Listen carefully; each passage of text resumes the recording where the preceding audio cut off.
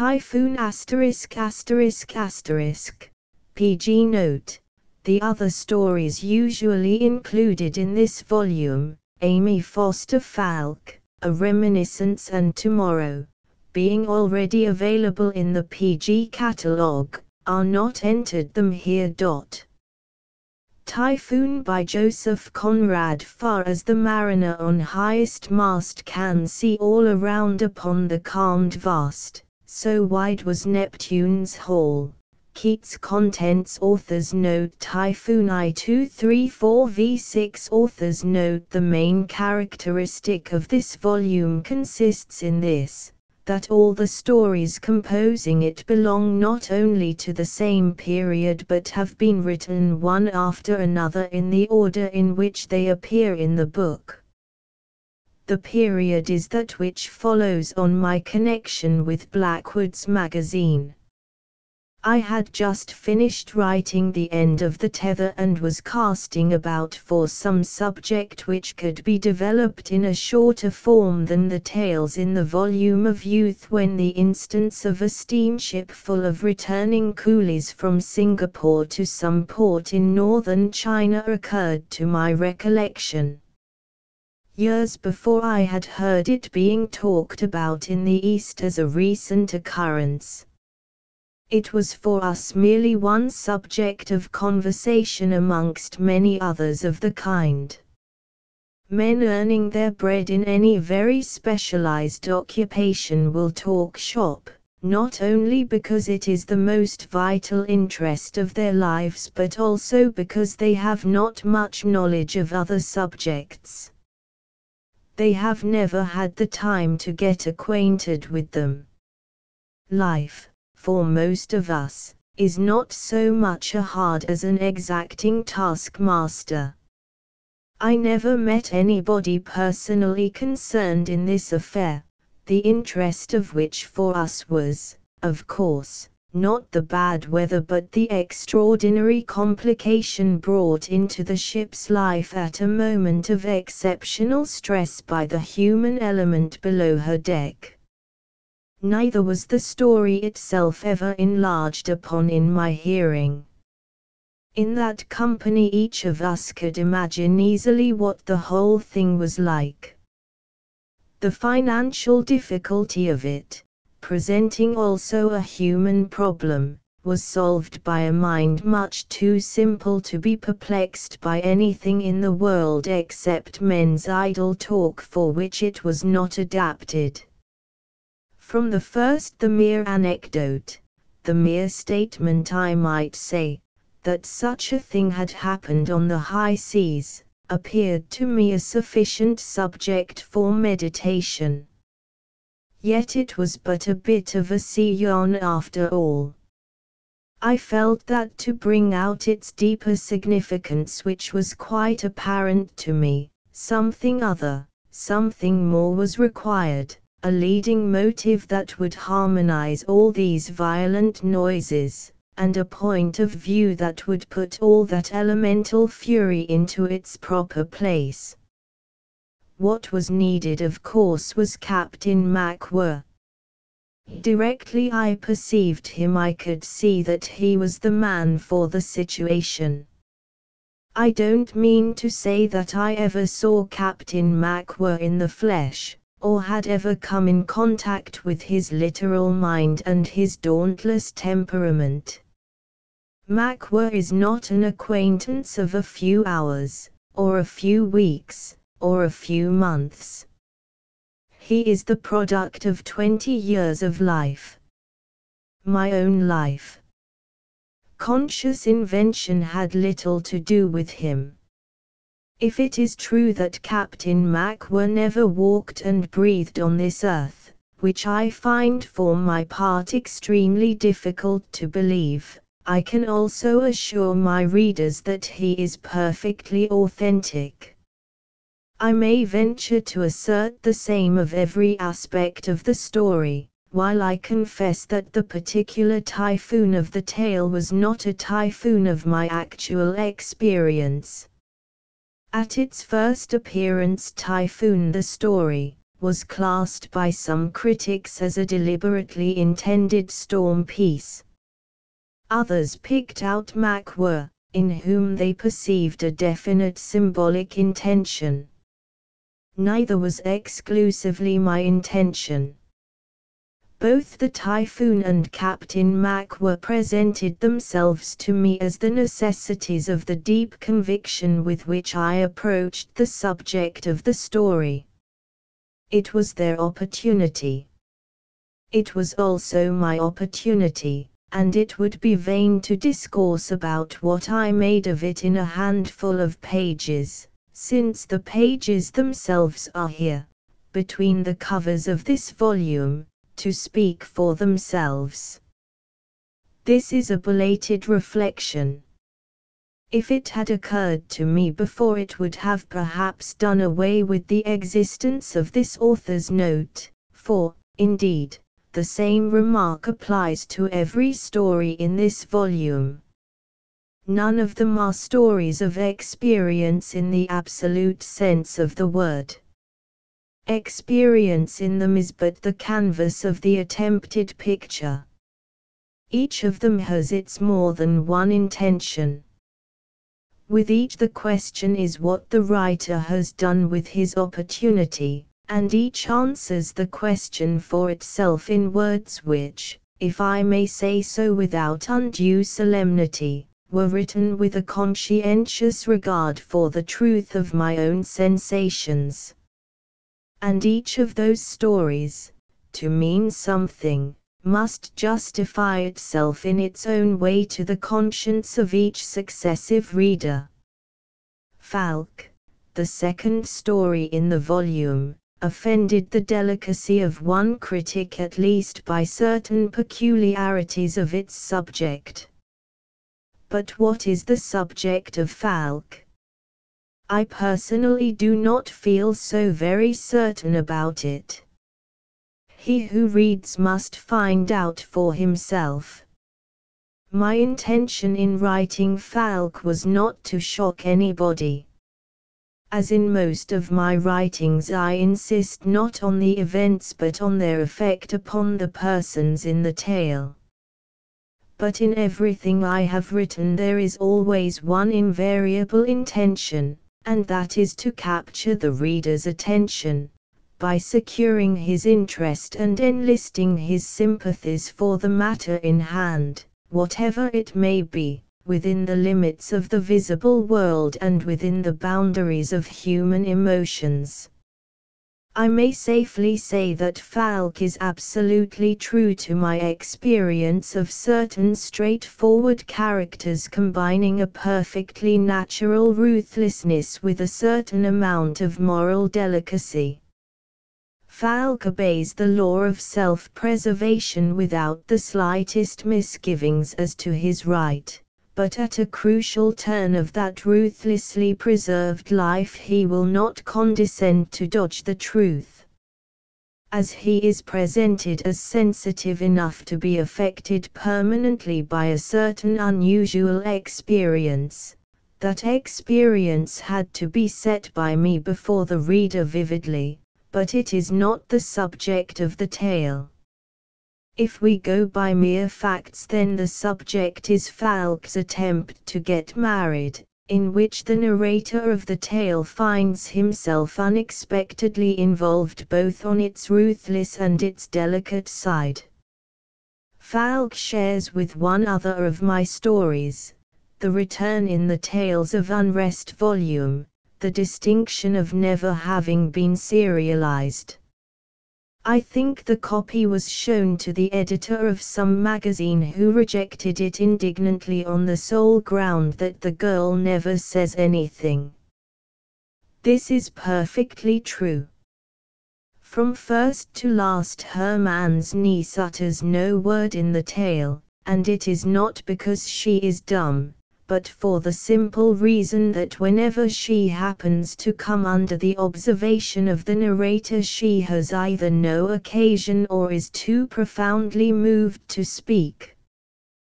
The editor, who obviously had read the story, might have perceived that for himself. apparently he did not, and I refrained from pointing out the impossibility to him because, since he did not venture to say that the girl did not live, I felt no concern at his indignation.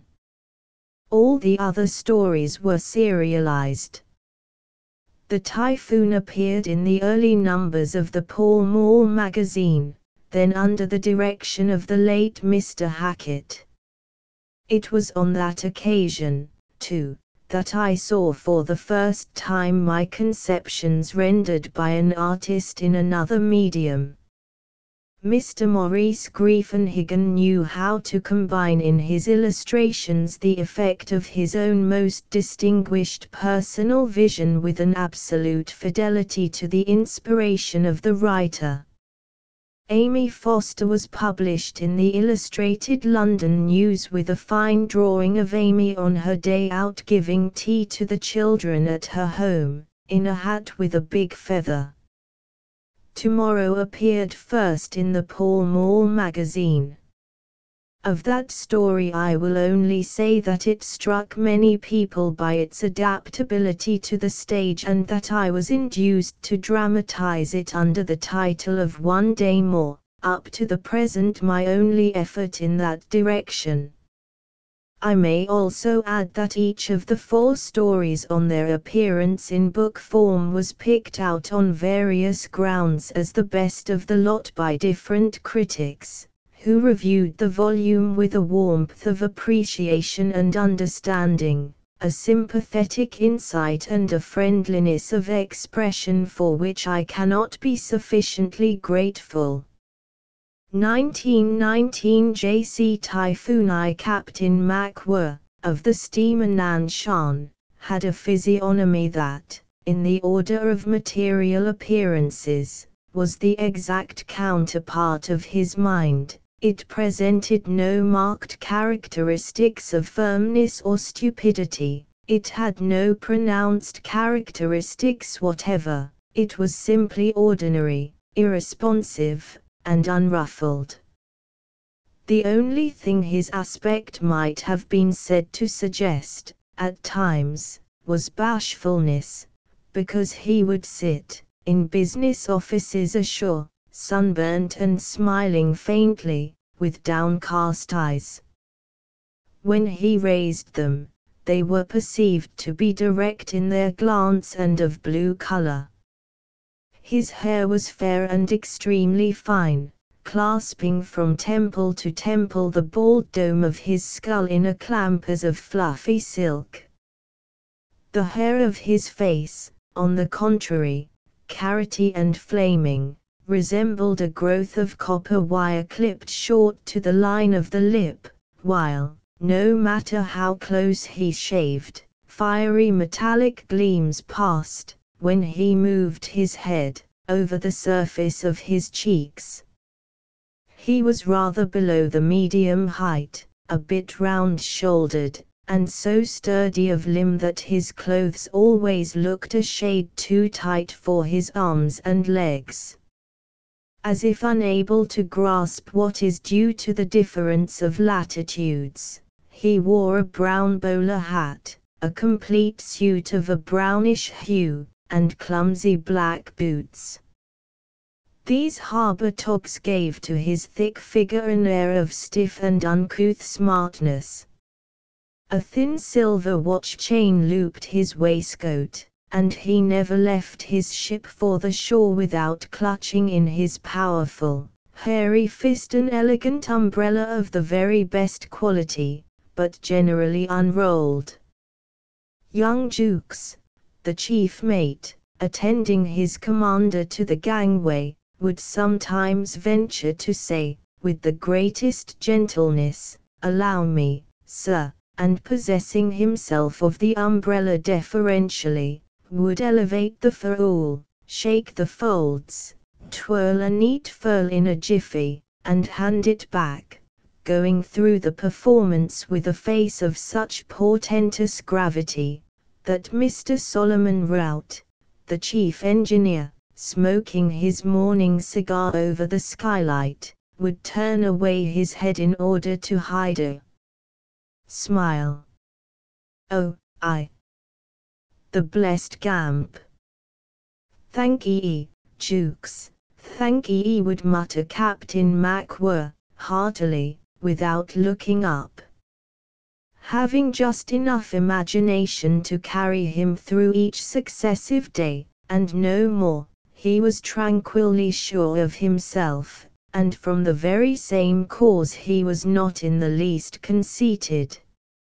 It is your imaginative superior who is touchy, overbearing, and difficult to please, but every ship Captain MacWhirr commanded was the floating abode of harmony and peace. It was, in truth, as impossible for him to take a flight of fancy as it would be for a watchmaker to put together a chronometer with nothing except a two-pound hammer and a whipsaw in the way of tools. Yet the uninteresting lives of men so entirely given to the actuality of the bare existence have their mysterious side.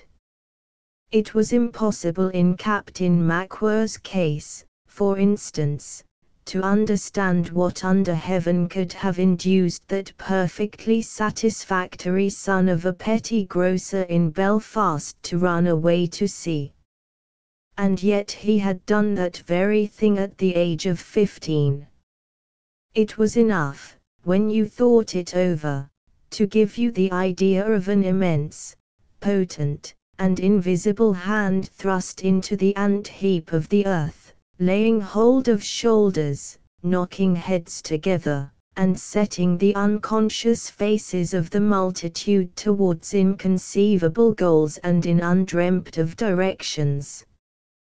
His father never really forgave him for this undutiful stupidity. We could have got on without him, he used to say later on, but there's the business. And he an only son, too. His mother wept very much after his disappearance. As it had never occurred to him to leave word behind, he was mourned over for dead till, after eight months, his first letter arrived from Talcahuano. It was short, and contained the statement, we had very fine weather on our passage out. But evidently, in the writer's mind, the only important intelligence was to the effect that his captain had, on the very day of writing, entered him regularly on the ship's articles as ordinary seaman. Because I can do the work, he explained. The mother again wept copiously, while the remark, Tom's and us expressed the emotions of the father. He was a corpulent man, with a gift for sly chaffing, which to the end of his life he exercised in his intercourse with his son, a little pityingly, as if upon a half-witted person. MacWhirr's visits to his home were necessarily rare, and in the course of years he dispatched other letters to his parents, informing them of his successive promotions and of his movements upon the vast earth. In these missives could be found sentences like this The heat here is very great.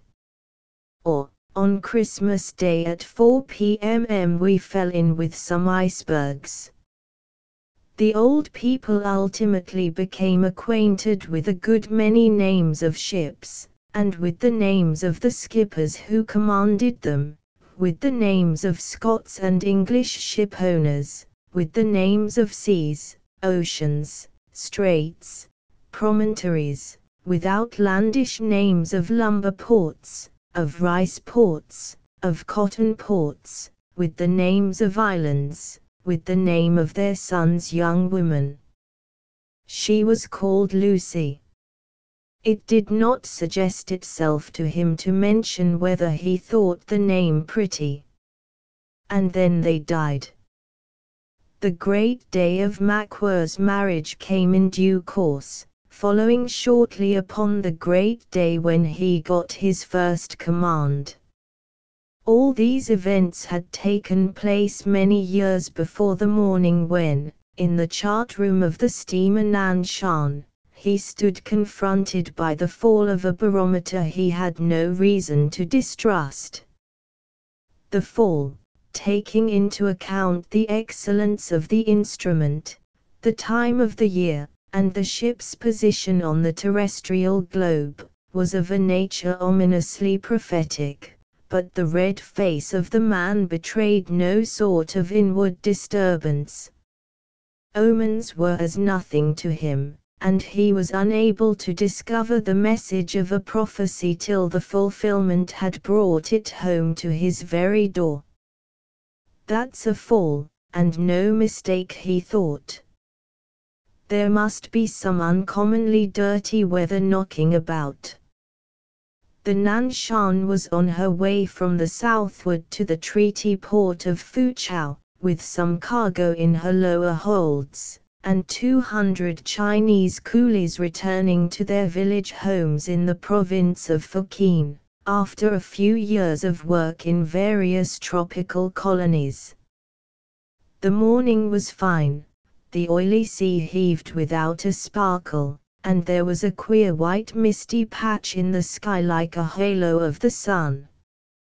The foredeck, packed with Chinamen, was full of somber clothing, yellow faces, and pigtails, sprinkled over with a good many naked shoulders, for there was no wind, and the heat was close. The coolies lounged, talked, smoked, or stared over the rail, some, drawing water over the side, sluiced each other, a few slept on hatches, while several small parties of six sat on their heels surrounding iron trays with plates of rice and tiny teacups, and every single celestial of them was carrying with him all he had in the world, a wooden chest with a ringing lock and brass on the corners, containing the savings of his labors, some clothes of ceremony, sticks of incense, a little opium. Maybe, bits of nameless rubbish of conventional value, and a small hoard of silver dollars, toiled for in coal lighters, won in gambling houses or in petty trading, grubbed out of earth, sweated out in mines, on railway lines, in deadly jungle, under heavy burdens, amassed patiently, guarded with care, cherished fiercely. A cross swell had set in from the direction of Formosa Channel about 10 o'clock, without disturbing these passengers much, because the Nanshan, with her flat bottom, rolling chocks on bilges, and great breadth of beam, had the reputation of an exceptionally steady ship in a seaway. Mr. Jukes, in moments of expansion on shore, would proclaim loudly that the old girl was as good as she was pretty. It would never have occurred to Captain Macwhirr to express his favorable opinion so loud or in terms so fanciful. She was a good ship, undoubtedly, and not old either. She had been built in Dumbarton less than three years before, to the order of a firm of merchants in Siam, Messrs. Sigg and Son. When she lay afloat, finished in every detail and ready to take up the work of her life, the builders contemplated her with pride. Sigg has asked us for a reliable skipper to take her out remarked one of the partners, and the other, after reflecting for a while, said, I think Macwhirr is ashore just at present. Is he? Then wire him at once. He's the very man declared the senior, without a moment's hesitation. Next morning Macwhirr stood before them unperturbed, having travelled from London by the midnight express after a sudden but undemonstrative parting with his wife. She was the daughter of a superior couple who had seen better days. We had better be going together over the ship, Captain said the senior partner, and the three men started to view the perfections of the Nanshan from stem to stern, and from her keelson to the trucks of her two stumpy pole masts. Captain Macwhirr had begun by taking off his coat, which he hung on the end of a steam windlass embodying all the latest improvements. My uncle wrote of you favorably by yesterday's mail to our good friends, Messrs. Sigg, you know, and doubtless they'll continue you out there in command, said the junior partner. You'll be able to boast of being in charge of the handiest boat of her size on the coast of China, Captain, he added. Have you? Thank ye, mumbled vaguely Macwhirr to whom the view of a distant eventuality could appeal no more than the beauty of a wide landscape to a purblind tourist, and his eyes happening at the moment to be at rest upon the lock of the cabin door, he walked up to it, full of purpose, and began to rattle the handle vigorously, while he observed, in his low, earnest voice, You can't trust the workmen nowadays a brand new lock, and it won't act at all. Stuck fast. See. See. As soon as they found themselves alone in their office across the yard, you praised that fellow up to Sigg. What is it you see in him? asked the nephew, with faint contempt. I admit he has nothing of your fancy skipper about him, if that's what you mean, said the elder man, curtly. Is the foreman of the joiners on the Nanshan outside? Come in, Bates. How is it that you let Tate's people put us off with a defective lock on the cabin door? The captain could see directly he set eye on it. Have it replaced at once. The little straws, Bates the little straws. The lock was replaced accordingly, and a few days afterwards the Nanshan steamed out to the east, without Macwhirr having offered any further remark as to her fittings, or having been heard to utter a single word hinting at pride in his ship, gratitude for his appointment, or satisfaction at his prospects with a temperament neither loquacious nor taciturn he found very little occasion to talk. There were matters of duty, of course, directions, orders, and so on, but the past being to his mind done with, and the future not there yet, the more general actualities of the day required no comment, because facts can speak for themselves with overwhelming precision. Old Mr. Sigg liked a man of few words, and one that you could be sure would not try to improve upon his instructions. Macwhirr satisfying these requirements, was continued in command of the Nanshan, and applied himself to the careful navigation of his ship in the China seas. She had come out on a British register, but after some time Messrs. Sigg judged it expedient to transfer her to the Siamese flag. At the news of the contemplated transfer Jukes grew restless, as if under a sense of personal affront. He went about grumbling to himself, and uttering short scornful laughs. Fancy having a ridiculous Noah's Ark elephant in the ensign of one's ship, he said once at the engine room door. Dash me if I can stand it, I'll throw up the billet. Don't it make you sick, Mr. Rout? The chief engineer only cleared his throat with the air of a man who knows the value of a good billet. The first morning the new flag floated over the stern of the Nanshan Jukes stood looking at it bitterly from the bridge. He struggled with his feelings for a while, and then remarked, Queer flag for a man to sail under, sir. What's the matter with the flag? inquired Captain MacWhirr. Seems all right to me.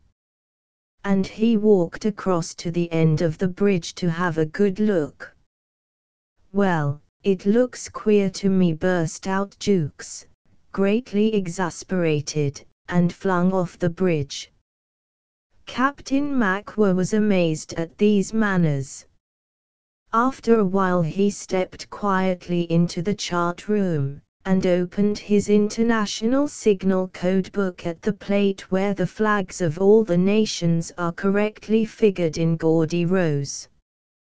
He ran his finger over them, and when he came to Siam he contemplated with great attention the red field and the white elephant. Nothing could be more simple, but to make sure he brought the book out on the bridge for the purpose of comparing the colored drawing with the real thing at the flagstaff astern. When next Jukes, who was carrying on the duty that day with a sort of suppressed fierceness, happened on the bridge, his commander observed, There's nothing amiss with that flag. Isn't there? mumbled Jukes, falling on his knees before a deck locker and jerking therefrom viciously a spare lead line. No, I looked up the book. Length twice the breadth and the elephant exactly in the middle. I thought the people ashore would know how to make the local flag. Stands to reason. You were wrong, Jukes. Well, sir began Jukes, getting up excitedly, all I can say, he fumbled for the end of the coil of line with trembling hands. That's all right. Captain MacWhirr soothed him, sitting heavily on a little canvas folding stool he greatly affected. All you have to do is to take care they don't hoist the elephant upside down before they get quite used to it.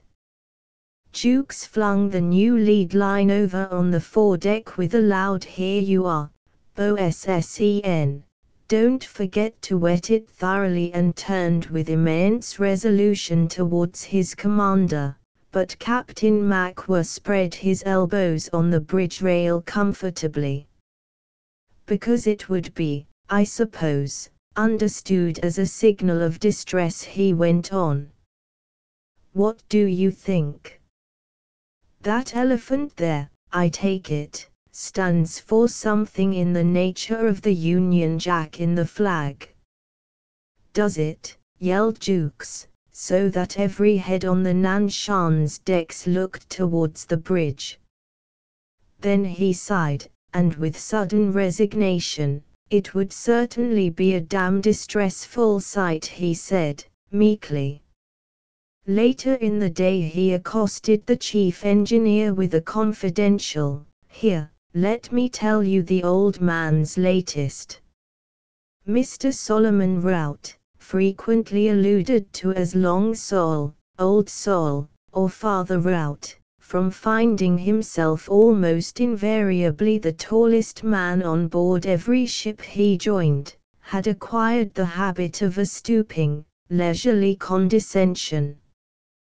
His hair was scant and sandy, his flat cheeks were pale, his bony wrists and long scholarly hands were pale, too, as though he had lived all his life in the shade. He smiled from on high at Jukes, and went on smoking and glancing about quietly, in the manner of a kind uncle lending an ear to the tale of an excited schoolboy. Then, greatly amused but impassive, he asked, And did you throw up the billet? No, cried Jukes, raising a weary, discouraged voice above the harsh buzz of the Nanshan's friction winches. All of them were hard at work, snatching slings of cargo, high up, to the end of long derricks, only, as it seemed, to let them rip down recklessly by the run. The cargo chains groaned in the gins, clinked on coamings, rattled over the side, and the whole ship quivered, with her long grey flanks smoking in wreaths of steam. No, cried Jukes, I didn't. What's the good? I might just as well fling my resignation at this bulkhead. I don't believe you can make a man like that understand anything. He simply knocks me over. At that moment Captain MacWhirr, back from the shore, crossed the deck, umbrella in hand, escorted by a mournful, self-possessed Chinaman, walking behind in paper-soled silk shoes, and who also carried an umbrella. The master of the Nan Shan, speaking just audibly and gazing at his boots as his manner was, remarked that it would be necessary to call at Foochow this trip, and desired Mr. Rout to have steam up tomorrow afternoon at one o'clock sharp. He pushed back his hat to wipe his forehead, observing at the same time that he hated going ashore anyhow, while overtopping him Mr. Rout, without deigning a word, smoked austerely, nursing his right elbow in the palm of his left hand. Then Jukes was directed in the same subdued voice to keep the forward tween deck clear of cargo. Two hundred coolies were going to be put down there. The Bun Hin Company were sending that lot home. 25 bags of rice would be coming off in a sampan directly, for stores. All seven years men they were, said Captain MacWhirr, with a camphor wood chest to every man. The carpenter should be set to work nailing three-inch battens along the deck below, fore and aft, to keep these boxes from shifting in a seaway. Jukes had better look to it at once. Do ye hear, Jukes? This Chinaman here was coming with the ship as far as Foochow, a sort of interpreter he would be. Bun Hin's clerk he was, and wanted to have a look at the space. Jukes had better take him forward. Do ye hear, Jukes? Jukes took care to punctuate these instructions in proper places with the obligatory yes, sir ejaculated without enthusiasm. His brusque come along, John, make look see set the Chinaman in motion at his heels. One chi look see, all same look see can do said Jukes who having no talent for foreign languages mangled the very pidgin English cruelly. He pointed at the open hatch. Kashi number one PC place to sleep in. A. He was gruff, as became his racial superiority, but not unfriendly. The Chinaman, gazing sad and speechless into the darkness of the hatchway, seemed to stand at the head of a yawning grave. No Kashi rain down there, Savvy, pointed out Jukes. Suppose all ee same fine weather, one PC cooler man come topside he pursued, warming up imaginatively. Make so, foo he expanded his chest and blew out his cheeks. Savvy, John. Breathe, fresh air. Good. A. Washy him PC pants, chow chow topside, see, John. With his mouth and hands he made exuberant motions of eating rice and washing clothes, and the Chinaman, who concealed his distrust of this pantomime under a collected demeanor tinged by a gentle and refined melancholy, glanced out of his almond eyes from Jukes to the hatch and back again. Velly good he murmured, in a disconsolate undertone, and hastened smoothly along the decks, dodging obstacles in his course. He disappeared, ducking low under a sling of ten dirty gunny bags full of some costly merchandise and exhaling a repulsive smell. Captain MacWhirr meantime had gone on the bridge, and into the chart room, where a letter, commenced two days before, awaited termination.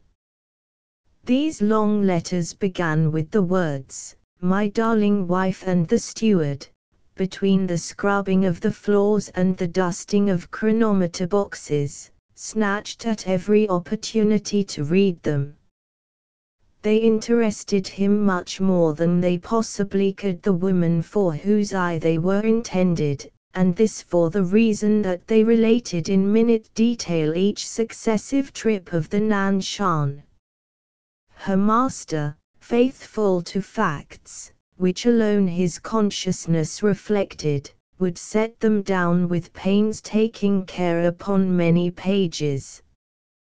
The house in a northern suburb to which these pages were addressed had a bit of garden before the bow windows, a deep porch of good appearance, colored glass with imitation lead frame in the front door. He paid five and forty pounds a year for it, and did not think the rent too high, because Mrs. MacWhirr, a pretentious person with a scraggy neck and a disdainful manner, was admittedly ladylike, and in the neighborhood considered as quite superior. The only secret of her life was her abject terror of the time when her husband would come home to stay for good.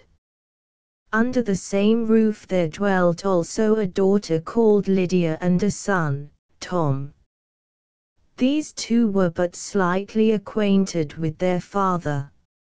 Mainly, they knew him as a rare but privileged visitor, who of an evening smoked his pipe in the dining room and slept in the house. The lanky girl, upon the whole, was rather ashamed of him, the boy was frankly and utterly indifferent in a straightforward, delightful, unaffected way manly boys have. And Captain MacWhirr wrote home from the coast of China twelve times every year, desiring quaintly to be remembered to the children and subscribing himself your loving husband as calmly as if the words so long used by so many men were, apart from their shape, worn out things, and of a faded meaning. The China seas north and south are narrow seas. They are seas full of everyday, eloquent facts, such as islands, sandbanks, reefs, swift and changeable currents, tangled facts that nevertheless speak to a seaman in clear and definite language. Their speech appealed to Captain MacWhirr's sense of realities so forcibly that he had given up his stateroom below and practically lived all his days on the bridge of his ship, often having his meals sent up, and sleeping at night in the chart room. And he indited there his home letters. Each of them, without exception, contained the phrase, the weather has been very fine this trip or some other form of a statement to that effect. And this statement, too, in its wonderful persistence, was of the same perfect accuracy as all the others they contained. Mr. Rout likewise wrote letters, only no one on board knew how chatty he could be pen in hand because the chief engineer had enough imagination to keep his desk locked. His wife relished his style greatly. They were a childless couple, and Mrs. Rout, a big, high-bosomed, jolly woman of forty, shared with Mr. Rout's toothless and venerable mother a little cottage near Teddington. She would run over her correspondence, at breakfast, with lively eyes, and scream out interesting passages in a joyous voice at the deaf old lady, prefacing each extract by the warning shout, Solomon says. She had the trick of firing off Solomon's utterances also upon strangers, astonishing them easily by the unfamiliar text and the unexpectedly jocular vein of these quotations. On the day the new curate called for the first time at the cottage, she found occasion to remark, as Solomon says, the engineers that go down to the sea in ships behold the wonders of sailor nature, when a change in the visitor's countenance made her stop and stare. Solomon. Oh! Mrs. Rout stuttered the young man, very red in the face, I must say. I don't. He's my husband, she announced in a great shout throwing herself back in the chair. Perceiving the joke, she laughed immoderately with a handkerchief to her eyes, while he sat wearing a forced smile, and, from his inexperience of jolly women, fully persuaded that she must be deplorably insane. They were excellent friends afterwards, for, absolving her from irreverent intention, he came to think she was a very worthy person indeed, and he learned in time to receive without flinching other scraps of Solomon's wisdom. For my part Solomon was reported by his wife to have said once, Give me the dullest ass for a skipper before a rogue. There is a way to take a fool, but a rogue is smart and slippery. This was an airy generalization drawn from the particular case of Captain MacWhirr's honesty, which, in itself, had the heavy obviousness of a lump of clay. On the other hand, Mr. Jukes, unable to generalize, unmarried, and unengaged, was in the habit of opening his heart after another fashion to an old chum and former shipmate, actually serving as second officer on board an Atlantic liner. First of all he would insist upon the advantages of the Eastern trade, hinting at its superiority to the Western Ocean service. He extolled the sky, the seas, the ships, and the easy life of the Far East. The Nanshan, he affirmed, was second to none as a sea boat. We have no brass-bound uniforms, but then we are like brothers here he wrote. We all mess together and live like fighting cocks. All the chaps of the black squad are as decent as they make that kind, and old Sol, the chief, is a dry stick. We are good friends. As to our old man, you could not find a quieter skipper. Sometimes you would think he hadn't sense enough to see anything wrong. And yet it isn't that. Can't be. He has been in command for a good few years now. He doesn't do anything actually foolish, and gets his ship along all right without worrying anybody. I believe he hasn't brains enough to enjoy kicking up a row. I don't take advantage of him. I would scorn it. Outside the routine of duty, he doesn't seem to understand more than half of what you tell him. We get a laugh out of this at times, but it is dull, too, to be with a man like this, in the long run. Old Sol says he hasn't much conversation. Conversation. Oh Lord. He never talks. The other day I had been yawning under the bridge with one of the engineers, and he must have heard us. When I came up to take my watch, he steps out of the chart room and has a good look all round, peeps over at the sidelights, glances at the compass, squints upward at the stars. That's his regular performance. By and by he says, was that you talking just now in the port alleyway? Yes, sir. With the third engineer? Yes, sir. He walks off to starboard, and sits under the dodger on a little camp stool of his, and for half an hour perhaps he makes no sound, except that I heard him sneeze once.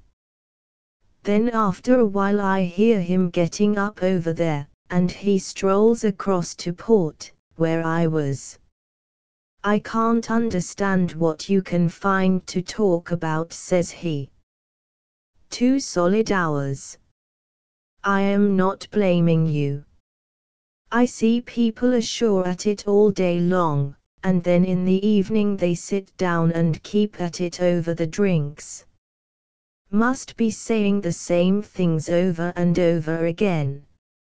I can't understand. Did you ever hear anything like that? And he was so patient about it. It made me quite sorry for him.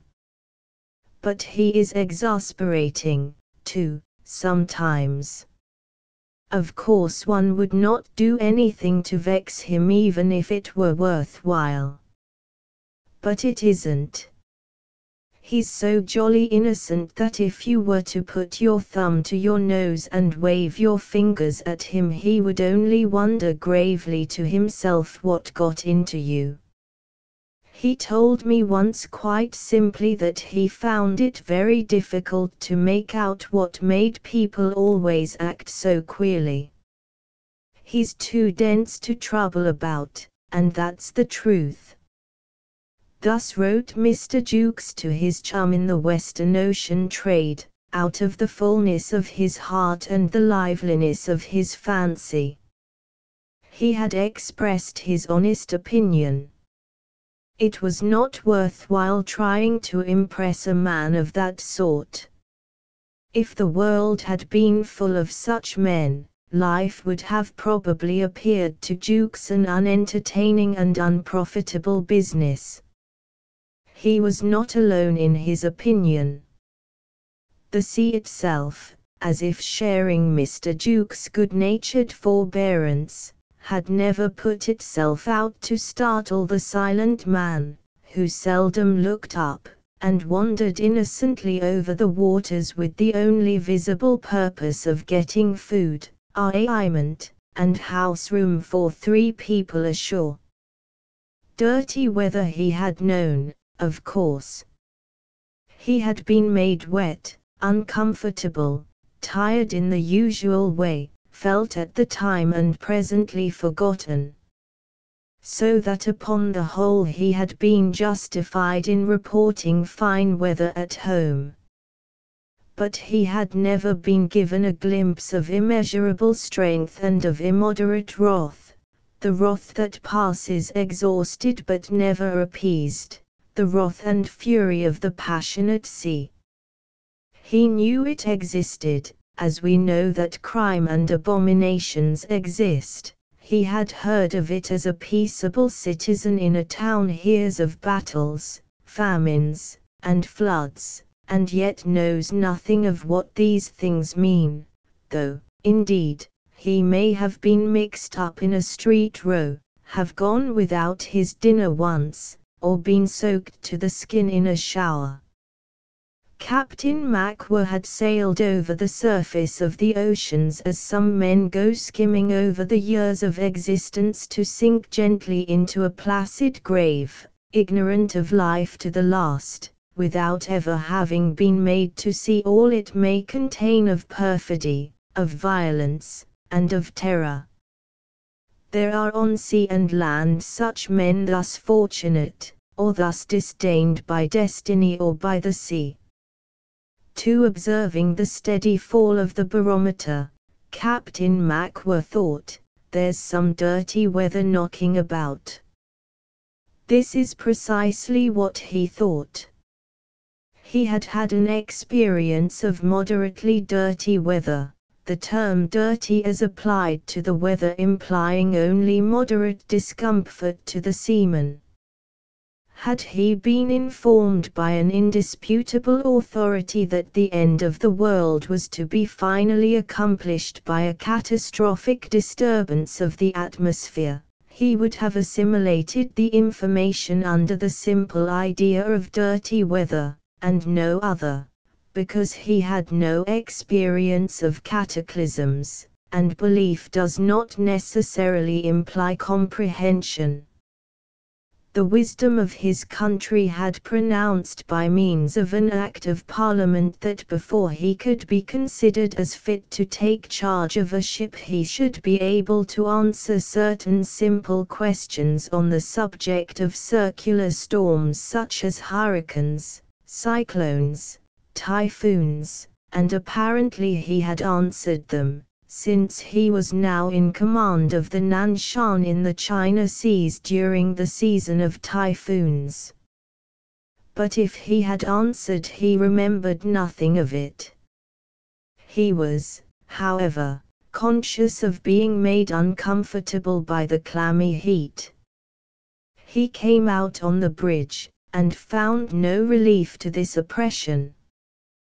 The air seemed thick he gasped like a fish, and began to believe himself greatly out of sorts.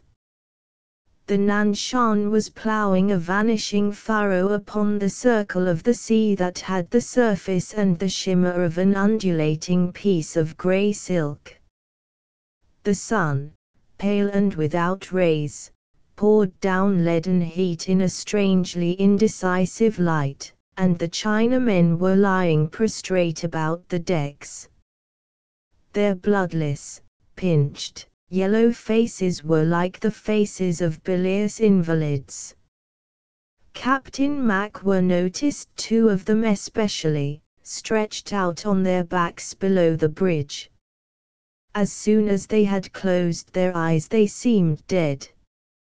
Three others, however, were quarreling barbarously away forward, and one big fellow, half naked, with Herculean shoulders, was hanging limply over a winch, another, sitting on the deck, his knees up and his head drooping sideways in a girlish attitude, was plaiting his pigtail with infinite languor depicted in his whole person and in the very movement of his fingers.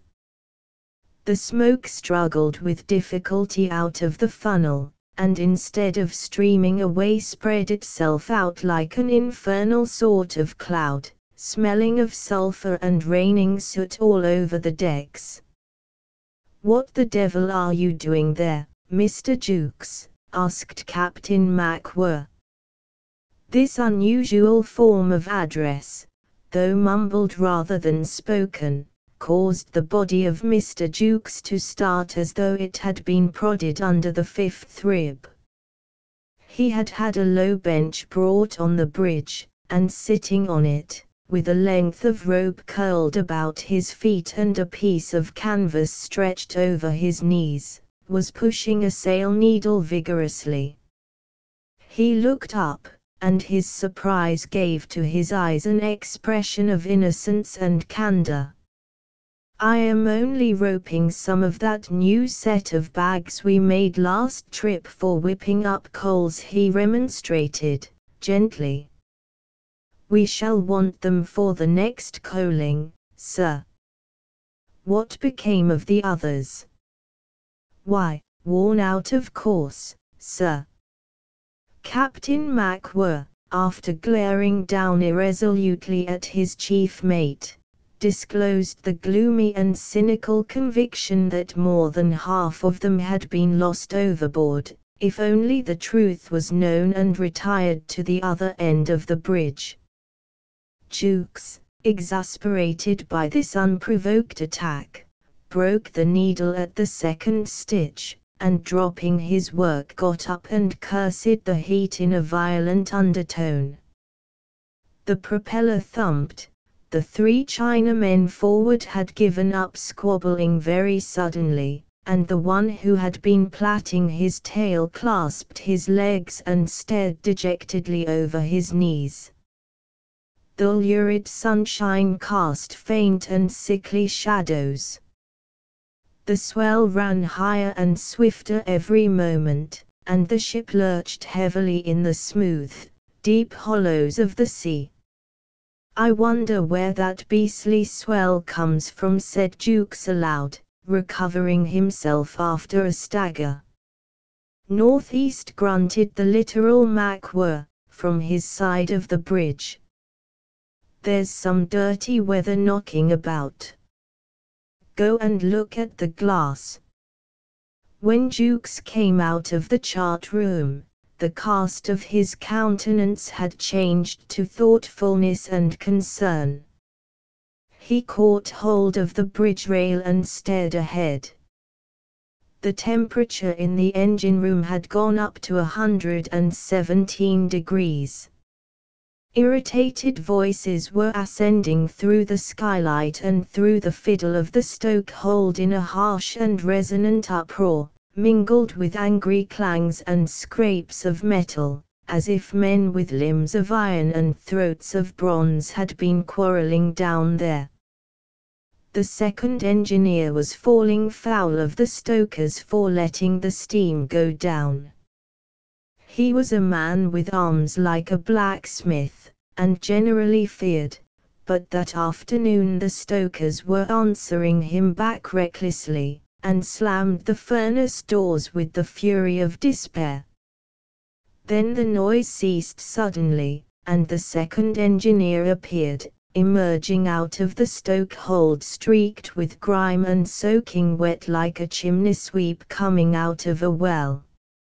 As soon as his head was clear of the fiddle he began to scold Jukes for not trimming properly the stoke hold ventilators, and in answer Jukes made with his hands deprecatory soothing signs meaning, no wind, can't be helped, you can see for yourself.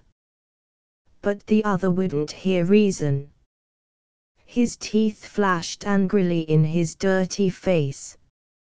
He didn't mind, he said, the trouble of punching their blanked heads down there, blank his soul, but did the condemned sailors think you could keep steam up in the god-forsaken boilers simply by knocking the blanked stokers about? No, by George.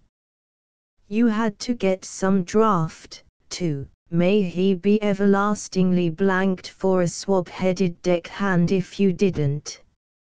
And the chief, too, rampaging before the steam gauge and carrying on like a lunatic up and down the engine room ever since noon. What did Jukes think he was stuck up there for, if he couldn't get one of his decayed, good-for-nothing deck cripples to turn the ventilators to the wind? The relations of the engine room and the deck of the Nanshan were, as is known, of a brotherly nature. Therefore Jukes leaned over and begged the other in a restrained tone not to make a disgusting ass of himself. The skipper was on the other side of the bridge. But the second declared mutinously that he didn't care a rap who was on the other side of the bridge, and Jukes, passing in a flash from lofty disapproval into a state of exaltation, invited him in unflattering terms to come up and twist the beastly things to please himself, and catch such wind as a donkey of his sort could find. The second rushed up to the fray. He flung himself at the port ventilator as though he meant to tear it out bodily and toss it overboard. All he did was to move the cowl round a few inches, with an enormous expenditure of force, and seemed spent in the effort. He leaned against the back of the wheelhouse, and Jukes walked up to him. Oh, heavens! ejaculated the engineer in a feeble voice. He lifted his eyes to the sky, and then let his glassy stare descend to meet the horizon that, tilting up to an angle of 40 degrees, seemed to hang on a slant for a while and settled down slowly. Heavens! Phew! What's up, anyhow? Jukes, straddling his long legs like a pair of compasses, put on an air of superiority. We're going to catch it this time, he said. The barometer is tumbling down like anything, Harry. And you trying to kick up that silly row. The word barometer seemed to revive the second engineer's mad animosity. Collecting afresh all his energies, he directed Jukes in a low and brutal tone to shove the unmentionable instrument down his gory throat. Who cared for his crimson barometer? It was the steam, the steam, that was going down, and what between the fireman going faint and the chief going silly, it was worse than a dog's life for him. He didn't care a tinker's curse how soon the whole show was blown out of the water. He seemed on the point of having a cry, but after regaining his breath he muttered darkly, I'll faint them and dashed off. He stopped upon the fiddle long enough to shake his fist at the unnatural daylight, and dropped into the dark hole with a whoop. When Jukes turned, his eyes fell upon the rounded back and the big red ears of Captain MacWhirr, who had come across. He did not look at his chief officer, but said at once, That's a very violent man, that second engineer. Jolly good second, anyhow grunted Jukes. They can't keep up steam he added, rapidly, and made a grab at the rail against the coming lurch. Captain MacWhirr, unprepared, took a run and brought himself up with a jerk by an awning stanchion. A profane man he said, obstinately. If this goes on, I'll have to get rid of him the first chance. It's the heat said Jukes. The weather's awful it would make a saint swear. Even up here I feel exactly as if I had my head tied up in a woolen blanket. Captain MacWhirr looked up. Do ye mean to say, Mr. Jukes, you ever had your head tied up in a blanket? What was that for? It's a manner of speaking, sir, said Jukes, stolidly. Some of you fellows do go on. What's that about saints swearing? I wish you wouldn't talk so wild. What sort of saint would that be that would swear? No more saint than yourself, I expect. And what's a blanket got to do with it, or the weather either? The heat does not make me swear, does it? It's filthy bad temper. That's what it is. And what's the good of your talking like this? Thus Captain MacWhirr expostulated against the use of images in speech, and at the end electrified Jukes by a contemptuous snort, followed by words of passion and resentment, damn.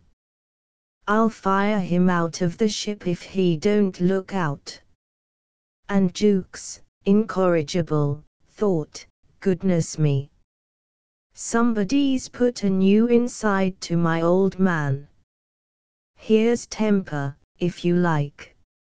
Of course it's the weather, what else? It would make an angel quarrelsome, let alone a saint. All the Chinamen on deck appeared at their last gasp. At its setting the sun had a diminished diameter and an expiring brown, rayless glow, as if millions of centuries elapsing since the morning had brought it near its end. A dense bank of cloud became visible to the northward, It had a sinister dark olive tint, and lay low and motionless upon the sea, resembling a solid obstacle in the path of the ship. She went floundering towards it like an exhausted creature driven to its death. The coppery twilight retired slowly, and the darkness brought out overhead a swarm of unsteady, big stars, that, as if blown upon, flickered exceedingly and seemed to hang very near the earth. At eight o'clock Jukes went into the chart room to write up the ship's log. He copies neatly out of the rough book the number of miles, the course of the ship, and in the column for wind scrawled the word calm from top to bottom of the eight hours since noon. He was exasperated by the continuous, monotonous rolling of the ship. The heavy inkstand would slide away in a manner that suggested perverse intelligence in dodging the pen. Having written in the large space under the head of remarks heat very oppressive he stuck the end of the pen holder in his teeth, pipe fashion, and mopped his face carefully. Ship rolling heavily in a high cross swell he began again, and commented to himself, heavily is no word for it.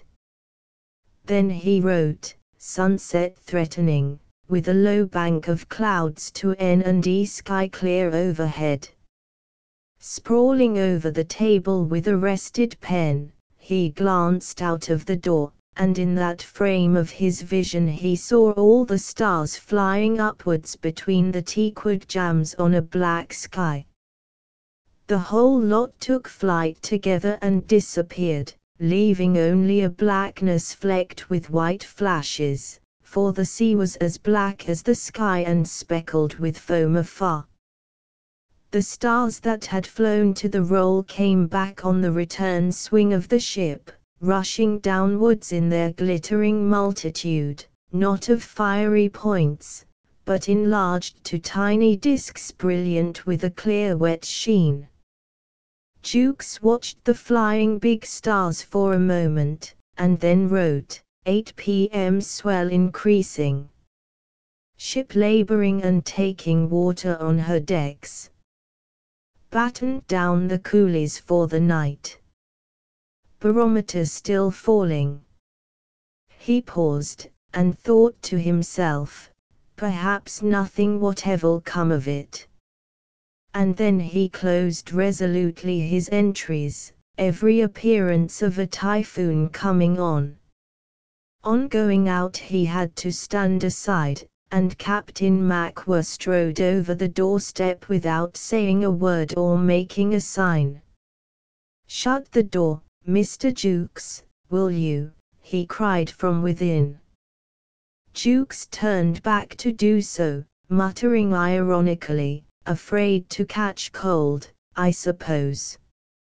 It was his watch below, but he yearned for communion with his kind, and he remarked cheerily to the second mate, doesn't look so bad, after all, does it? The second mate was marching to and fro on the bridge, tripping down with small steps one moment, and the next climbing with difficulty the shifting slope of the deck. At the sound of Jukes' voice he stood still, facing forward, but made no reply. Hello. That's a heavy one said Jukes swaying to meet the long roll till his lowered hand touched the planks. This time the second mate made in his throat a noise of an unfriendly nature. He was an oldish, shabby little fellow, with bad teeth and no hair on his face. He had been shipped in a hurry in Shanghai, that trip when the second officer brought from home had delayed the ship three hours in port by contriving, in some manner Captain MacWhirr could never understand, to fall overboard into an empty coal lighter lying alongside, and had to be sent ashore to the hospital with concussion of the brain and a broken limb or two. Jukes was not discouraged by the unsympathetic sound. The Chinamen must be having a lovely time of it down there, he said. It's lucky for them the old girl has the easiest roll of any ship I've ever been in. There now. This one wasn't so bad. You wait, snarled the second mate. With his sharp nose, red at the tip, and his thin pinched lips, he always looked as though he were raging inwardly, and he was concise in his speech to the point of rudeness.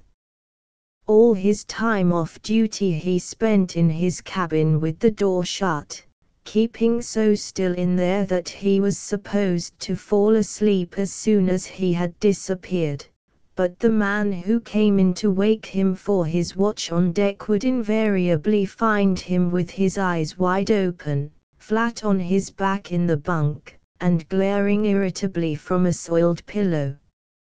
He never wrote any letters, did not seem to hope for news from anywhere, and though he had been heard once to mention West Hartlepool, it was with extreme bitterness, and only in connection with the extortionate charges of a boarding house.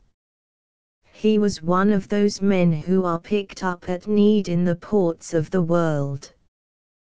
They are competent enough, appear hopelessly hard up, show no evidence of any sort of vice, and carry about them all the signs of manifest failure.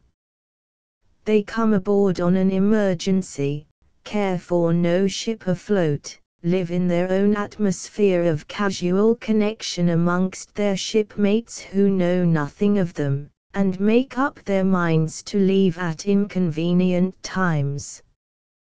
They clear out with no words of lever-taking in some god-forsaken port other men would fear to be stranded in, and go ashore in company of a shabby sea chest, corded like a treasure box, and with an air of shaking the ship's dust off their feet. You wait, he repeated, balanced in great swings with his back to Jukes, motionless and implacable. Do you mean to say we are going to catch it hot? asked Jukes with boyish interest. Say. I say nothing. You don't catch me, snapped the little second mate, with a mixture of pride, scorn, and cunning, as if Jukes' question had been a trap cleverly detected. Oh, no.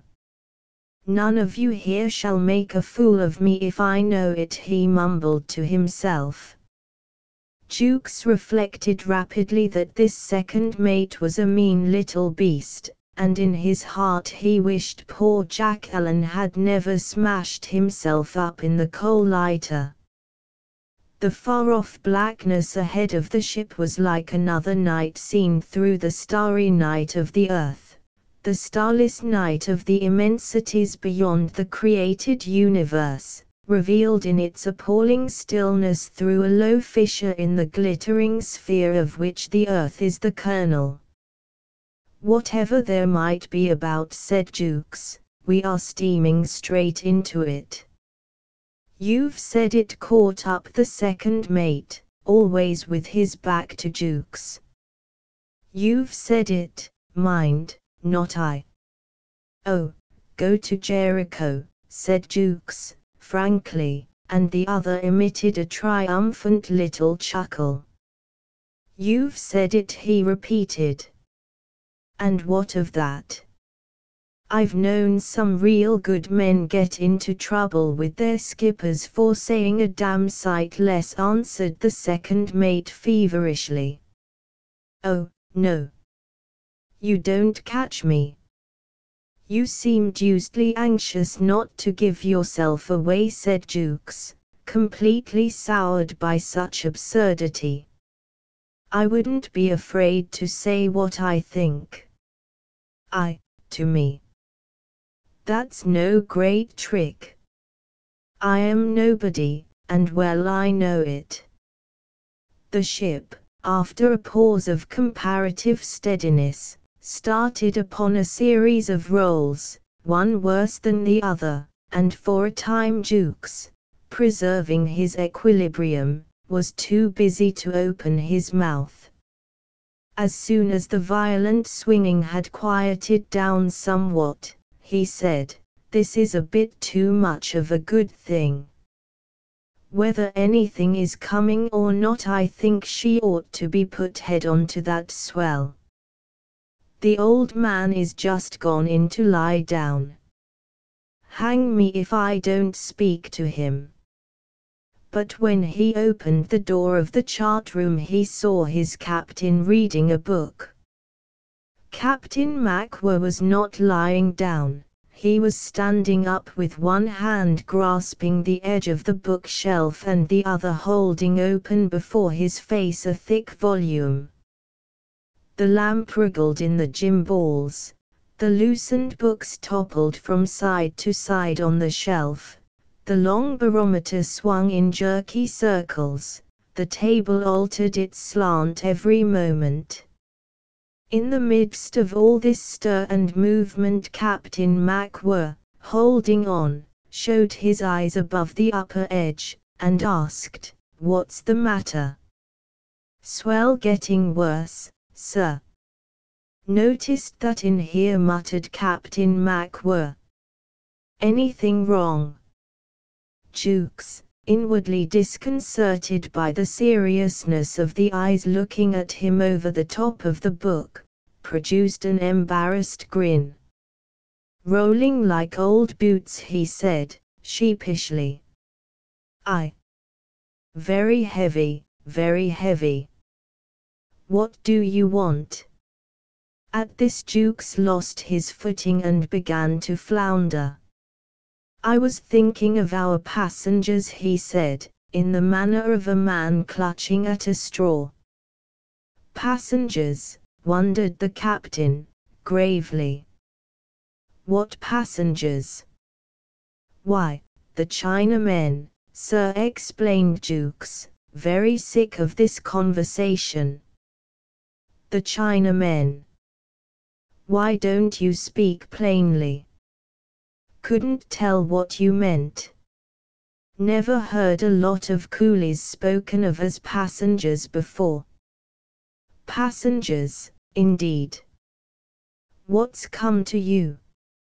Captain MacWhirr, closing the book on his forefinger, lowered his arm and looked completely mystified. Why are you thinking of the Chinamen, Mr. Jukes? he inquired. Jukes took a plunge, like a man driven to it. She's rolling her decks full of water, sir. Thought you might put her head on perhaps, for a while. Till this goes down a bit, very soon, I dare say. Head to the eastward. I never knew a ship roll like this. He held on in the doorway, and Captain MacWhirr, feeling his grip on the shelf inadequate, made up his mind to let go in a hurry, and fell heavily on the couch. Head to the eastward, he said, struggling to sit up. That's more than four points off her course. Yes, sir. Fifty degrees would just bring her head far enough round to meet this. Captain MacWhirr was now sitting up. He had not dropped the book, and he had not lost his place. To the eastward, he repeated, with dawning astonishment. To the Where do you think we are bound to? You want me to haul a full-powered steamship four points off her course to make the Chinamen comfortable. Now, I've heard more than enough of mad things done in the world, but this. If I didn't know you, Jukes, I would think you were in liquor. Steer four points off. and what afterwards? Steer four points over the other way, I suppose, to make the course good. What put it into your head that I would start to tack a steamer as if she were a sailing ship? Jolly good thing she isn't threw in Jukes, with bitter readiness. She would have rolled every blessed stick out of her this afternoon. I. And you just would have had to stand and see them go, said Captain MacWhirr, showing a certain animation. It's a dead calm, isn't it? It is, sir but there's something out of the common coming, for sure. Maybe. I suppose you have a notion I should be getting out of the way of that dirt, said Captain MacWhirr, speaking with the utmost simplicity of manner and tone, and fixing the oilcloth on the floor with a heavy stare. Thus he noticed neither Jukes' discomfiture nor the mixture of vexation and astonished respect on his face. Now, here's this book he continued with deliberation, slapping his thigh with the closed volume.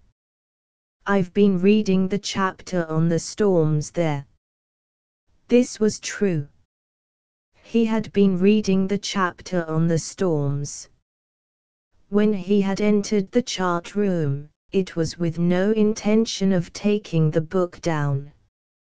Some influence in the air, the same influence, probably, that caused the steward to bring without orders the captain's sea boots and oilskin coat up to the chart room, had as it were guided his hand to the shelf, and without taking the time to sit down he had waded with a conscious effort into the terminology of the subject. He lost himself amongst advancing semicircles, left and right hand quadrants, the curves of the tracks, the probable bearing of the center, the shifts of wind and the readings of barometer.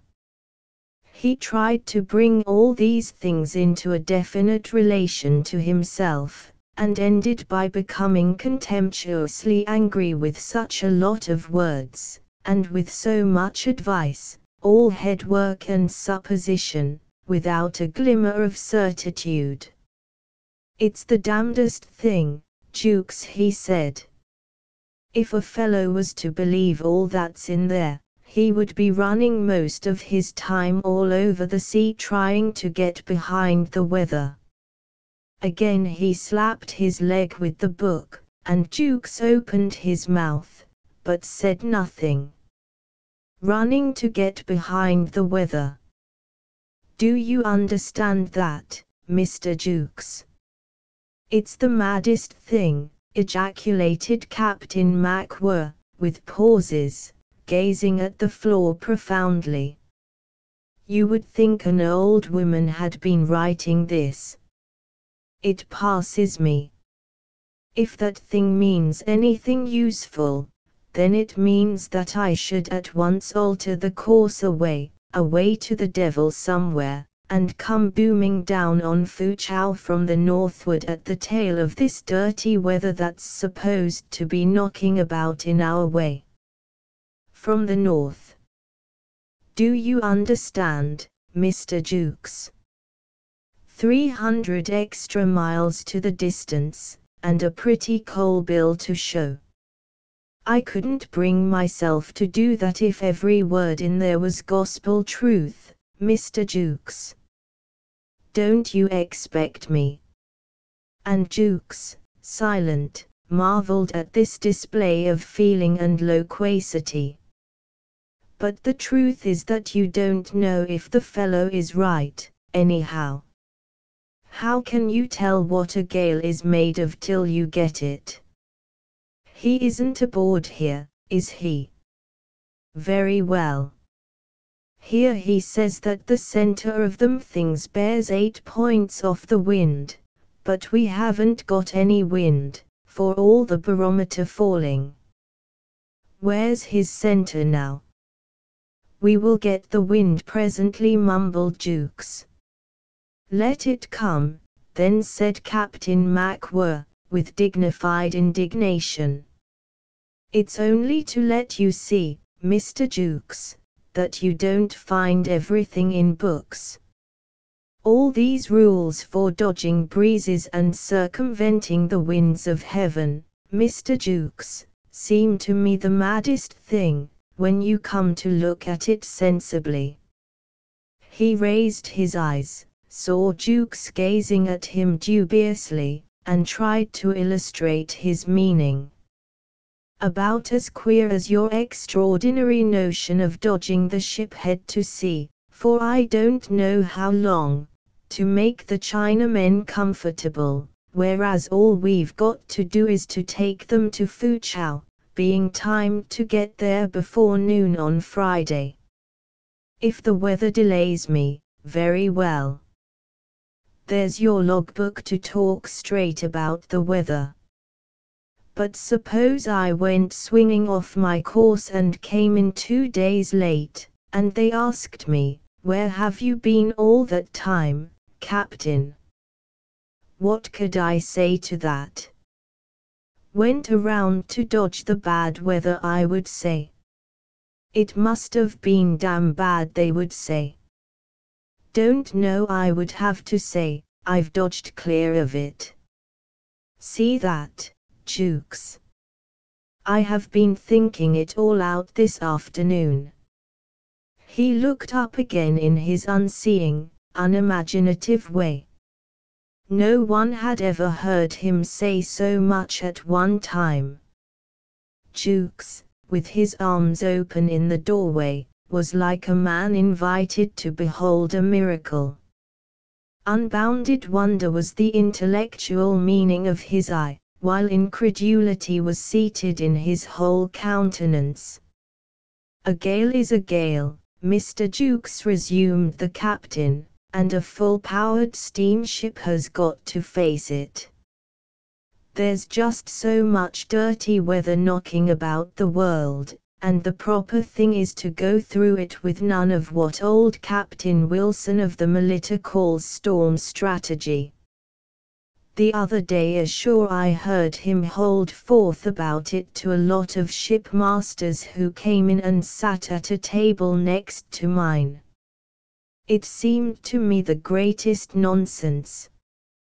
He was telling them how he outmaneuvered, I think he said, a terrific gale, so that it never came nearer than 50 miles to him.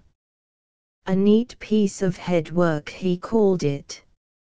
How he knew there was a terrific gale 50 miles off beats me altogether.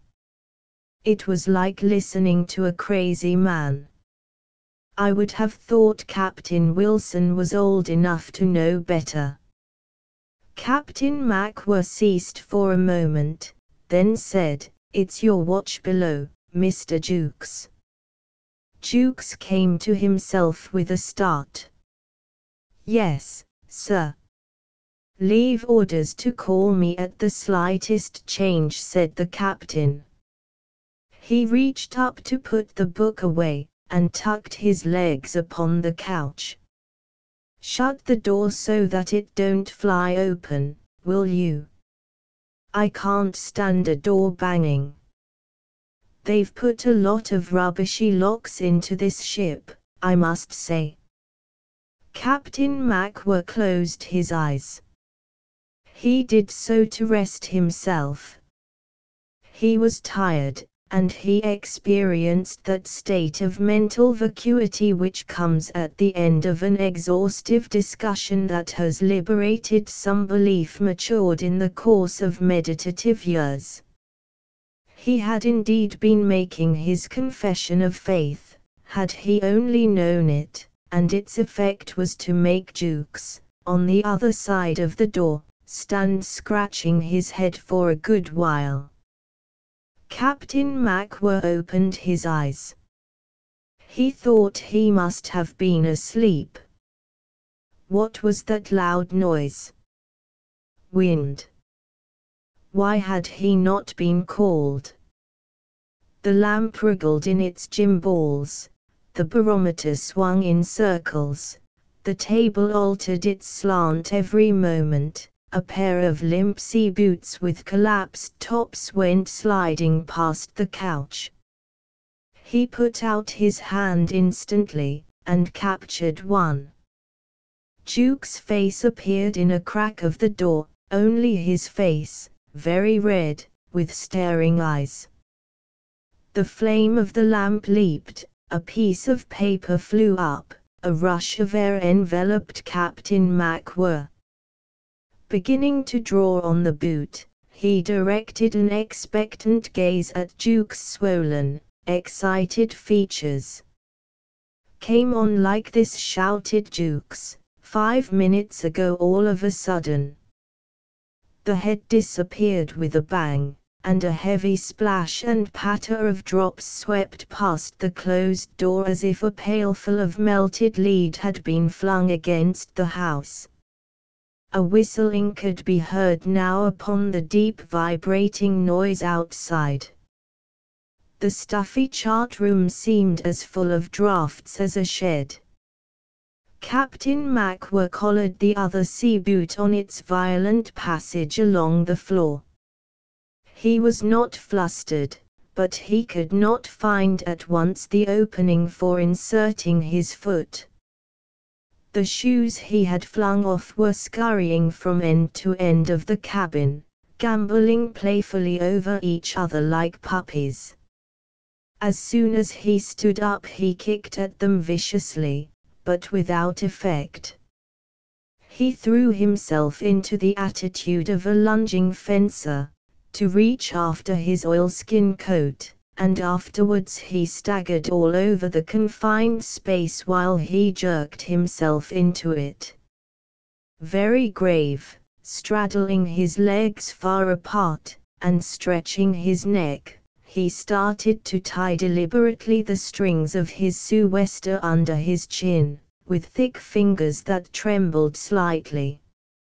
He went through all the movements of a woman putting on her bonnet before a glass, with a strained, listening attention, as though he had expected every moment to hear the shout of his name in the confused clamor that had suddenly beset his ship.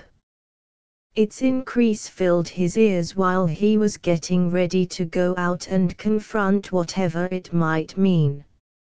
It was tumultuous and very loud, made up of the rush of the wind, the crashes of the sea, with that prolonged deep vibration of the air, like the roll of an immense and remote drum beating the charge of the gale. He stood for a moment in the light of the lamp, thick, clumsy, shapeless in his panoply of combat, vigilant and red-faced. There's a lot of weight in this he muttered. As soon as he attempted to open the door the wind caught it. Clinging to the handle, he was dragged out over the doorstep, and at once found himself engaged with the wind in a sort of personal scuffle whose object was the shutting of that door. At the last moment a tongue of air scurried in and licked out the flame of the lamp. Ahead of the ship he perceived a great darkness lying upon a multitude of white flashes. On the starboard beam a few amazing stars drooped, dim and fitful, above an immense waste of broken seas, as if seen through a mad drift of smoke. On the bridge a knot of men, indistinct and toiling, were making great efforts in the light of the wheelhouse windows that shone mistily on their heads and backs. Suddenly darkness closed upon one pane, then on another. The voices of the lost group reached him after the manner of men's voices in a gale, in shreds and fragments of forlorn shouting snatched past the ear. All at once Jukes appeared at his side, yelling, with his head down. Watch, put in, wheelhouse shutters, glass, afraid, blow in. Jukes heard his commander upbraiding. This, come, anything, warning, call me. He tried to explain, with the uproar pressing on his lips. Light air, remained, bridge, sudden, northeast, could turn, thought, you, sure, here.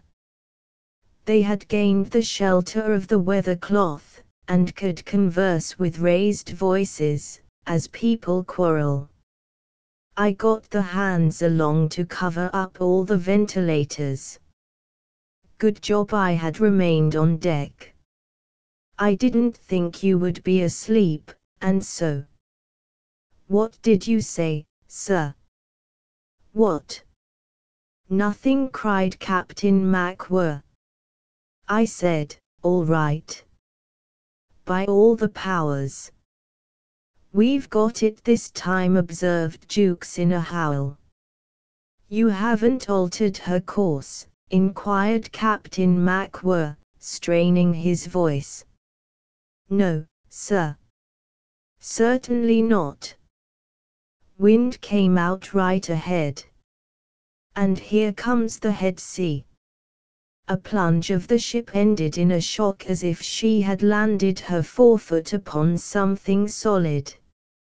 After a moment of stillness a lofty flight of sprays drove hard with the wind upon their faces.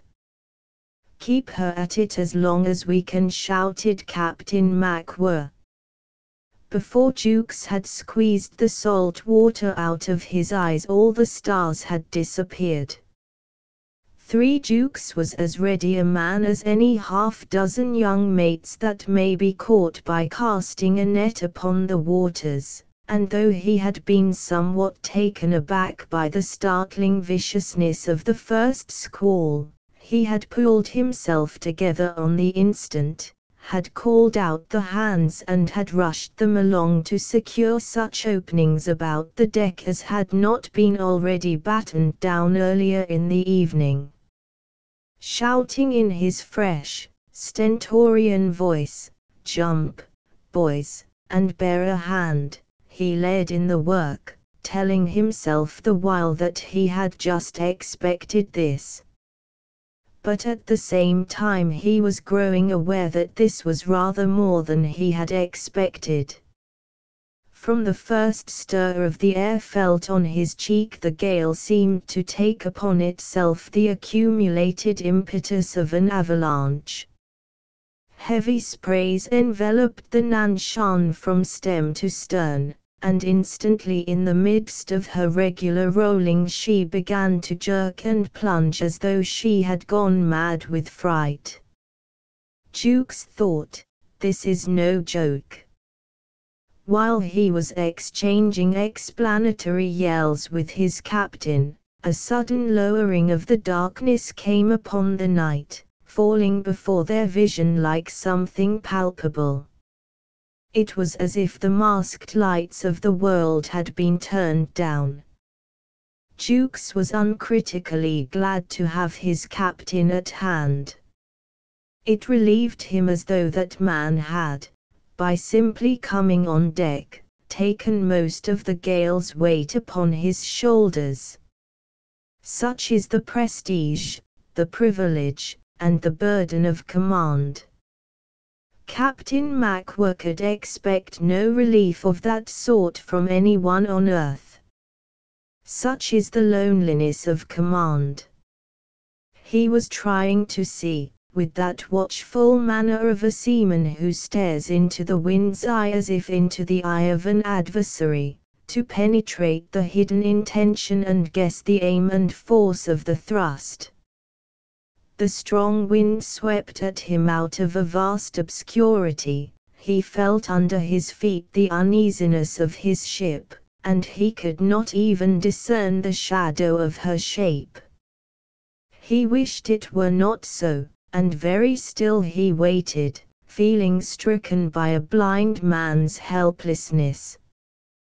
To be silent was natural to him, dark or shine. Jukes, at his elbow, made himself heard yelling cheerily in the gusts, We must have got the worst of it at once, sir. A faint burst of lightning quivered all round, as if flashed into a cavern, into a black and secret chamber of the sea, with a floor of foaming crests. It unveiled for a sinister, fluttering moment a ragged mass of clouds hanging low, the lurch of the long outlines of the ship, the black figures of men caught on the bridge, heads forward, as if petrified in the act of butting.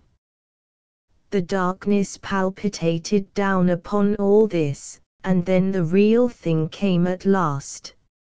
It was something formidable and swift, like the sudden smashing of a vial of wrath. It seemed to explode all round the ship with an overpowering concussion and a rush of great waters, as if an immense dam had been blown up to windward. In an instant the men lost touch of each other. This is the disintegrating power of a great wind, it isolates one from one's kind.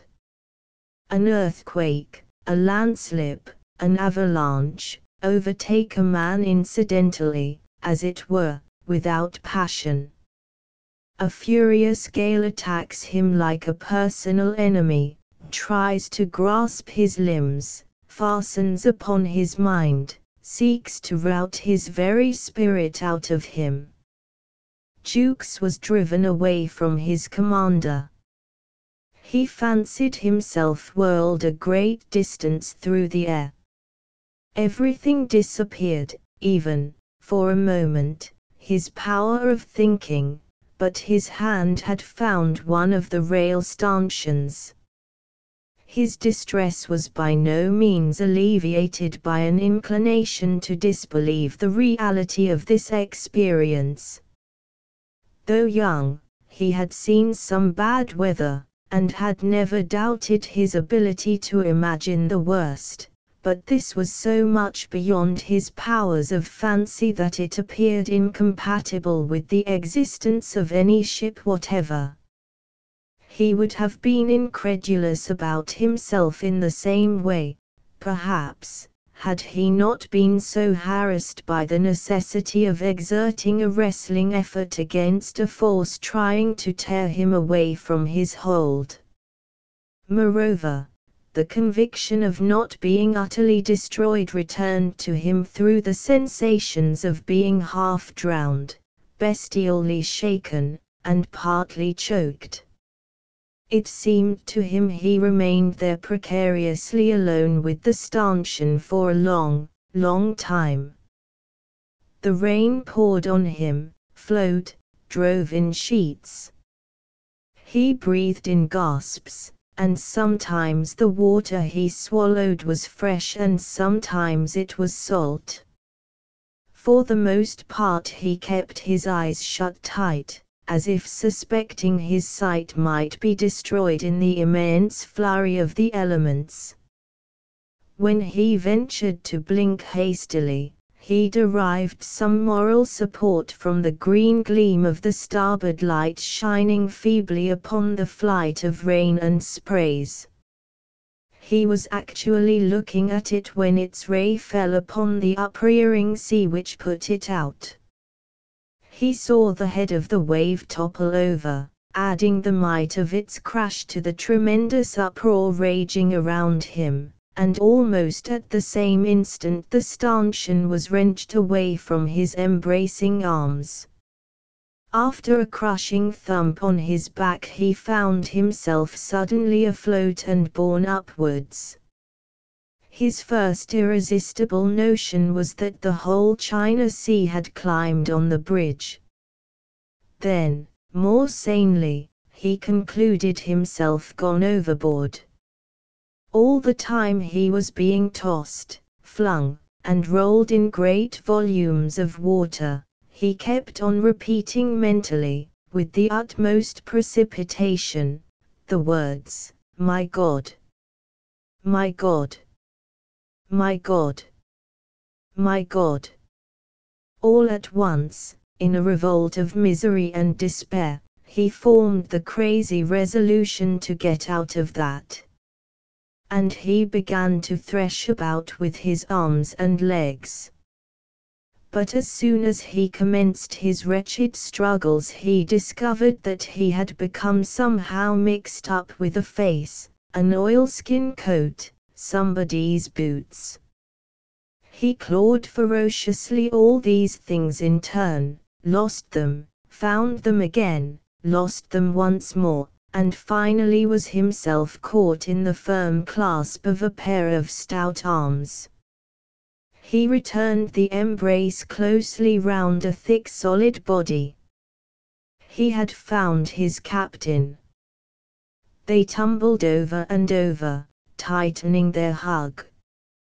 Suddenly the water let them down with a brutal bang, and, stranded against the side of the wheelhouse, out of breath and bruised, they were left to stagger up in the wind and hold on where they could. Jukes came out of it rather horrified, as though he had escaped some unparalleled outrage directed at his feelings. It weakened his faith in himself. He started shouting aimlessly to the man he could feel near him in that fiendish blackness, Is it you, sir?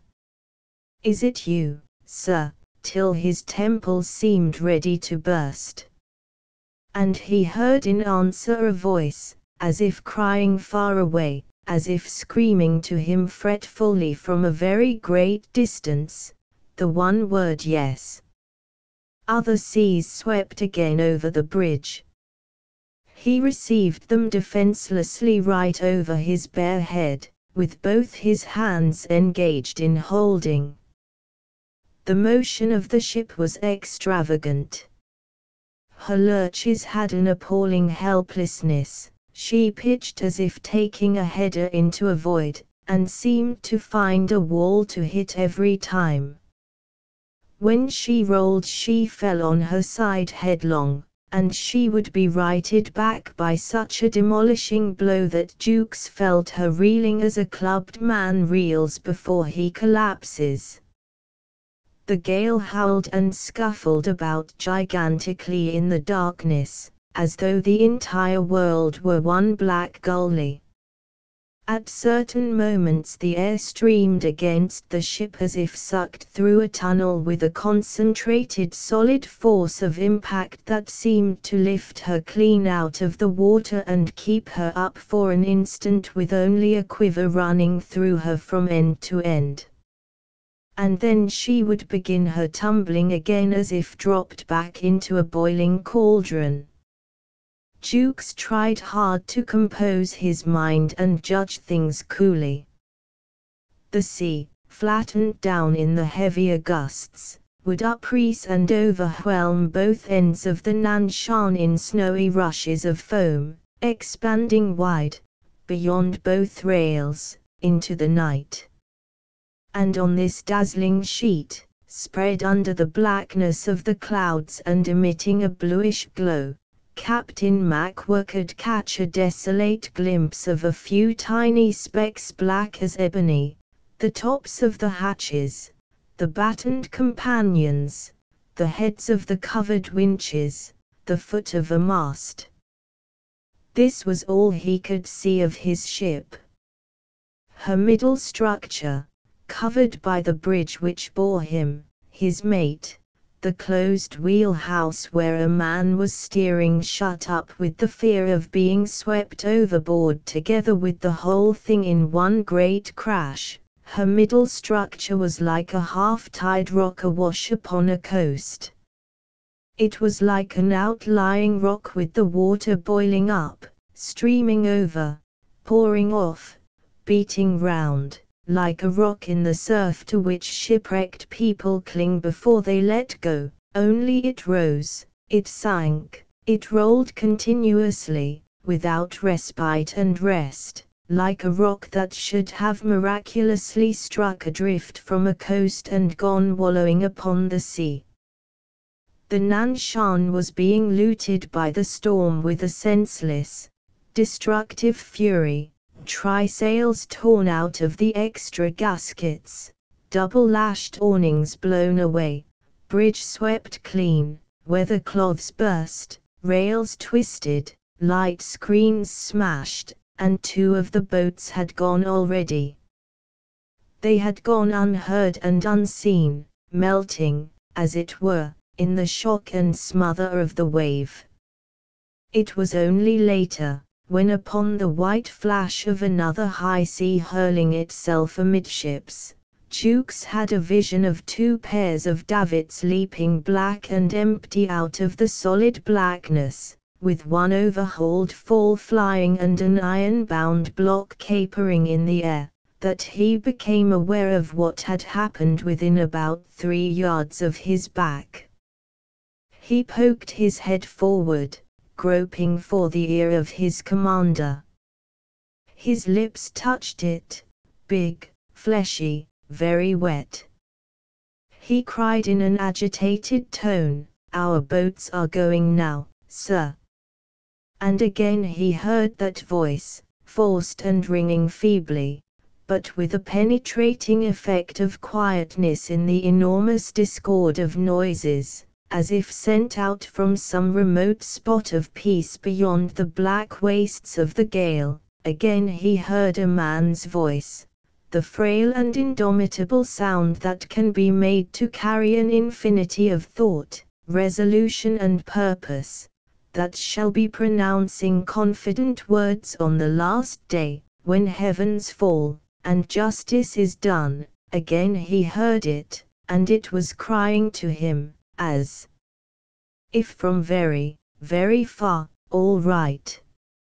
He thought he had not managed to make himself understood. Our boats, I say boats, the boats, sir. Two gone. The same voice, within a foot of him and yet so remote, yelled sensibly, can't be helped. Captain MacWhirr had never turned his face, but Jukes caught some more words on the wind. What can expect when hammering through such bound to leave something behind stands to reason. Watchfully Jukes listened for more. No more came. This was all Captain MacWhirr had to say, and Jukes could picture to himself rather than see the broad squat back before him. An impenetrable obscurity pressed down upon the ghostly glimmers of the sea. A dull conviction seized upon Jukes that there was nothing to be done. If the steering gear did not give way, if the immense volumes of water did not burst the deck in or smash one of the hatches, if the engines did not give up, if way could be kept on the ship against this terrific wind, and she did not bury herself in one of these awful seas, of whose white crests alone, topping high above her bows, he could now and then get a sickening glimpse, then there was a chance of her coming out of it. Something within him seemed to turn over, bringing uppermost the feeling that the Nanshan was lost. She's done for he said to himself, with a surprising mental agitation, as though he had discovered an unexpected meaning in this thought. One of these things was bound to happen. Nothing could be prevented now, and nothing could be remedied. The men on board did not count, and the ship could not last. This weather was too impossible. Jukes felt an arm thrown heavily over his shoulders, and to this overture he responded with great intelligence by catching hold of his captain round the waist. They stood clasped thus in the blind night, bracing each other against the wind, cheek to cheek and lip to ear, in the manner of two hulks lashed stem to stern together and Jukes heard the voice of his commander hardly any louder than before, but nearer, as though, starting to march athwart the prodigious rush of the hurricane, it had approached him, bearing that strange effect of quietness like the serene glow of a halo. Do ye know where the hands got to? It asked, vigorous and evanescent at the same time, overcoming the strength of the wind, and swept away from Jukes instantly. Jukes didn't know. They were all on the bridge when the real force of the hurricane struck the ship. He had no idea where they had crawled to. Under the circumstances they were nowhere, for all the use that could be made of them. Somehow the captain's wish to know distressed Jukes. Want the hands, sir, he cried, apprehensively. Ought to know asserted Captain MacWhirr. Hold hard. They held hard. An outburst of unchained fury, a vicious rush of the wind absolutely steadied the ship, she rocked only, quick and light like a child's cradle, for a terrific moment of suspense, while the whole atmosphere, as it seemed, streamed furiously past her, roaring away from the tenebrous earth. It suffocated them, and with eyes shut they tightened their grasp. What from the magnitude of the shock might have been a column of water running upright in the dark, butted against the ship, broke short, and fell on her bridge, crushingly, from on high, with a dead burying weight. A flying fragment of that collapse, a mere splash, enveloped them in one swirl from their feet over their heads, filling violently their ears, mouths and nostrils with salt water. It knocked out their legs, wrenched in haste at their arms, seethed away swiftly under their chins, and opening their eyes, they saw the piled up masses of foam dashing to and fro amongst what looked like the fragments of a ship. She had given way as if driven straight in. Their panting hearts yielded, too, before the tremendous blow, and all at once she sprang up again to her desperate plunging, as if trying to scramble out from under the ruins. The seas in the dark seemed to rush from all sides to keep her back where she might perish. There was hate in the way she was handled, and a ferocity in the blows that fell. She was like a living creature thrown to the rage of a mob, hustled terribly, struck at, borne up, flung down, leaped upon. Captain MacWhirr and Jukes kept hold of each other, deafened by the noise, gagged by the wind, and the great physical tumult beating about their bodies, brought, like an unbridled display of passion, a profound trouble to their souls. One of those wild and appalling shrieks that are heard at times passing mysteriously overhead in the steady roar of a hurricane, swooped, as if borne on wings, upon the ship, and Jukes tried to outscream it. Will she live through this?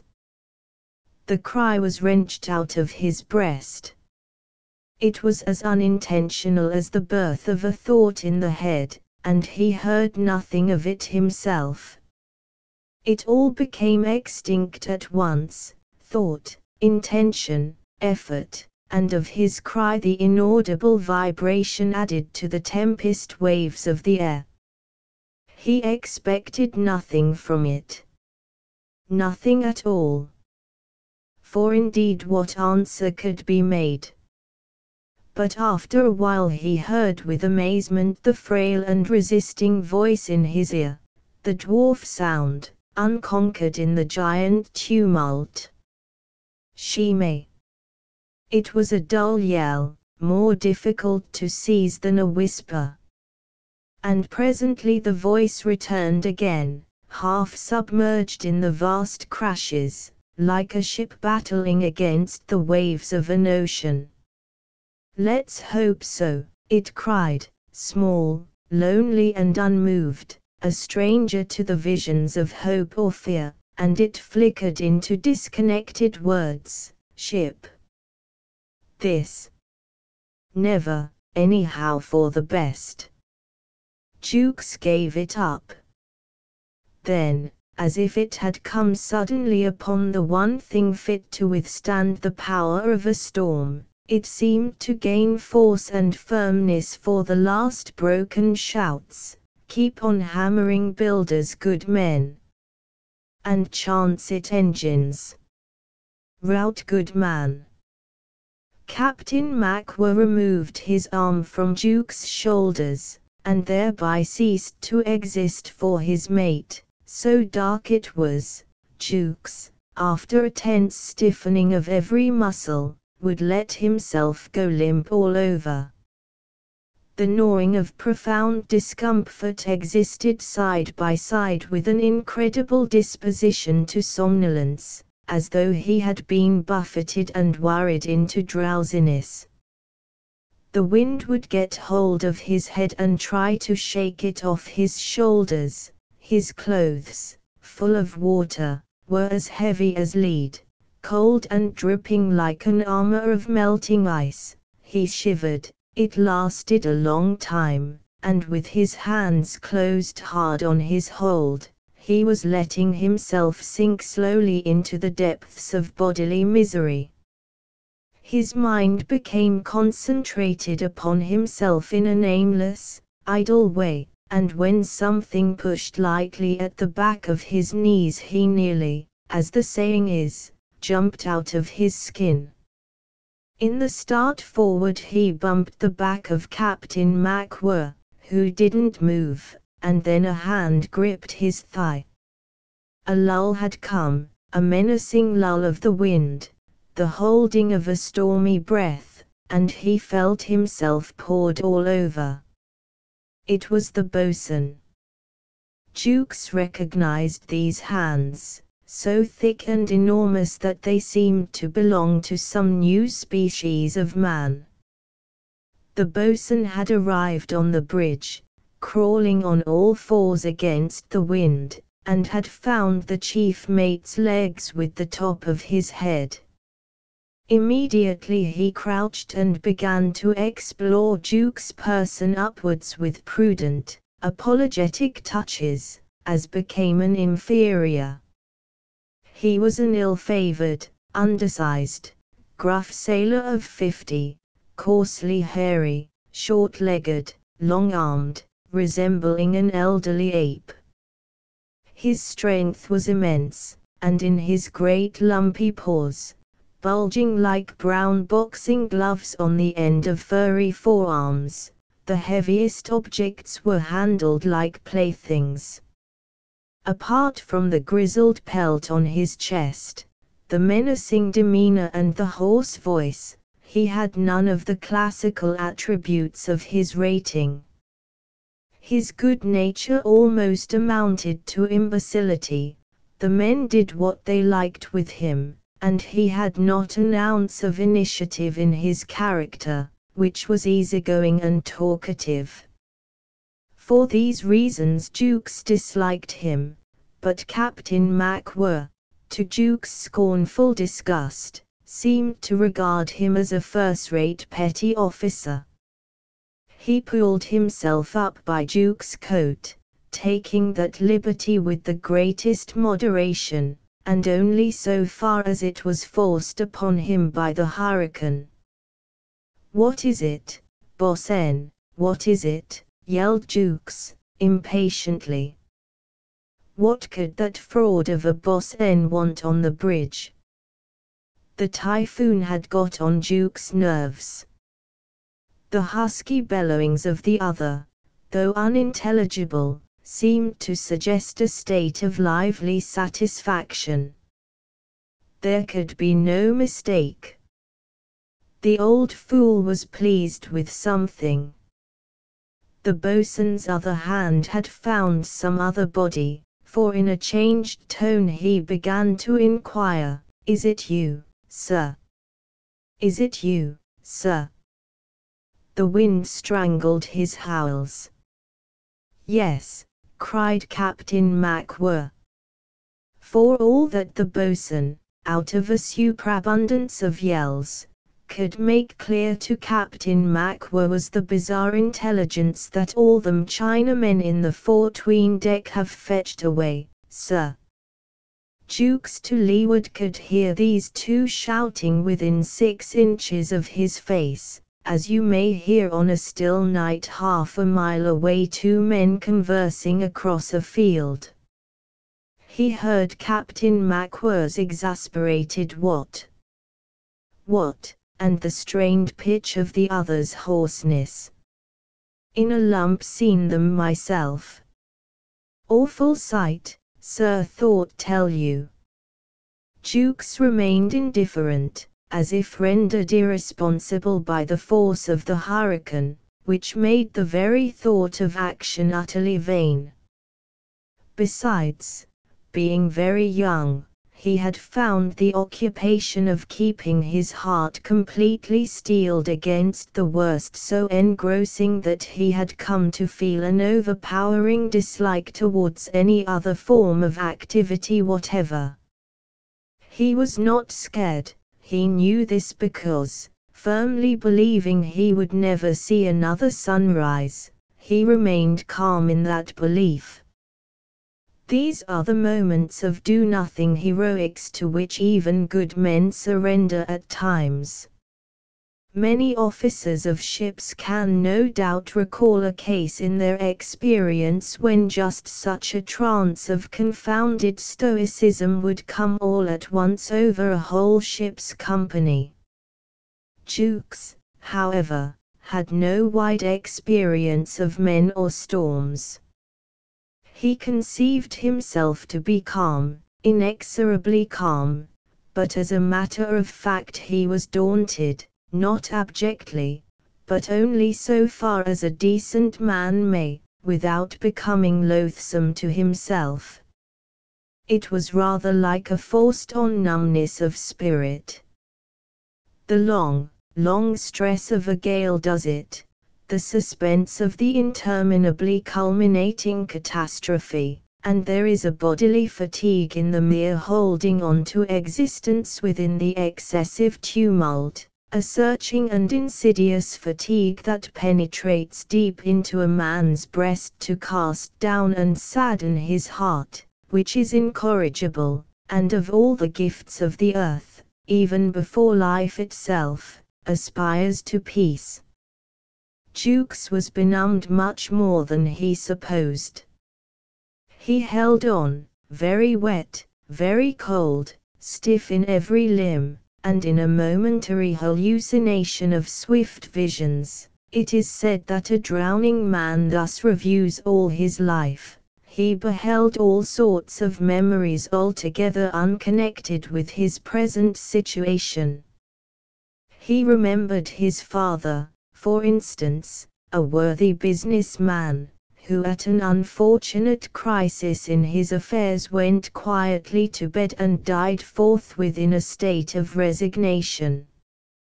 Jukes did not recall these circumstances, of course, but remaining otherwise unconcerned he seemed to see distinctly the poor man's face, a certain game of nap played when quite a boy in Table Bay on board a ship, since lost with all hands, the thick eyebrows of his first skipper, and without any emotion, as he might years ago have walked listlessly into her room and found her sitting there with a book, he remembered his mother, dead, too, now, the resolute woman, left badly off, who had been very firm in his bringing up. It could not have lasted more than a second, perhaps not so much. A heavy arm had fallen about his shoulders, Captain MacWhirr's voice was speaking his name into his ear. Jukes. Jukes. He detected the tone of deep concern. The wind had thrown its weight on the ship, trying to pin her down amongst the seas. They made a clean breach over her, as over a deep swimming log, and the gathered weight of crashes menaced monstrously from afar. The breakers flung out of the night with a ghostly light on their crests, the light of sea foam that in a ferocious, boiling up pale flash showed upon the slender body of the ship the toppling rush, the downfall, and the seething mad scurry of each wave. Never for a moment could she shake herself clear of the water, Jukes, rigid, perceived in her motion the ominous sign of haphazard floundering. She was no longer struggling intelligently. It was the beginning of the end, and the note of busy concern in Captain MacWhirr's voice sickened him like an exhibition of blind and pernicious folly. The spell of the storm had fallen upon Jukes. He was penetrated by it, absorbed by it, he was rooted in it with a rigor of dumb attention. Captain MacWhirr persisted in his cries, but the wind got between them like a solid wedge. He hung round Jukes' neck as heavy as a millstone, and suddenly the sides of their heads knocked together. Jukes. Mr. Jukes, I say. He had to answer that voice that would not be silenced. He answered in the customary manner. Yes, sir. And directly, his heart, corrupted by the storm that breeds a craving for peace, rebelled against the tyranny of training and command. Captain MacWhirr had his mate's head fixed firm in the crook of his elbow, and pressed it to his yelling lips mysteriously. Sometimes Jukes would break in, admonishing hastily, Look out, sir, or Captain MacWhirr would bawl an earnest exhortation to hold hard, there, and the whole black universe seemed to reel together with the ship. They paused. She floated yet. And Captain MacWhirr would resume, his shouts. Says whole lot fetched away. Ought to see what's the matter. Directly the full force of the hurricane had struck the ship, every part of her deck became untenable, and the sailors, dazed and dismayed, took shelter in the port alleyway under the bridge. It had a door aft, which they shut, it was very black, cold, and dismal. At each heavy fling of the ship they would groan all together in the dark, and tons of water could be heard scuttling about as if trying to get at them from above. The boatswain had been keeping up a gruff talk, but a more unreasonable lot of men, he said afterwards, he had never been with. They were snug enough there, out of harm's way, and not wanted to do anything, either and yet they did nothing but grumble and complain peevishly like so many sick kids. Finally, one of them said that if there had been at least some light to see each other's noses by, it wouldn't be so bad. It was making him crazy, he declared, to lie there in the dark waiting for the blamed hooker to sink. Why don't you step outside? Then, and be done with it at once, the boatswain turned on him. This called up a shout of execration. The boatswain found himself overwhelmed with reproaches of all sorts. They seemed to take it ill that a lamp was not instantly created for them out of nothing. They would whine after a light to get drowned by, anyhow and though the unreason of their revilings was patent, since no one could hope to reach the lamp room, which was forward, he became greatly distressed. He did not think it was decent of them to be nagging at him like this. He told them so, and was met by general contumely. He sought refuge, therefore, in an embittered silence. At the same time their grumbling and sighing and muttering worried him greatly, but by and by it occurred to him that there were six globe lamps hung in the tween deck, and that there could be no harm in depriving the coolies of one of them. The Nanshan had an athwartship coal bunker, which, being at times used as cargo space, communicated by an iron door with the fore-tween deck. It was empty then, and its manhole was the foremost one in the alleyway. The boatswain could get in, therefore, without coming out on deck at all, but to his great surprise he found he could induce no one to help him in taking off the manhole cover. He groped for it all the same, but one of the crew lying in his way refused to budge. Why, I only want to get you that blamed light you are crying for, he expostulated, almost pitifully. Somebody told him to go and put his head in a bag. He regretted he could not recognize the voice, and that it was too dark to see, otherwise, as he said, he would have put a head on that son of a sea cook, anyway, sink or swim. Nevertheless, he had made up his mind to show them he could get a light, if he were to die for it. Through the violence of the ship's rolling, every movement was dangerous. To be lying down seemed labor enough. He nearly broke his neck dropping into the bunker. He fell on his back, and was sent shooting helplessly from side to side in the dangerous company of a heavy iron bar, a coal trimmer's slice probably, left down there by somebody. This thing made him as nervous as though it had been a wild beast. He could not see it, the inside of the bunker coated with coal dust being perfectly and impenetrably black but he heard it sliding and clattering, and striking here and there, always in the neighborhood of his head. It seemed to make an extraordinary noise, too, to give heavy thumps as though it had been as big as a bridge girder.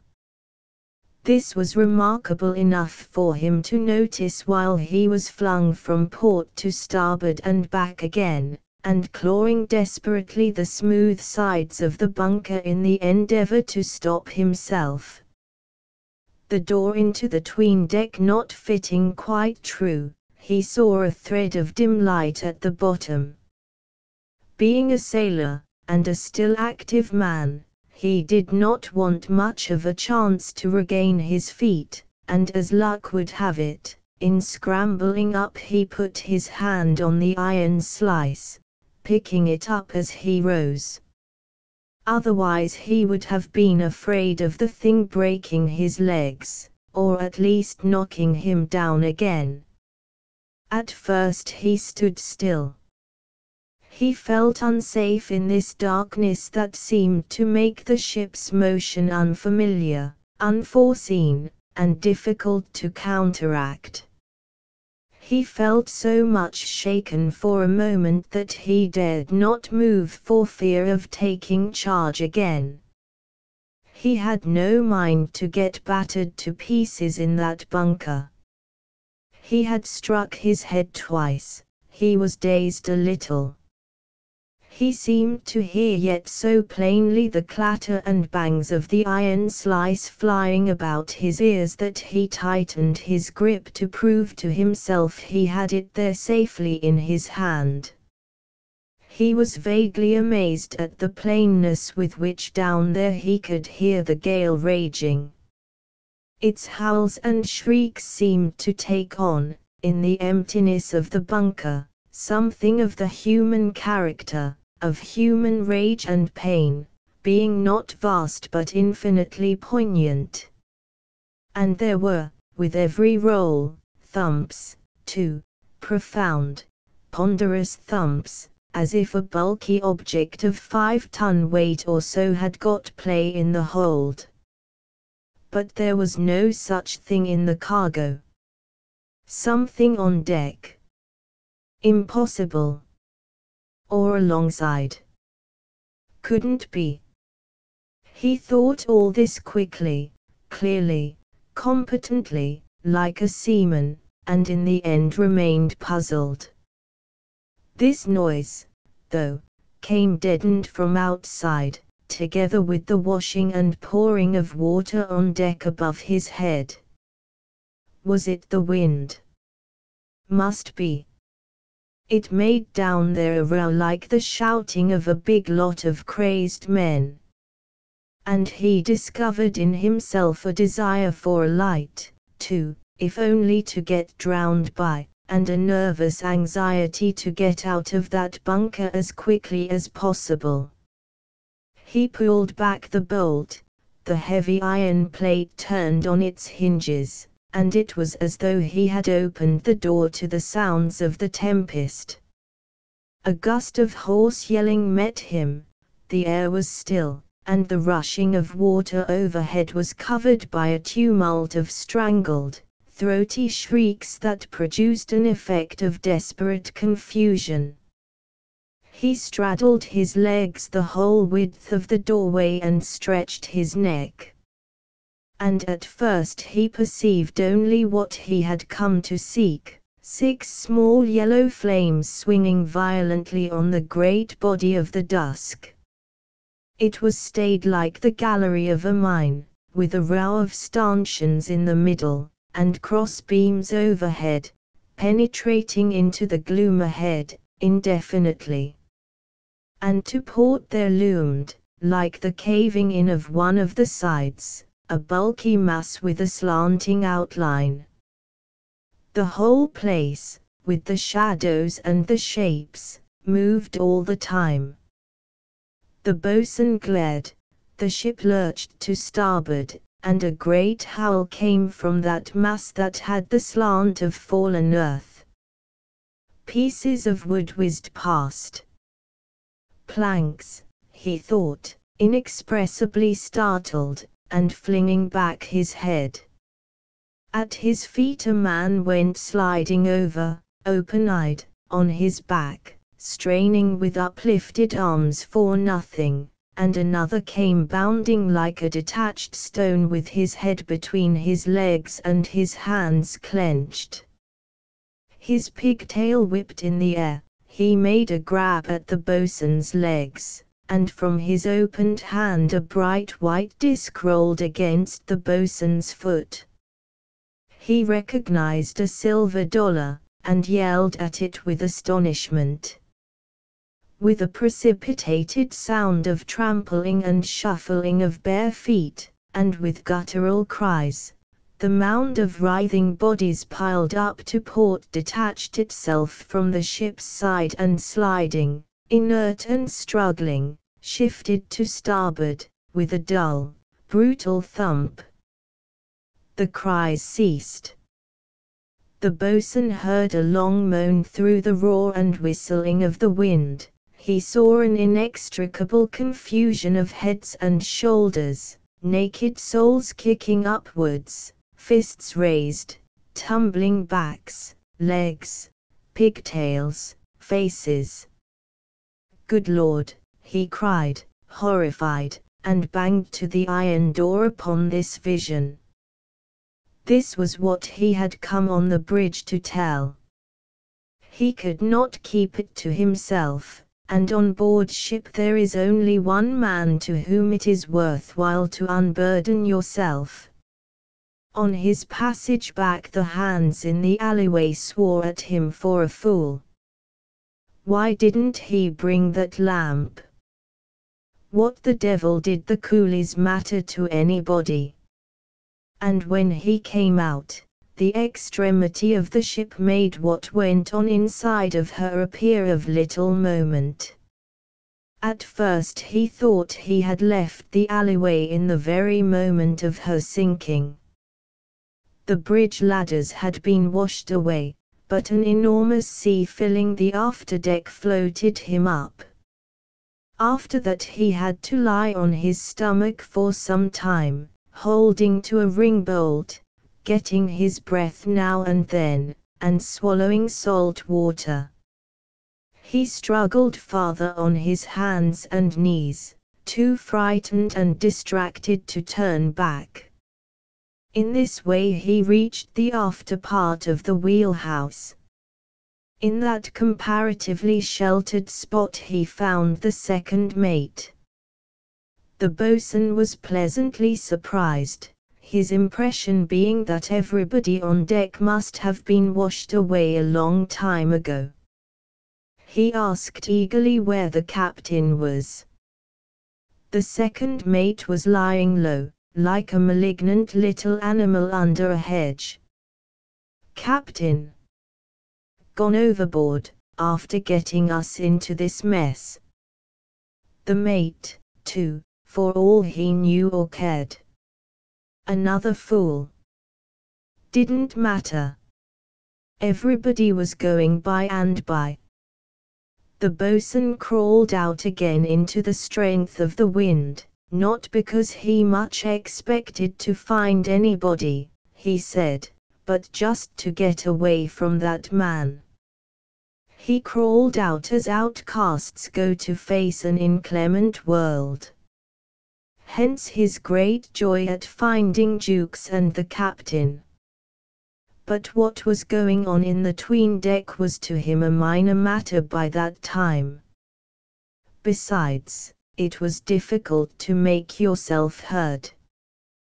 But he managed to convey the idea that the Chinamen had broken adrift together with their boxes, and that he had come up on purpose to report this. As to the hands, they were all right. Then, appeased, he subsided on the deck in a sitting posture, hugging with his arms and legs the stand of the engine room telegraph, an iron casting as thick as a post. When that went, why, he expected he would go, too. He gave no more thought to the coolies. Captain Macwhirr had made Jukes understand that he wanted him to go down below, to see. What am I to do then, sir? And the trembling of his whole wet body caused Jukes' voice to sound like bleating. See first. Bosun says adrift. That bosun is a confounded fool howled Jukes, shakily. The absurdity of the demand made upon him revolted Jukes he was as unwilling to go as if the moment he had left the deck the ship were sure to sink. I must know can't leave. They'll settle, sir. Fight bosun says they fight. Why? Can't have fighting board ship. Much rather keep you here case. I should washed overboard myself. Stop it some way. You see and tell me through engine room tube. Don't want you come up here too often. Dangerous moving about deck. Jukes, held with his head in chancery, had to listen to what seemed horrible suggestions. Don't want you get lost so long ship isn't. Rout good man. Ship may through this all right yet. All at once Jukes understood he would have to go. Do you think she may? he screamed. But the wind devoured the reply, out of which Jukes heard only the one word, pronounced with great energy. Always. Captain MacWhirr released Jukes, and bending over the boatswain, yelled, Get back with the mate. Jukes only knew that the arm was gone off his shoulders. He was dismissed with his orders, to do what? He was exasperated into letting go his hold carelessly, and on the instant was blown away. It seemed to him that nothing could stop him from being blown right over the stern. He flung himself down hastily, and the boatswain, who was following, fell on him. Don't you get up yet, sir, cried the boatswain. No hurry. A sea swept over. Jukes understood the boatswain to splutter that the bridge ladders were gone. I'll lower you down, sir, by your hands he screamed. He shouted also something about the smokestack being as likely to go overboard as not.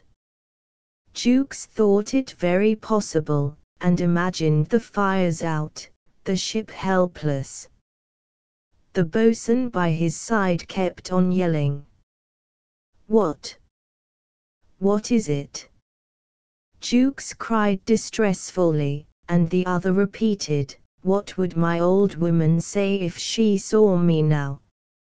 In the alleyway, where a lot of water had got in and splashed in the dark, the men were still as death, till Jukes stumbled against one of them and cursed him savagely for being in the way.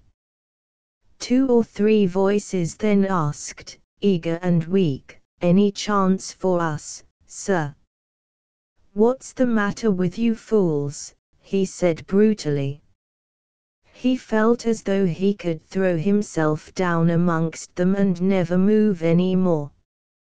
But they seemed cheered, and in the midst of obsequious warnings, look out.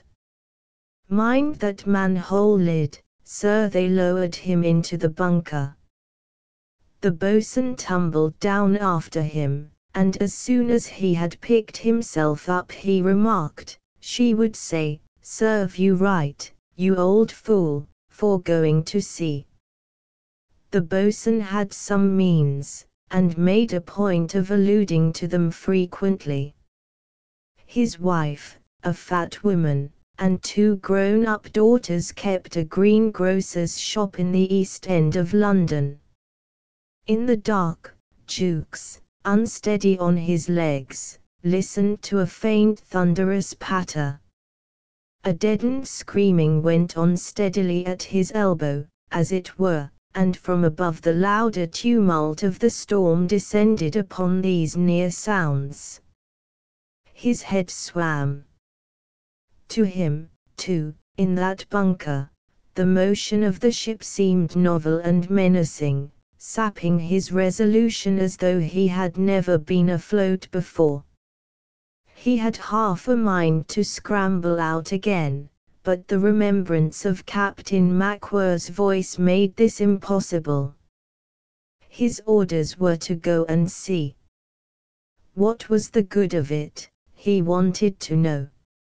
Enraged, he told himself he would see, of course but the boatswain, staggering clumsily, warned him to be careful how he opened that door, there was a blamed fight going on. And Jukes, as if in great bodily pain, desired irritably to know what the devil they were fighting for. Dollars. Dollars, sir. All their rotten chests got burst open blamed money skipping all over the place, and they are tumbling after it head over heels, tearing and biting like anything. A regular little hell in there. Jukes convulsively opened the door. The short boatswain peered under his arm. One of the lamps had gone out, broken perhaps. Rancorous, guttural cries burst out loudly on their ears, and a strange panting sound, the working of all these straining breasts.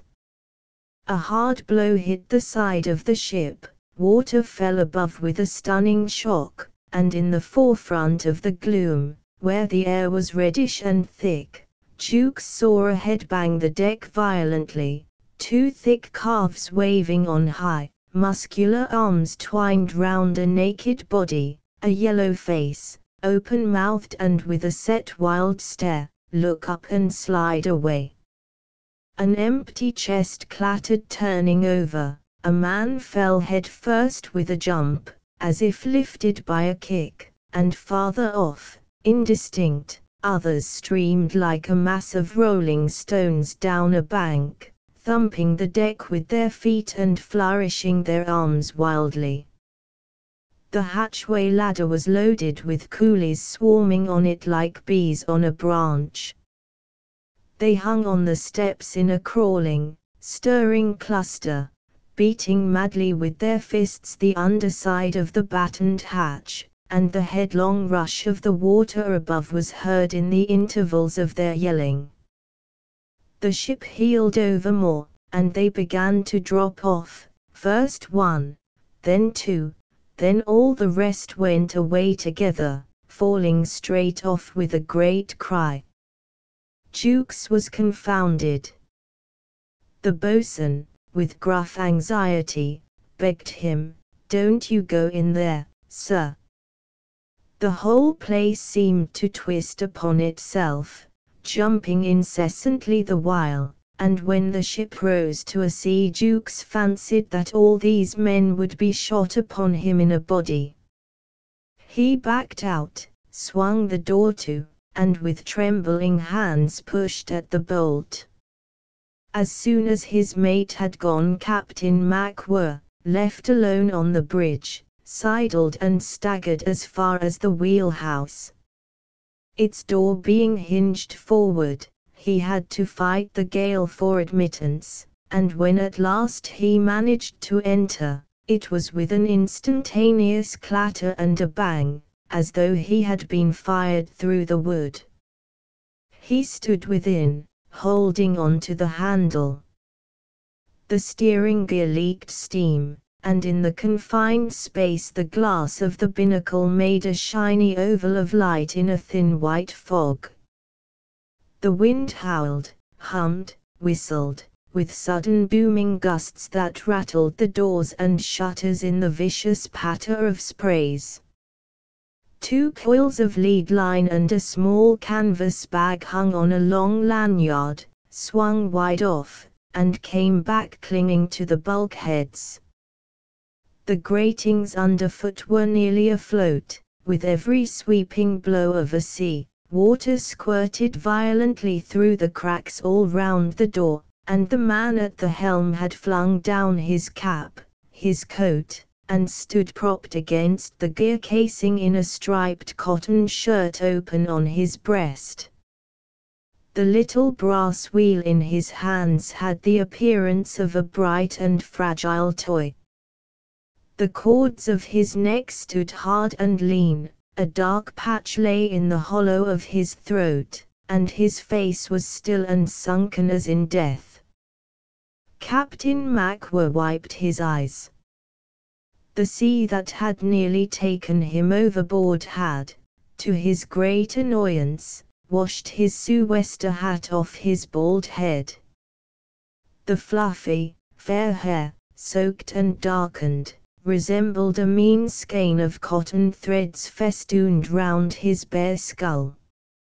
His face, glistening with sea water, had been made crimson with the wind, with the sting of sprays. He looked as though he had come off sweating from before a furnace. You here, he muttered, heavily. The second mate had found his way into the wheelhouse some time before. He had fixed himself in a corner with his knees up, a fist pressed against each temple, and this attitude suggested rage, sorrow, resignation, surrender, with a sort of concentrated unforgiveness. He said mournfully and defiantly, Well, it's my watch below now, ain't it? The steam gear clattered, stopped, clattered again, and the helmsman's eyeballs seemed to project out of a hungry face as if the compass card behind the binnacle glass had been meat. God knows how long he had been left there to steer, as if forgotten by all his shipmates. The bells had not been struck, there had been no reliefs, the ship's routine had gone downwind, but he was trying to keep her head north-northeast. The rudder might have been gone for all he knew, the fires out, the engines broken down, the ship ready to roll over like a corpse.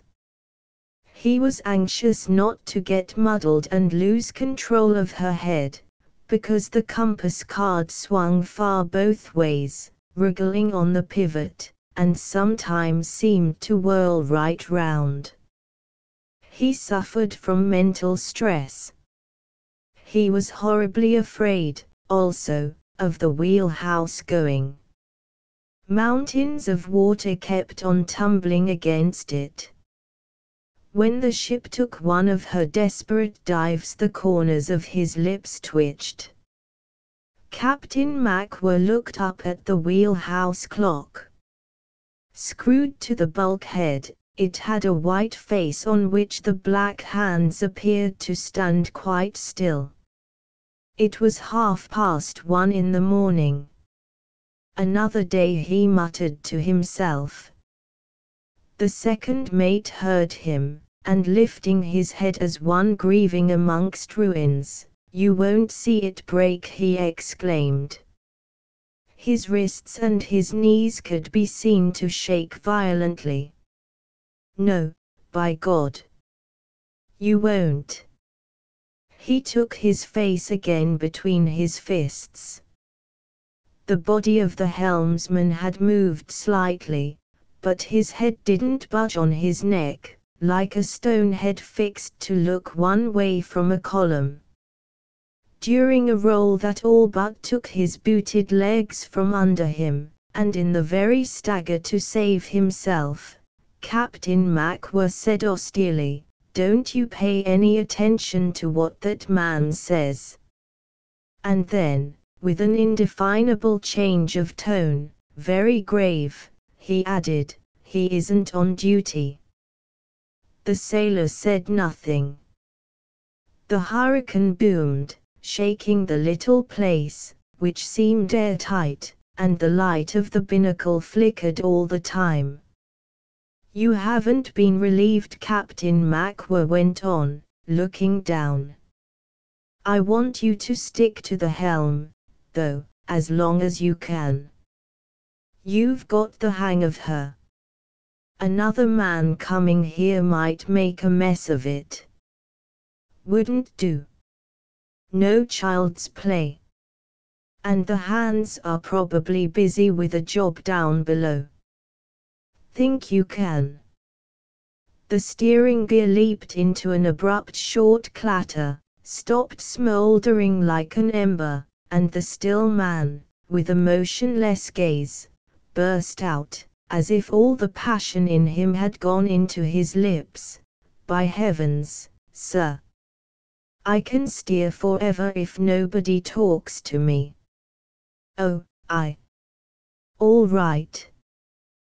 The captain lifted his eyes for the first time to the man. Hackett and he seemed to dismiss this matter from his mind. He stooped to the engine room speaking tube, blew in, and bent his head. Mr. Rout below answered, and at once Captain Macwhirr put his lips to the mouthpiece. With the uproar of the gale around him he applied alternately his lips and his ear, and the engineer's voice mounted to him harsh and as if out of the heat of an engagement. One of the stokers was disabled, the others had given in, the second engineer and the donkey man were firing up. The third engineer was standing by the steam valve. The engines were being tended by hand. How was it above? Bad enough. It mostly rests with you said Captain Macwhirr. Was the mate down there yet? No. Well, he would be presently. Would Mr. Rout let him talk through the speaking tube, through the deck speaking tube, because he, the captain, was going out again on the bridge directly. There was some trouble amongst the Chinamen. They were fighting, it seemed. Couldn't allow fighting anyhow. Mr. Rout had gone away, and Captain Macwhirr could feel against his ear the pulsation of the engines, like the beat of the ship's heart. Mr. Rout's voice down there shouted something distantly. The ship pitched headlong, the pulsation leaped with a hissing tumult, and stopped dead. Captain Macwhirr's face was impassive, and his eyes were fixed aimlessly on the crouching shape of the second mate. Again Mr. Rout's voice cried out in the depths, and the pulsating beats recommenced, with slow strokes, growing swifter. Mr. Rout had returned to the tube. It don't matter much what they do he said, hastily, and then, with irritation, she takes these dives as if she never meant to come up again. Awful sea said the captain's voice from above. Don't let me drive her under barked Solomon Rout up the pipe. Dark and rain. Can't see what's coming uttered the voice. Must, keep, her, moving, enough to steer, and chance it it went on to state distinctly. I am doing as much as I dare. We are, getting, smashed up, a good deal up here proceeded the voice mildly. Doing, fairly well, though. Of course, if the wheelhouse should go. Mr. Rout, bending an attentive ear, muttered peevishly something under his breath. But the deliberate voice up there became animated to ask, Jukes turned up yet? Then, after a short wait, I wish he would bear a hand. I want him to be done and come up here in case of anything. To look after the ship. I am all alone the second mate's lost. What? shouted Mr. Rout into the engine room, taking his head away. Then up the tube he cried, gone overboard, and clapped his ear to. Lost his nerve the voice from above continued in a matter-of-fact tone. Damned awkward circumstance. Mr. Rout, listening with bowed neck, opened his eyes wide at this. However, he heard something like the sounds of a scuffle and broken exclamations coming down to him. He strained his hearing, and all the time Beale, the third engineer, with his arms uplifted, held between the palms of his hands the rim of a little black wheel projecting at the side of a big copper pipe. He seemed to be poising it above his head, as though it were a correct attitude in some sort of game. To steady himself, he pressed his shoulder against the white bulkhead, one knee bent, and a sweat rag tucked in his belt hanging on his hip. His smooth cheek was begrimed and flushed, and the coal dust on his eyelids, like the black penciling of a makeup, enhanced the liquid brilliance of the whites, giving to his youthful face something of a feminine, exotic and fascinating aspect. When the ship pitched he would with hasty movements of his hands screw hard at the little wheel. Gone crazy began the captain's voice suddenly in the tube. Rushed at me. Just now had to knock him down. This minute. You heard, Mr. Rout. The devil, muttered Mr. Rout. Look out, Beale. His shout rang out like the blast of a warning trumpet, between the iron walls of the engine room. Painted white, they rose high into the dusk of the skylight, sloping like a roof, and the whole lofty space resembled the interior of a monument, divided by floors of iron grating, with lights flickering at different levels, and a mass of gloom lingering in the middle, within the columnar stir of machinery under the motionless swelling of the cylinders. A loud and wild resonance, made up of all the noises of the hurricane, dwelt in the still warmth of the air. There was in it the smell of hot metal, of oil, and a slight mist of steam. The blows of the sea seemed to traverse it in an unringing, stunning shock, from side to side.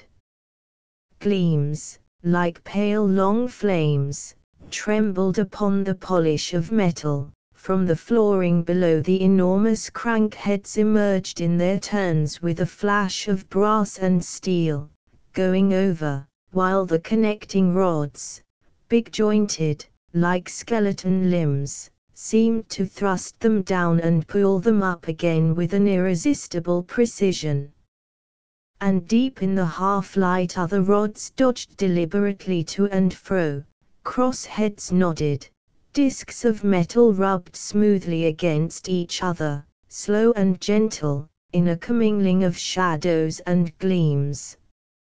Sometimes all those powerful and unerring movements would slow down simultaneously, as if they had been the functions of a living organism, stricken suddenly by the blight of languor, and Mr. Rout's eyes would blaze darker in his long sallow face.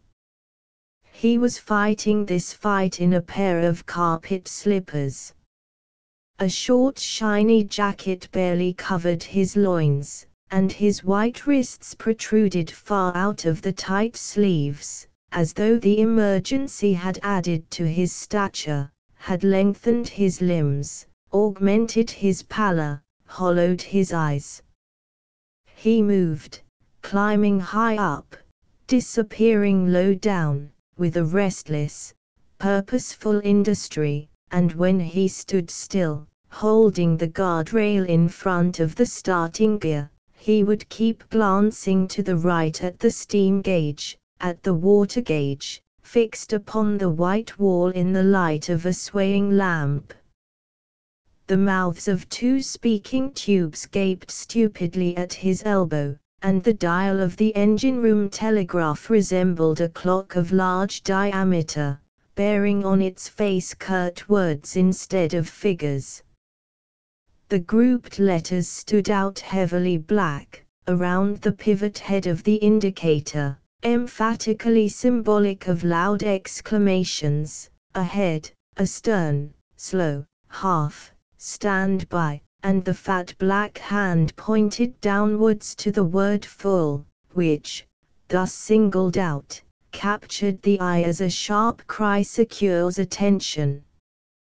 The wood-encased bulk of the low-pressure cylinder, frowning portly from above, emitted a faint wheeze at every thrust, and except for that low hiss the engines worked their steel limbs headlong or slow with a silent, determined smoothness. And all this, the white walls, the moving steel, the floor plates under Solomon Rout's feet, the floors of iron grating above his head, the dusk and the gleams, uprose and sank continuously, with one accord, upon the harsh wash of the waves against the ship's side. The whole loftiness of the place, booming hollow to the great voice of the wind, swayed at the top like a tree, would go over bodily, as if borne down this way and that by the tremendous blasts. You've got to hurry up shouted Mr. Rout, as soon as he saw Jukes appear in the stokehold doorway. Jukes' glance was wandering and tipsy, his red face was puffy, as though he had overslept himself. He had had an arduous road, and had travelled over it with immense vivacity, the agitation of his mind corresponding to the exertions of his body. He had rushed up out of the bunker, stumbling in the dark alleyway amongst a lot of bewildered men who, trod upon, asked what's up, sir, in awed mutters all round him, down the stokehold ladder, missing many iron rungs in his hurry, down into a place deep as a well, black as Tophet, tipping over back and forth like a seesaw. The water in the bilges thundered at each roll, and lumps of coal skipped to and fro, from end to end, rattling like an avalanche of pebbles on a slope of iron. Somebody in there moaned with pain, and somebody else could be seen crouching over what seemed the prone body of a dead man. A lusty voice blasphemed, and the glow under each fire door was like a pool of flaming blood radiating quietly in a velvety blackness. A gust of wind struck upon the nape of Jukes' neck and next moment he felt it streaming about his wet ankles. The stokehold ventilators hummed, in front of the six fire doors two wild figures, stripped to the waist, staggered and stooped, wrestling with two shovels. Hello! Plenty of draft now yelled the second engineer at once, as though he had been all the time looking out for Jukes. The Donkeyman, a dapper little chap with a dazzling fair skin and a tiny, gingery moustache, worked in a sort of mute transport. They were keeping a full head of steam, and a profound rumbling, as of an empty furniture van trotting over a bridge, made a sustained bass to all the other noises of the place. Blowing off all the time went on yelling the second with a sound as of a hundred scoured saucepans. The orifice of a ventilator spat upon his shoulder a sudden gush of salt water, and he volleyed a stream of curses upon all things on earth including his own soul, ripping and raving, and all the time attending to his business.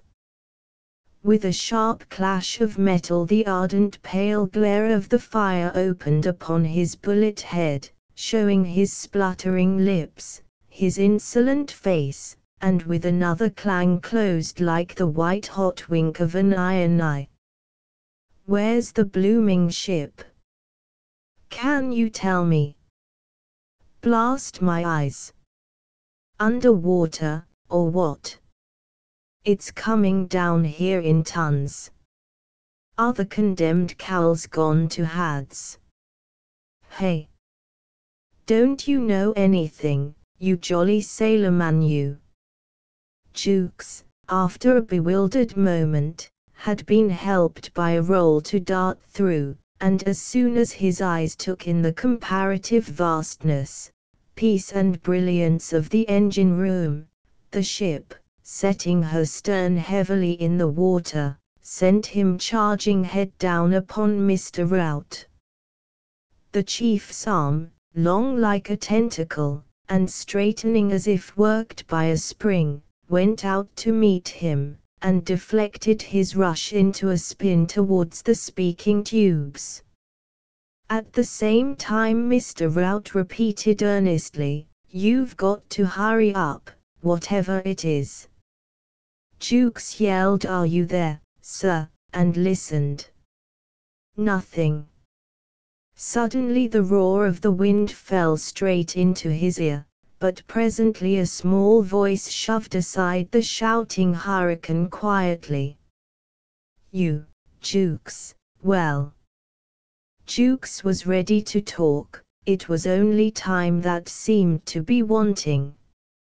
It was easy enough to account for everything. He could perfectly imagine the coolies battened down in the reeking tween deck, lying sick and scared between the rows of chests. Then one of these chests, or perhaps several at once, breaking loose in a roll, knocking out others, sides splitting, lids flying open, and all these clumsy Chinamen rising up in a body to save their property. Afterwards every fling of the ship would hurl that tramping, yelling mob here and there, from side to side, in a whirl of smashed wood, torn clothing, rolling dollars. A struggle once started, they would be unable to stop themselves. Nothing could stop them now except main force. It was a disaster. He had seen it, and that was all he could say. Some of them must be dead, he believed. The rest would go on fighting.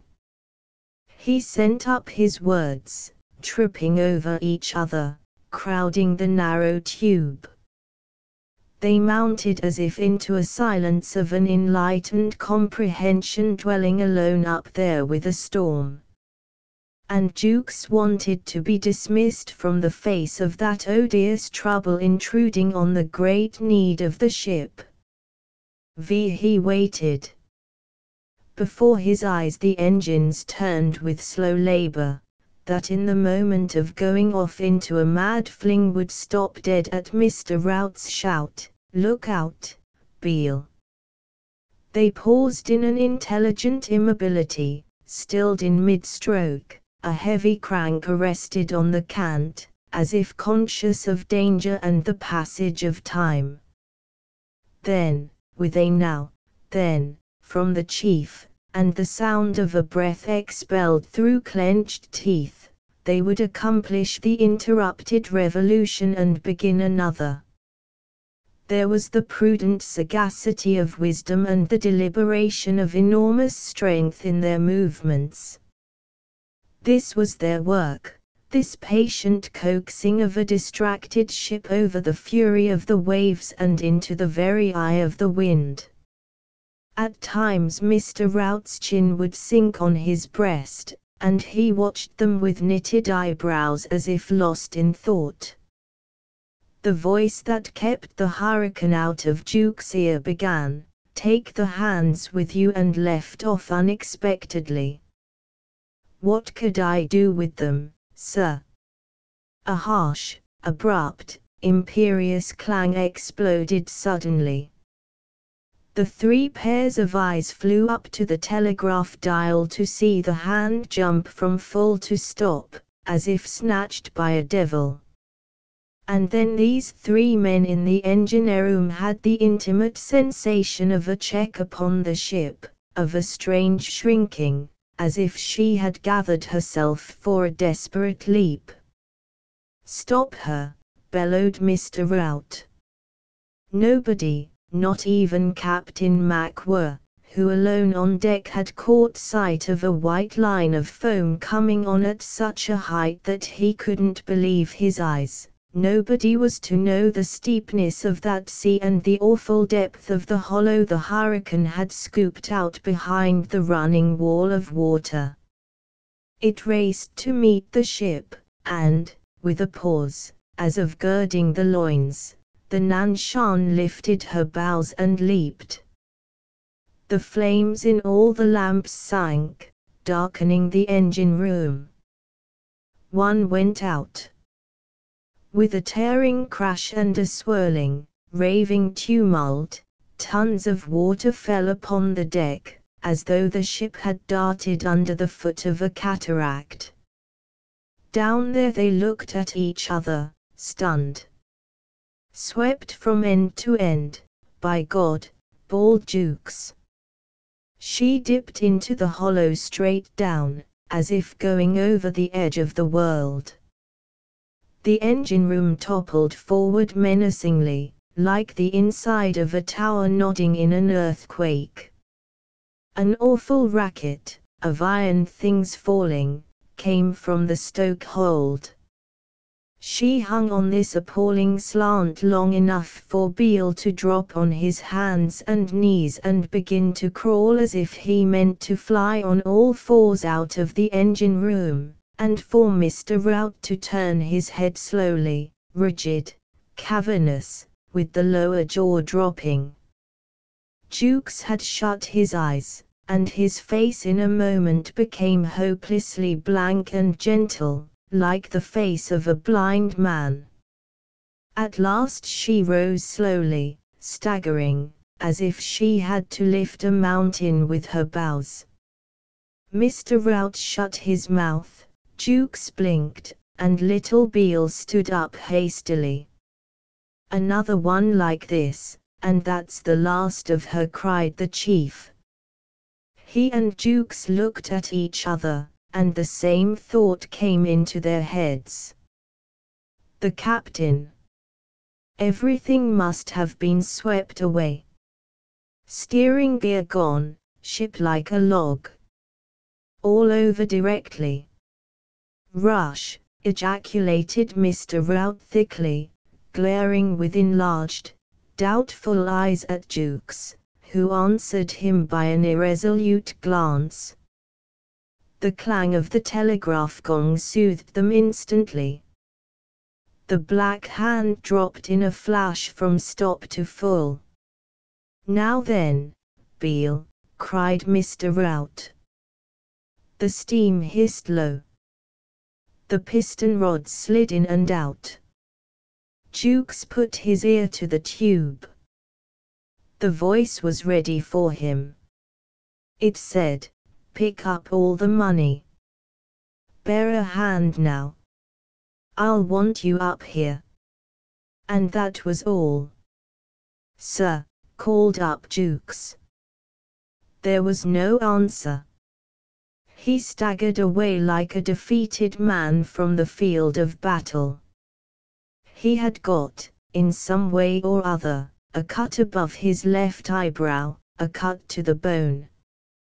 He was not aware of it in the least. Quantities of the China Sea, large enough to break his neck for him, had gone over his head, had cleaned, washed, and salted that wound. It did not bleed, but only gaped red, and this gash over the eye, his dishevelled hair, the disorder of his clothes, gave him the aspect of a man worsted in a fight with fists. Got to pick up the dollars. He appealed to Mr. Rout, smiling pitifully at random. What's that? asked Mr. Rout, wildly. Pick up. I don't care. Then, quivering in every muscle, but with an exaggeration of paternal tone, go away now, for God's sake. You deck people'll drive me silly. There's that second mate been going for the old man. Don't you know? You fellows are going wrong for want of something to do. At these words Jukes discovered in himself the beginnings of anger. Want of something to do, indeed. Full of hot scorn against the chief, he turned to go the way he had come.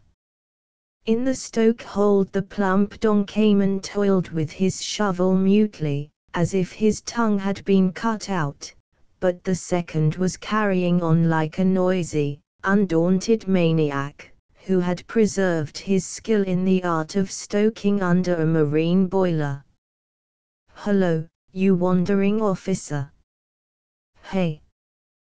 Can't you get some of your slush slingers to wind up a few of the ashes? I am getting choked with them here. Curse it. Hello. Hey. Remember the articles, sailors and firemen to assist each other. Hey. Do ye hear? Jukes was climbing out frantically, and the other, lifting up his face after him, howled, Can't you speak? What are you poking about here for? What's your game, anyhow? A frenzy possessed Jukes. By the time he was back amongst the men in the darkness of the alleyway, he felt ready to wring all their necks at the slightest sign of hanging back. The very thought of it exasperated him. He couldn't hang back. They shouldn't. The impetuosity with which he came amongst them carried them along. They had already been excited and startled at all his comings and goings, by the fierceness and rapidity of his movements, and more felt than seen in his rushes, he appeared formidable, busied with matters of life and death that brooked no delay. At his first word he heard them drop into the bunker one after another obediently, with heavy thumps. They were not clear as to what would have to be done. What is it? What is it? They were asking each other. The boatswain tried to explain. The sounds of a great scuffle surprised them, and the mighty shocks, reverberating awfully in the black bunker, kept them in mind of their danger. When the boatswain threw open the door it seemed that an eddy of the hurricane, stealing through the iron sides of the ship, had set all these bodies whirling like dust. There came to them a confused uproar, a tempestuous tumult, a fierce mutter, gusts of screams dying away, and the tramping of feet mingling with the blows of the sea. For a moment they glared amazed, blocking the doorway. Jukes pushed through them brutally. He said nothing, and simply darted in.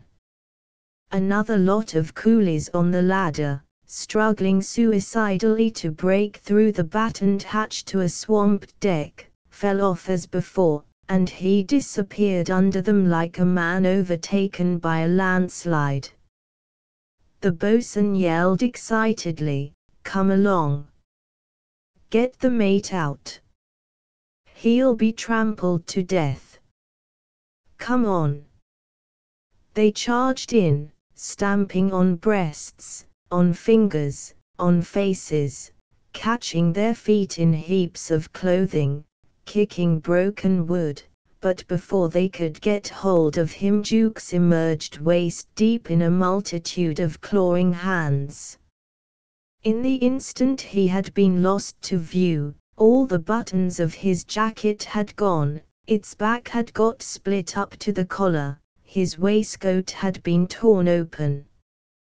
The central struggling mass of Chinamen went over to the roll, dark, indistinct, helpless, with a wild gleam of many eyes in the dim light of the lamps. Leave me alone, damn you. I am all right, screeched Jukes. Drive them forward. Watch your chance when she pitches. Forward with them. Drive them against the bulkhead. Jam em up. The rush of the sailors into the seething tween deck was like a splash of cold water into a boiling cauldron. The commotion sank for a moment. The bulk of Chinamen were locked in such a compact scrimmage that, linking their arms and aided by an appalling dive of the ship, the seamen sent it forward in one great shove, like a solid block. Behind their backs small clusters and loose bodies tumbled from side to side. The boatswain performed prodigious feats of strength. With his long arms open, and each great paw clutching at a stanchion, he stopped the rush of seven entwined Chinamen rolling like a boulder. His joints cracked, he said, ha, and they flew apart but the carpenter showed the greater intelligence. Without saying a word to anybody he went back into the alleyway, to fetch several coils of cargo gear he had seen there, chain and rope. With these lifelines were rigged. There was really no resistance. The struggle, however it began, had turned into a scramble of blind panic. If the coolies had started up after their scattered dollars they were by that time fighting only for their footing. They took each other by the throat merely to save themselves from being hurled about. Whoever got a hold anywhere would kick at the others who caught at his legs and hung on, till a roll sent them flying together across the deck. The coming of the white devils was a terror. Had they come to kill? The individuals torn out of the ruck became very limp in the seamen's hands, some, dragged aside by the heels, were passive, like dead bodies, with open, fixed eyes. Here and there a coolie would fall on his knees as if begging for mercy, several, whom the excess of fear made unruly, were hit with hard fists between the eyes, and cowered, while those who were hurt submitted to rough handling, blinking rapidly without a plaint. Faces streamed with blood, there were raw places on the shaven heads, scratches, bruises, torn wounds, gashes. The broken porcelain out of the chests was mostly responsible for the latter. Here and there a Chinaman, wild-eyed, with his tail unplaited, nursed a bleeding soul. They had been ranged closely, after having been shaken into submission, cuffed a little to allay excitement, addressed in gruff words of encouragement that sounded like promises of evil. They sat on the deck in ghastly, drooping rows, and at the end the carpenter, with two hands to help him, moved busily from place to place, setting taut and hitching the lifelines. The boatswain, with one leg and one arm embracing a stanchion, struggled with a lamp pressed to his breast, trying to get a light, and growling all the time like an industrious gorilla. The figures of seamen stooped repeatedly, with the movements of gleaners, and everything was being flung into the bunker, clothing, smashed wood, broken china, and the dollars, too, gathered up in men's jackets. Now and then a sailor would stagger towards the doorway with his arms full of rubbish, and dolorous, slanting eyes followed his movements. With every roll of the ship the long rows of sitting celestials would sway forward brokenly, and her headlong dives knocked together the line of shaven polls from end to end. When the wash of water rolling on the deck died away for a moment, it seemed to Jukes, yet quivering from his exertions, that in his mad struggle down there he had overcome the wind somehow, that a silence had fallen upon the ship, a silence in which the sea struck thunderously at her sides. Everything had been cleared out of the tween deck, all the wreckage, as the men said. They stood erect and tottering above the level of heads and drooping shoulders.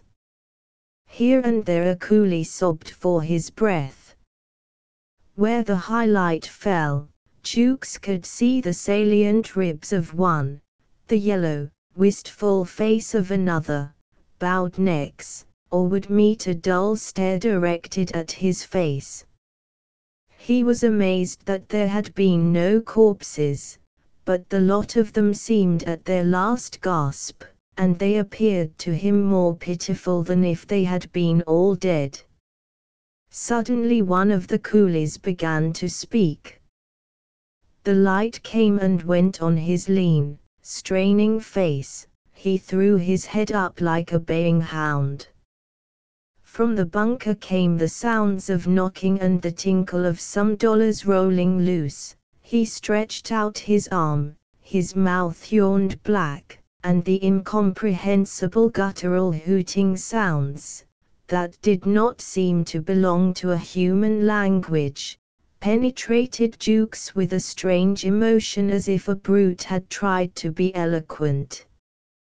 Two more started mouthing what seemed to Jukes fierce denunciations, the others stirred with grunts and growls.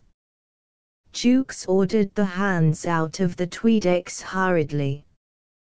He left last himself, backing through the door, while the grunts rose to a loud murmur and hands were extended after him as after a malefactor. The boatswain shot the bolt, and remarked uneasily, Seems as if the wind had dropped, sir. The seamen were glad to get back into the alleyway. Secretly each of them thought that at the last moment he could rush out on deck, and that was a comfort. There is something horribly repugnant in the idea of being drowned under a deck. Now they had done with the Chinamen, they again became conscious of the ship's position. Jukes on coming out of the alleyway found himself up to the neck in the noisy water. He gained the bridge, and discovered he could detect obscure shapes as if his sight had become preternaturally acute. He saw faint outlines.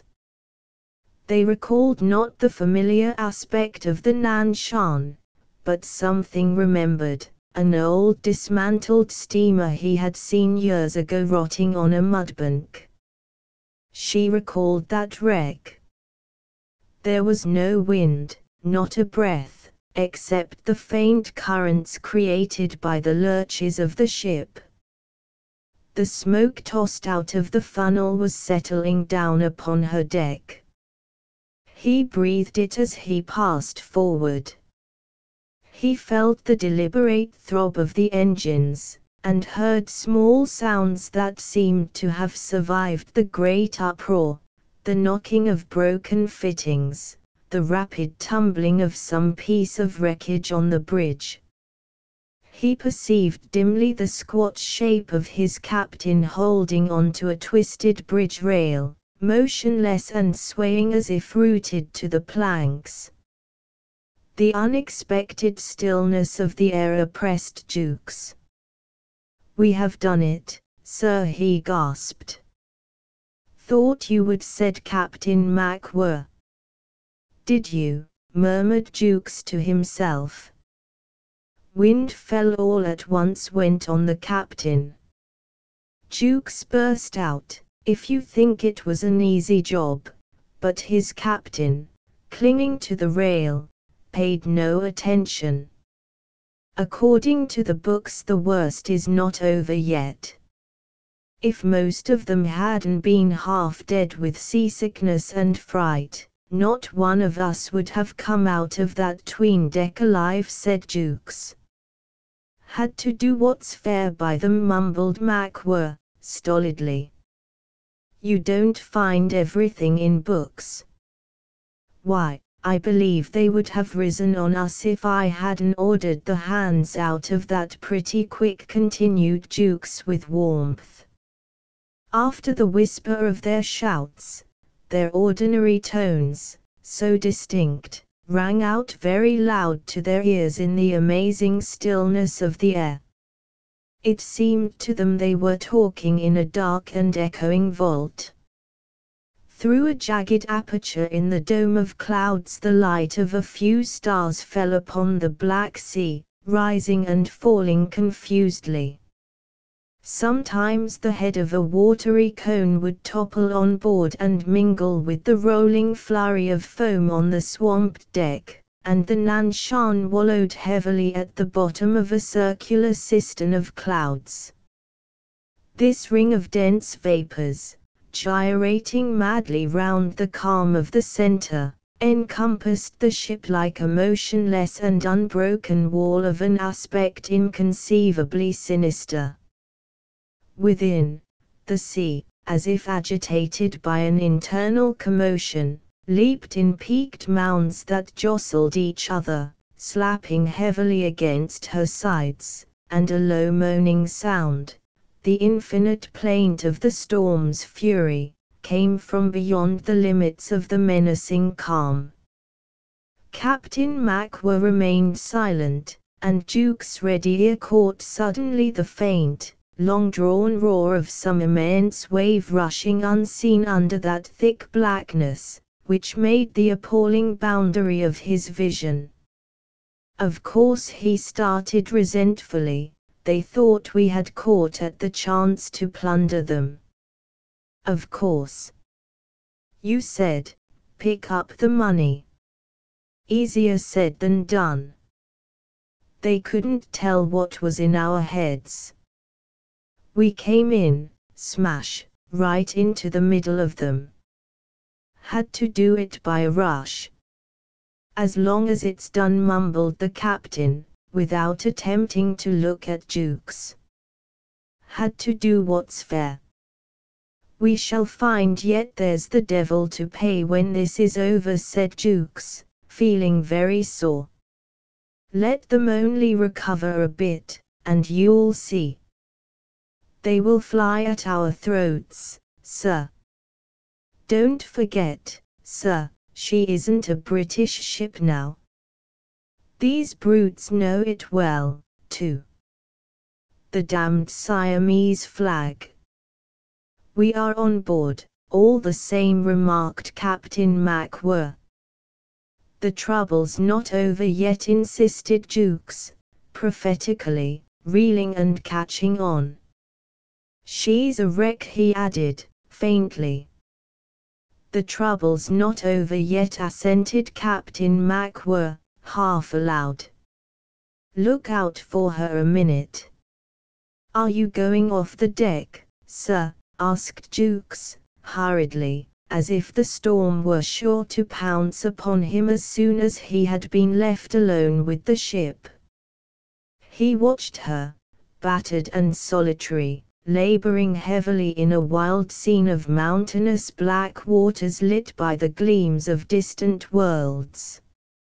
She moved slowly, breathing into the still core of the hurricane the excess of her strength in a white cloud of steam, and the deep-toned vibration of the escape was like the defiant trumpeting of a living creature of the sea impatient for the renewal of the contest. It ceased suddenly. The still air moaned. Above Jukes' head a few stars shone into a pit of black vapors. The inky edge of the cloud disk frowned upon the ship under the patch of glittering sky. The stars, too, seemed to look at her intently, as if for the last time, and the cluster of their splendor sat like a diadem on a lowering brow. Captain MacWhirr had gone into the chart room.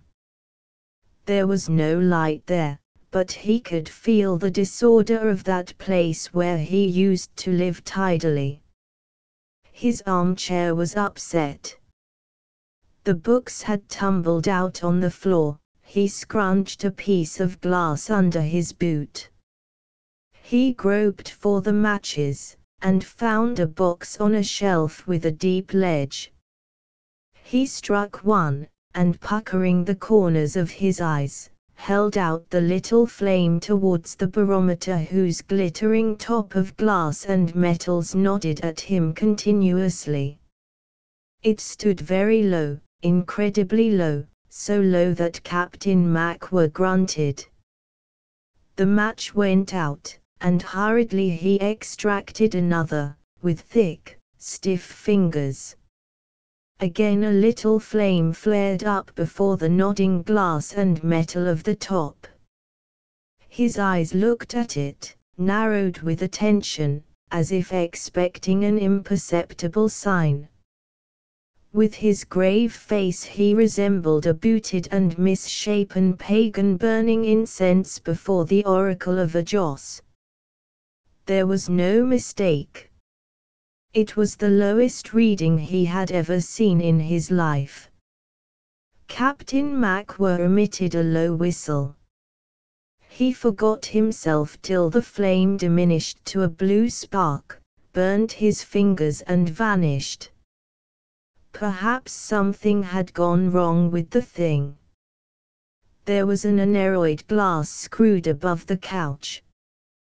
He turned that way, struck another match, and discovered the white face of the other instrument looking at him from the bulkhead, meaningly, not to be gainsaid, as though the wisdom of men were made unerring by the indifference of matter.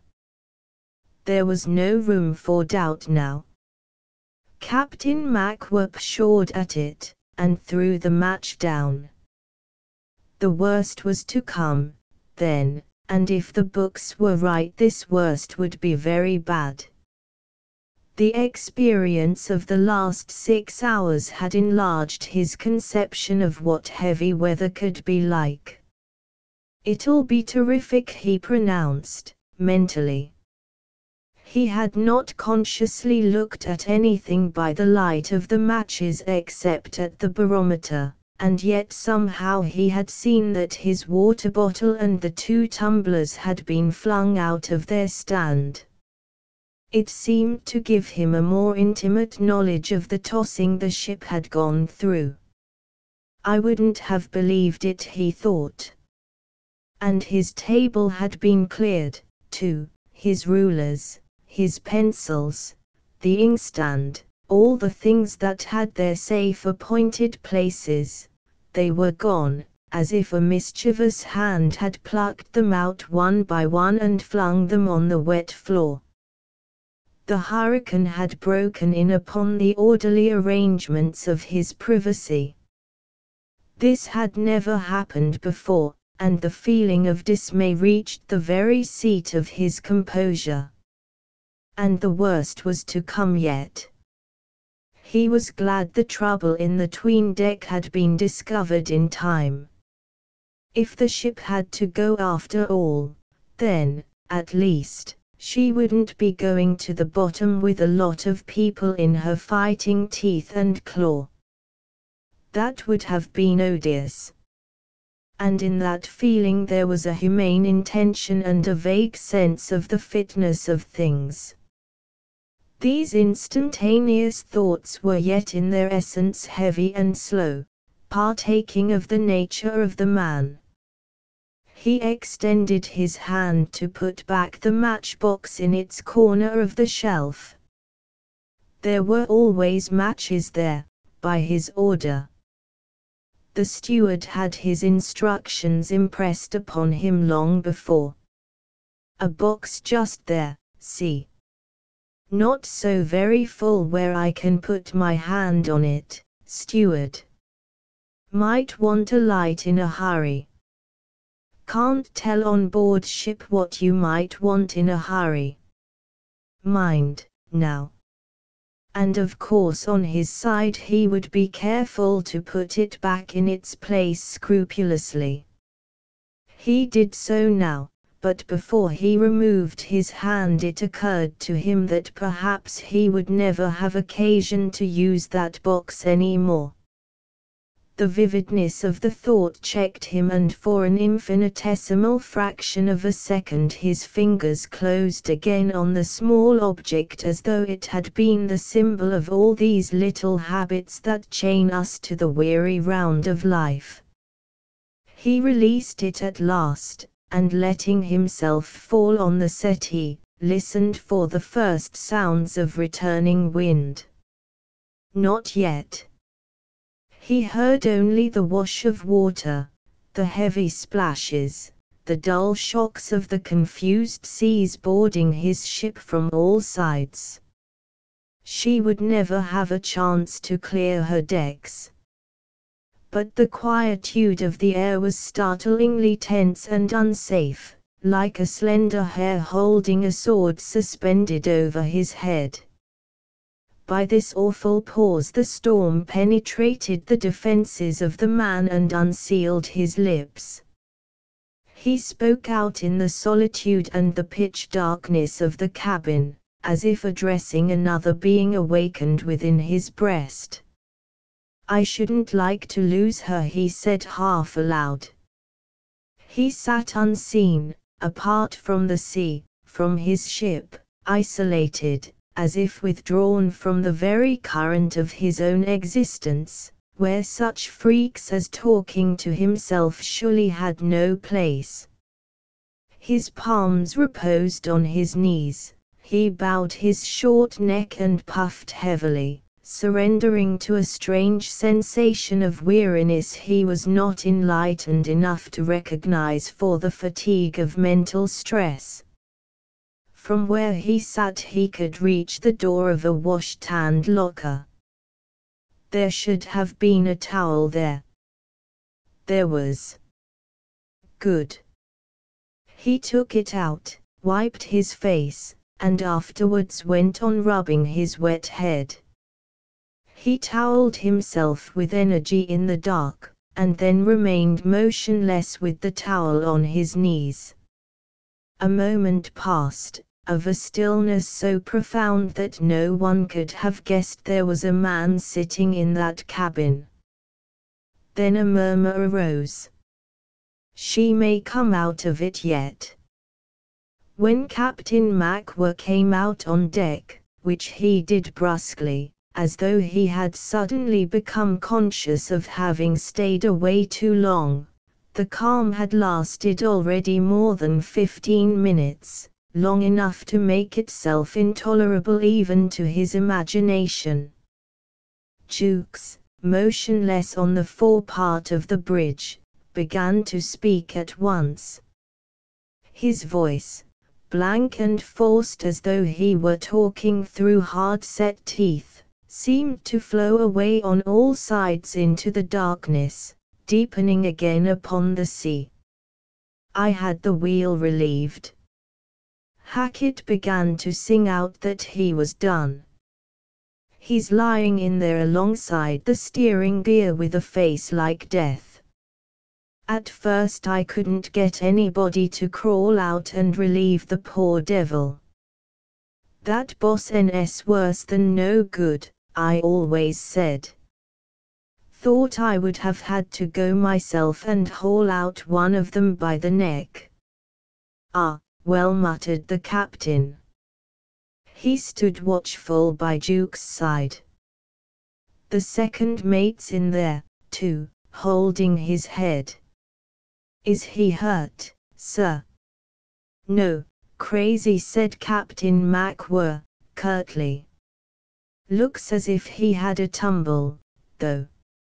I had to give him a push explained the captain. Jukes gave an impatient sigh. It will come very sudden said Captain MacWhirr, and from over there, I fancy. God only knows though. These books are only good to muddle your head and make you jumpy. It will be bad, and there's an end. If we only can steam her round in time to meet it. A minute passed. Some of the stars winked rapidly and vanished. You left them pretty safe, began the captain abruptly, as though the silence were unbearable. Are you thinking of the coolies, sir? I rigged lifelines all ways across that tween deck. Did you? Good idea, Mr. Jukes. I didn't think you cared to know said Jukes. The lurching of the ship cut his speech as though somebody had been jerking him around while he talked. How I got on with that infernal job. We did it. And it may not matter in the end. Had to do what's fair, for all, they are only Chinamen. Give them the same chance with ourselves hang it all. She isn't lost yet. Bad enough to be shut up below in a gale, that's what I thought when you gave me the job, sir interjected Jukes, moodily. Without being battered to pieces pursued Captain MacWhirr with rising vehemence. Couldn't let that go on in my ship, if I knew she had in five minutes to live. Couldn't bear it, Mr. Jukes. A hollow echoing noise, like that of a shout rolling in a rocky chasm, approached the ship and went away again. The last star, blurred, enlarged, as if returning to the fiery mist of its beginning, struggled with the colossal depth of blackness hanging over the ship, and went out. Now for it, muttered Captain MacWhirr. Mr. Jukes. Here, sir. The two men were growing indistinct to each other. We must trust her to go through it and come out on the other side. That's plain and straight. There's no room for Captain Wilson's storm strategy here. No, sir. She will be smothered and swept again for hours mumbled the captain. There's not much left by this time above deck for the sea to take away, unless you or me. Both, sir whispered Jukes, breathlessly. You are always meeting trouble halfway, Jukes Captain MacWhirr remonstrated quaintly though it's a fact that the second mate is no good. Do ye hear, Mr. Jukes? You would be left alone if. Captain MacWhirr interrupted himself, and Jukes, glancing on all sides, remained silent. Don't you be put out by anything the captain continued, mumbling rather fast. Keep her facing it. They may say what they like, but the heaviest seas run with the wind. Facing it, always facing it, that's the way to get through. You are a young sailor. Face it. That's enough for any man. Keep a cool head. Yes, sir, said Jukes, with a flutter of the heart. In the next few seconds the captain spoke to the engine room and got an answer. For some reason Jukes experienced an access of confidence, a sensation that came from outside like a warm breath, and made him feel equal to every demand. The distant muttering of the darkness stole into his ears. He noted it unmoved out of that sudden belief in himself, as a man safe in a shirt of mail would watch a point. The ship labored without intermission amongst the black hills of water, paying with this hard tumbling the price of her life. She rumbled in her depths, shaking a white plummet of steam into the night, and Jukes' thought skimmed like a bird through the engine room, where Mr. Rout, good man, was ready. When the rumbling ceased it seemed to him that there was a pause of every sound, a dead pause in which Captain MacWhirr's voice rang out startlingly. What's that? A puff of wind. It spoke much louder than Jukes had ever heard it before, on the bow. That's right. She may come out of it yet. The mutter of the winds drew near apace. In the forefront could be distinguished a drowsy waking plaint passing on, and far off the growth of a multiple clamor, marching and expanding. There was the throb as of many drums in it, a vicious rushing note, and like the chant of a tramping multitude.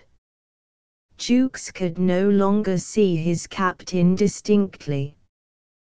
The darkness was absolutely piling itself upon the ship. At most he made out movements, a hint of elbows spread out, of a head thrown up. Captain MacWhirr was trying to do up the top button of his oilskin coat with unwanted haste. The hurricane, with its power to madden the seas, to sink ships, to uproot trees, to overturn strong walls and dash the very birds of the air to the ground, had found this taciturn man in its path, and, doing its utmost, had managed to wring out a few words. Before the renewed wrath of winds swooped on his ship, Captain MacWhirr was moved to declare, in a tone of vexation, as it were, I wouldn't like to lose her. He was spared that annoyance. Six on a bright sunshiny day, with the breeze chasing her smoke far ahead, the Nanshan came into Foochow. Her arrival was at once noticed on shore, and the seaman in harbor said, Look! Look at that steamer! What's that? Siamese, isn't she? Just look at her. She seemed, indeed, to have been used as a running target for the secondary batteries of a cruiser. A hail of minor shells could not have given her upper works a more broken, torn, and devastated aspect, and she had about her the worn, weary air of ships coming from the far ends of the world, and indeed with truth, for in her short passage she had been very far, sighting, verily, even the coast of the great beyond, whence no ship ever returns to give up her crew to the dust of the earth. She was encrusted and grey with salt to the trucks of her masts and to the top of her funnel, as though, as some facetious seaman said, the crowd on board had fished her out somewhere from the bottom of the sea and brought her in here for salvage. And further, Excited by the felicity of his own wit, he offered to give five pounds for her, as she stands. Before she had been quite an hour at rest, a meagre little man, with a red-tipped nose and a face cast in an angry mould, landed from a sampan on the quay of the foreign concession, and incontinently turned to shake his fist at her. A tall individual, with legs much too thin for a rotund stomach, and with watery eyes, strolled up and remarked, just left her, eh? Quick work. He wore a soiled suit of blue flannel with a pair of dirty cricketing shoes, a dingy grey moustache drooped from his lip, and daylight could be seen in two places between the rim and the crown of his hat. Hello, what are you doing here? asked the ex-second mate of the Nanshan, shaking hands hurriedly. Standing by for a job, chance worth taking, got a quiet hint explained the man with the broken hat, in jerky, apathetic wheezes. The second shook his fist again at the Nanshan. There's a fellow there that ain't fit to have the command of a scow he declared, quivering with passion, while the other looked about listlessly. Is there? But he caught sight on the quay of a heavy seaman's chest, painted brown under a fringed sailcloth cover, and lashed with new manila line. He eyed it with awakened interest. I would talk and raise trouble if it wasn't for that damned Siamese flag. Nobody to go to, or I would make it hot for him. The fraud. Told his chief engineer, that's another fraud for you, I had lost my nerve. The greatest lot of ignorant fools that ever sailed the seas. No. You can't think got your money all right, inquired his seedy acquaintance suddenly. Yes. Paid me off on board raged the second mate. Get your breakfast on shore says he. Mean skunk, commented the tall man, vaguely, and passed his tongue on his lips. What about having a drink of some sort?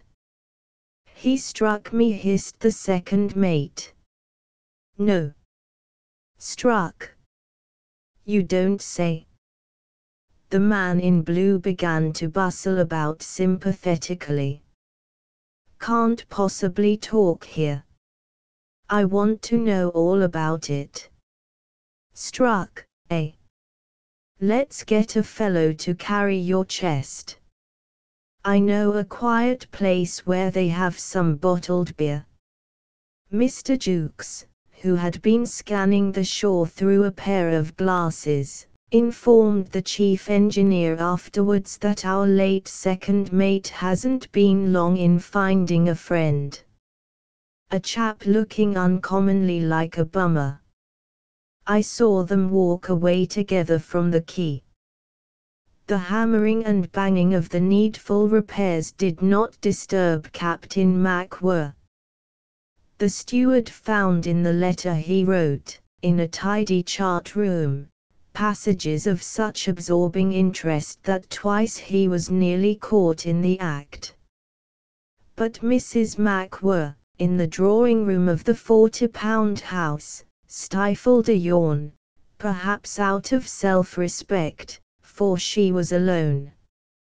She reclined in a plush-bottomed and gilt hammock chair near a tiled fireplace, with Japanese fans on the mantel and a glow of coals in the grate.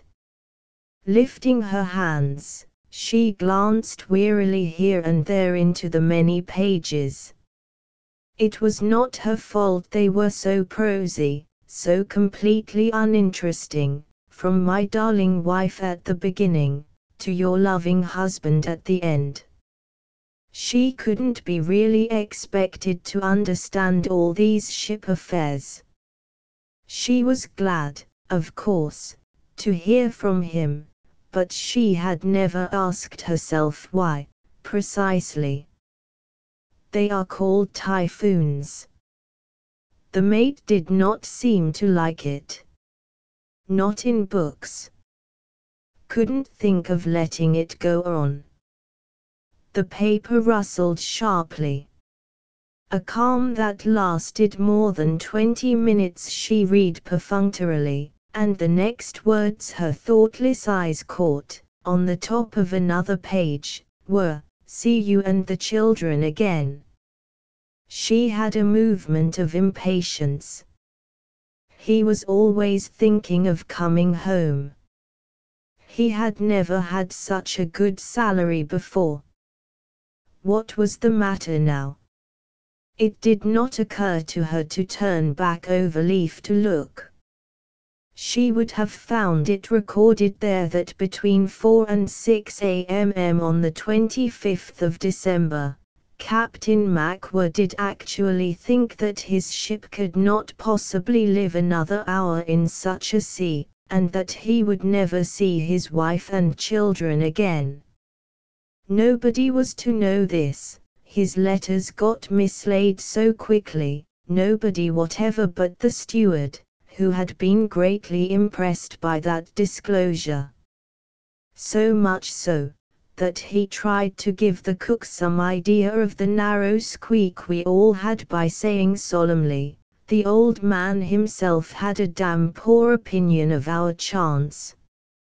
How do you know? asked, contemptuously, the cook, an old soldier. He hasn't told you, maybe.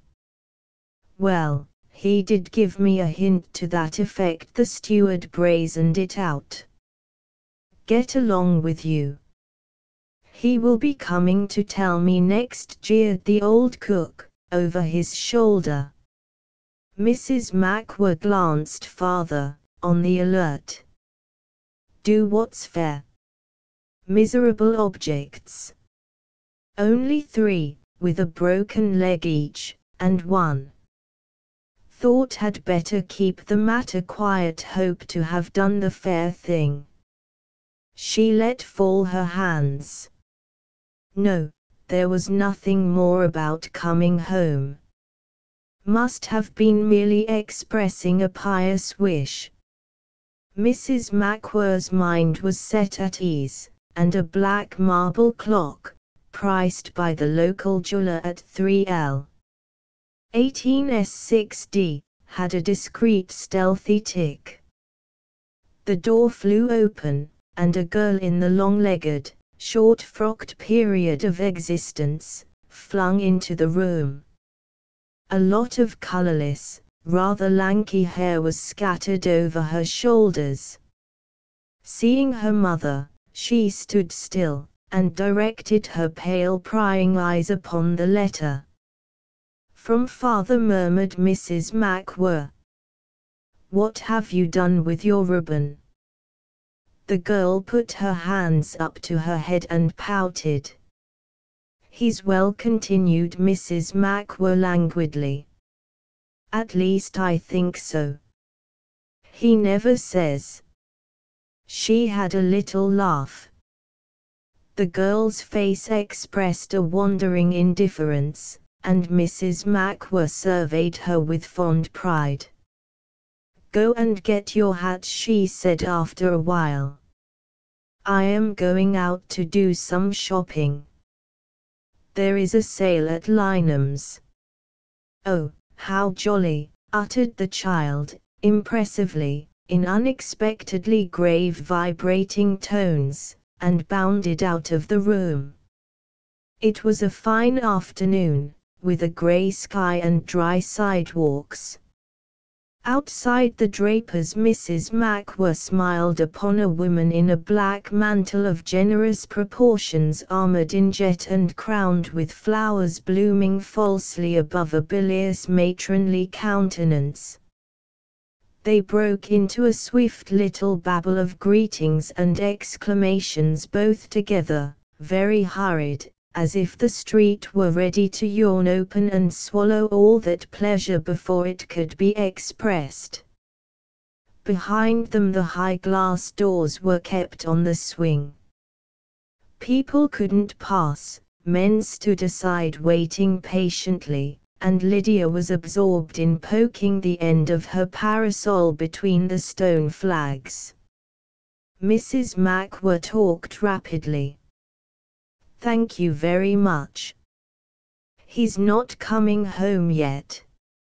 Of course it's very sad to have him away, but it's such a comfort to know he keeps so well. Mrs. MacWhirr drew breath. The climate there agrees with him she added, beamingly, as if poor MacWhirr had been away touring in China for the sake of his health. Neither was the chief engineer coming home yet. Mr. Rout knew too well the value of a good billet. Solomon says wonders will never cease cried Mrs. Rout joyously at the old lady in her armchair by the fire. Mr. Rout's mother moved slightly, her withered hands lying in black half mittens on her lap. The eyes of the engineer's wife fairly danced on the paper. That captain of the ship he is in, a rather simple man, you remember, mother, has done something rather clever, Solomon says. Yes, my dear said the old woman meekly, sitting with bowed silvery head, and that air of inward stillness characteristic of very old people who seem lost in watching the last flickers of life. I think I remember.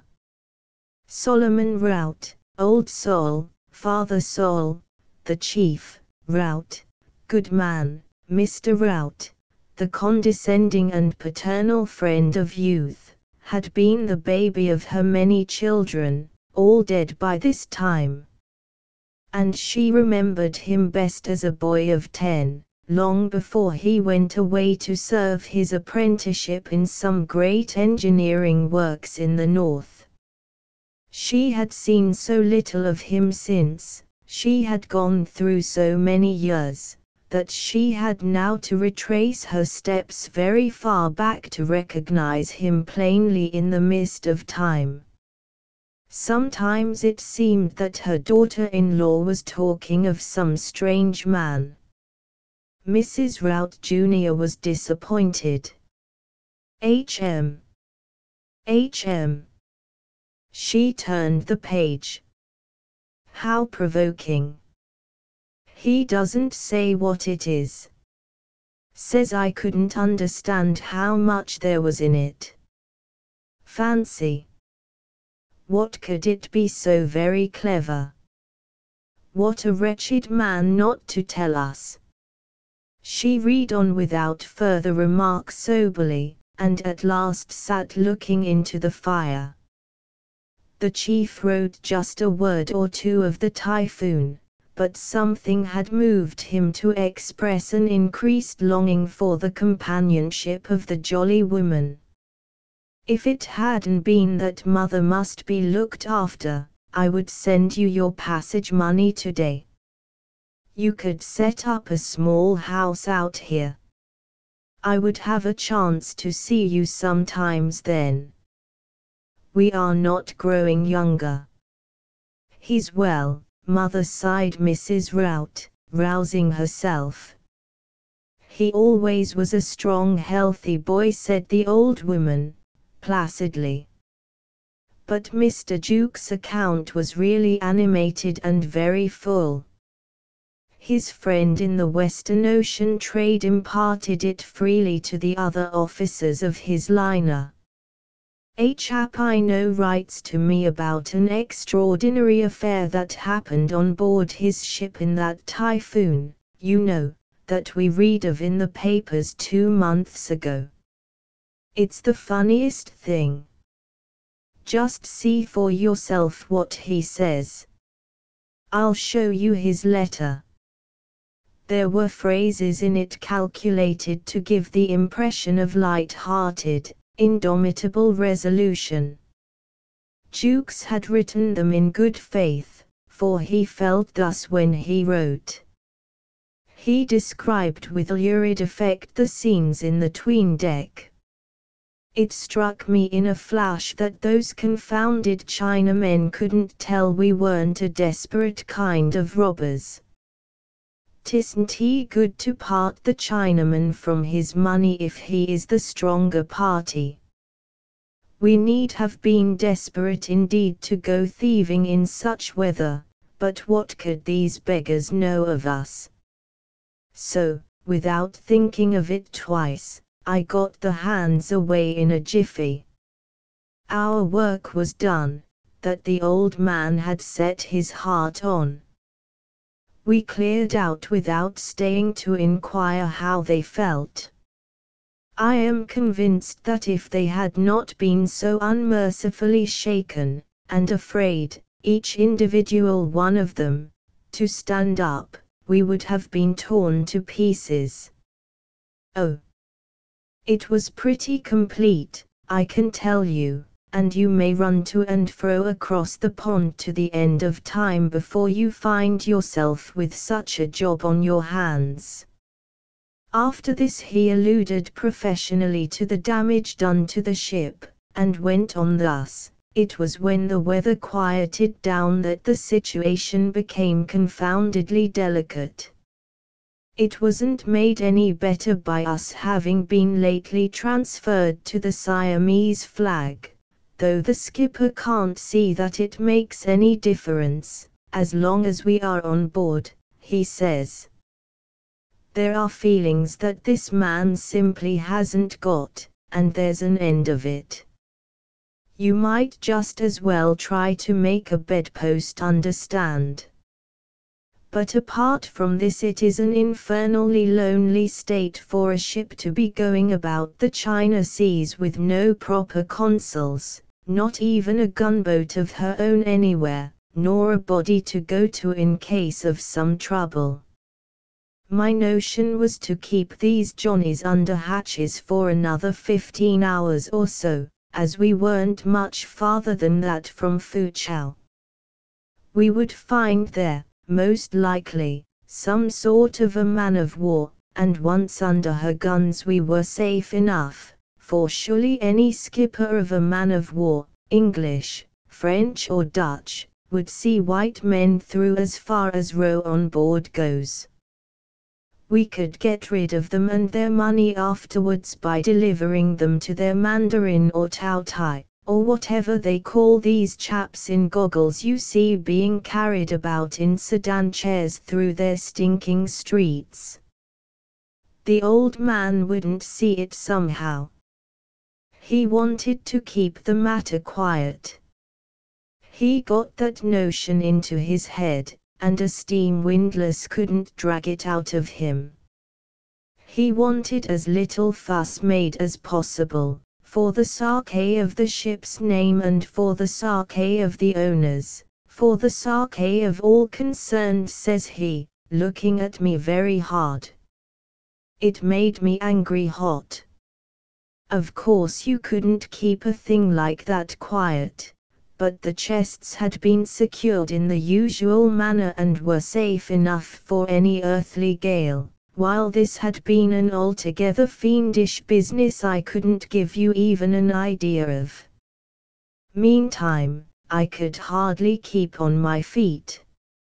None of us had a spell of any sort for nearly 30 hours, and there the old man sat rubbing his chin, rubbing the top of his head, and so bothered he didn't even think of pulling his long boots off. I hope, sir says I, you won't be letting them out on deck before we make ready for them in some shape or other. Not, mind you, that I felt very sanguine about controlling these beggars if they meant to take charge. A trouble with a cargo of Chinamen is no child's play. I was damn tired, too. I wish, said I, you would let us throw the whole lot of these dollars down to them and leave them to fight it out amongst themselves, while we get a rest. Now you talk wild, Jukes says he, looking up in his slow way that makes you ache all over, somehow. We must plan out something that would be fair to all parties. I had no end of work on hand, as you may imagine, so I set the hands going, and then I thought I would turn in a bit. I hadn't been asleep in my bunk ten minutes when in rushes the steward and begins to pull at my leg. For God's sake, Mr. Jukes, come out. Come on deck quick, sir. Oh, do come out. The fellow scared all the sense out of me.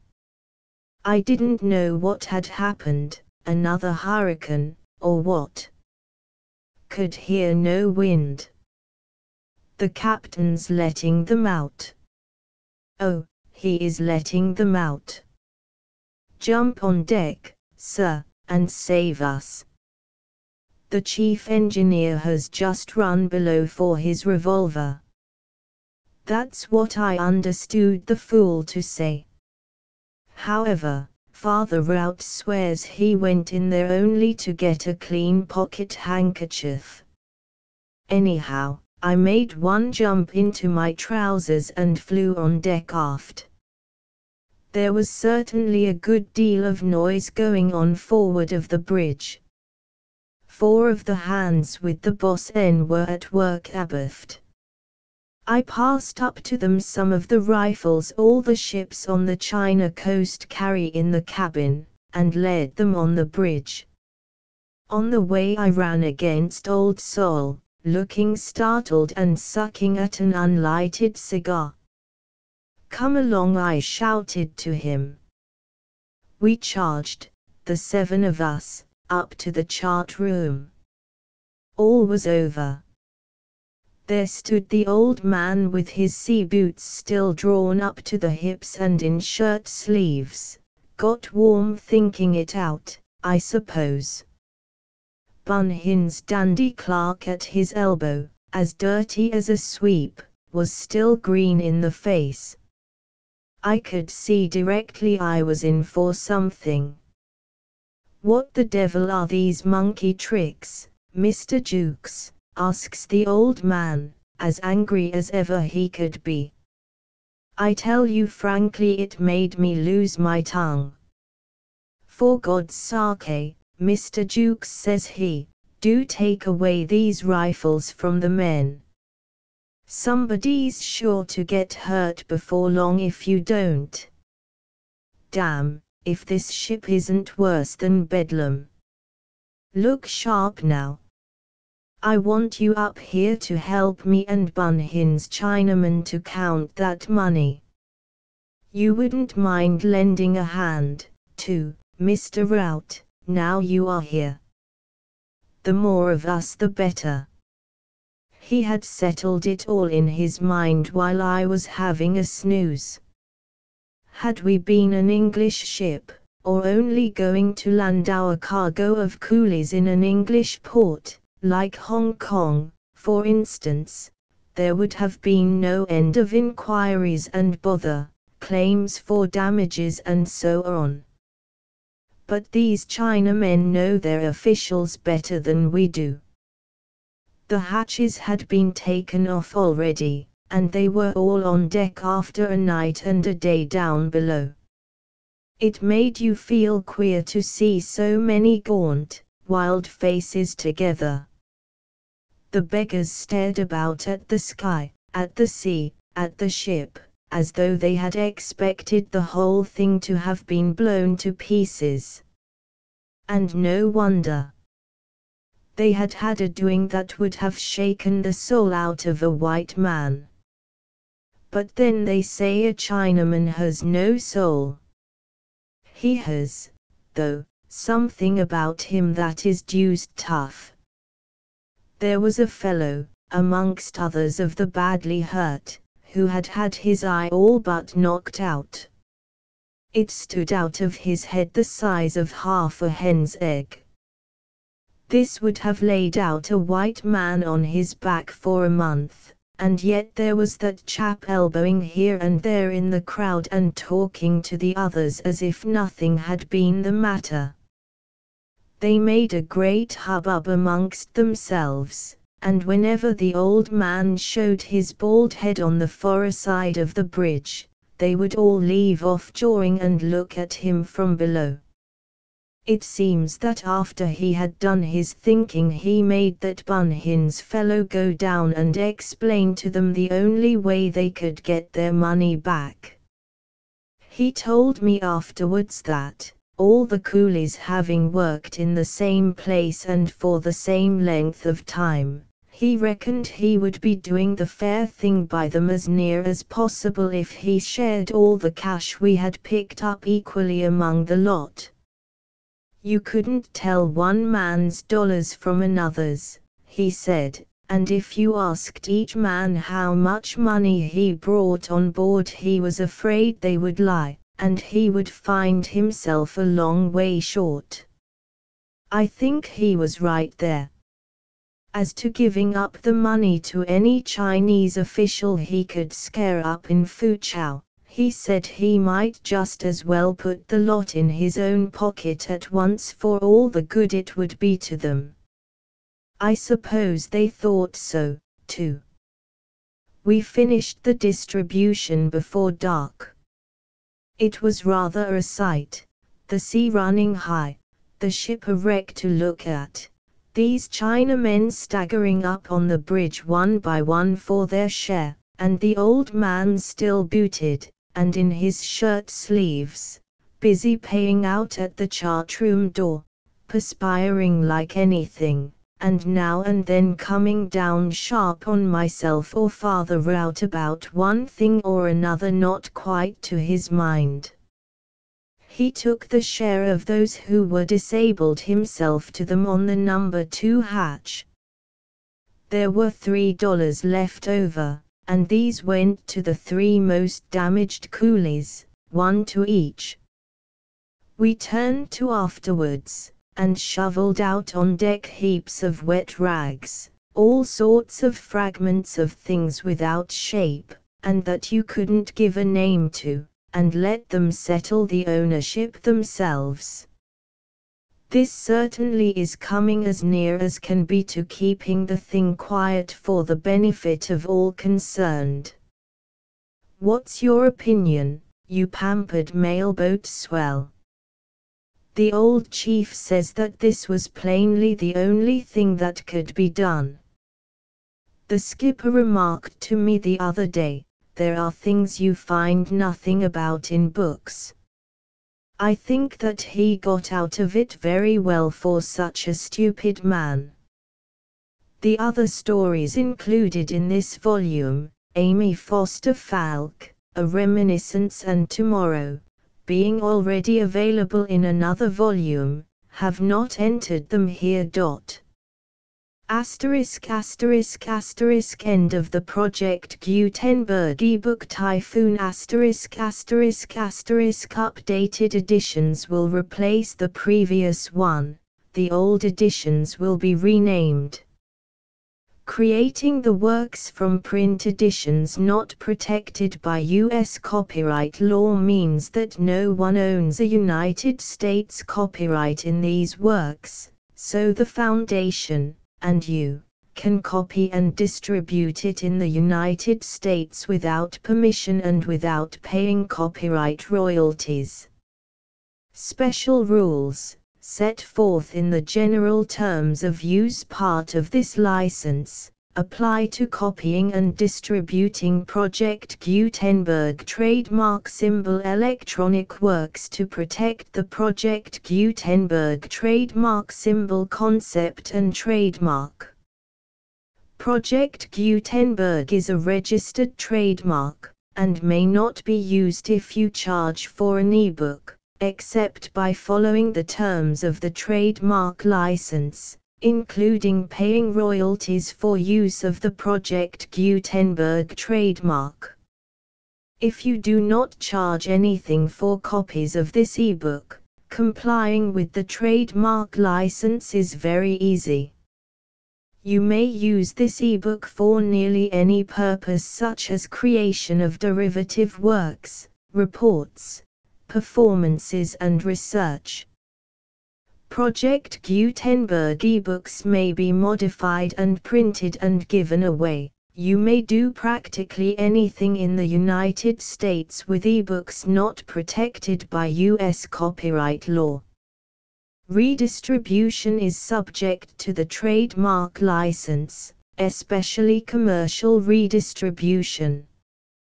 Start full license the full Project Gutenberg license. Please read this before you distribute or use this work to protect the Project Gutenberg trademark symbol mission of promoting the free distribution of electronic works, by using or distributing this work, or any other work associated in any way with the phrase Project Gutenberg you agree to comply with all the terms of the full Project Gutenberg trademark symbol license available with this file or online at www.gutenberg.org forward slash license.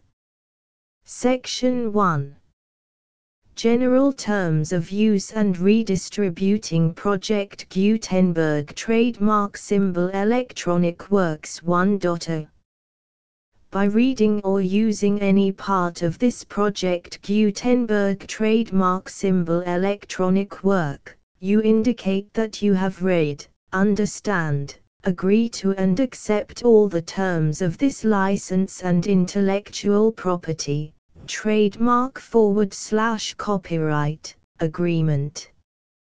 If you do not agree to abide by all the terms of this agreement, you must cease using and return or destroy all copies of Project Gutenberg trademark symbol electronic works in your possession.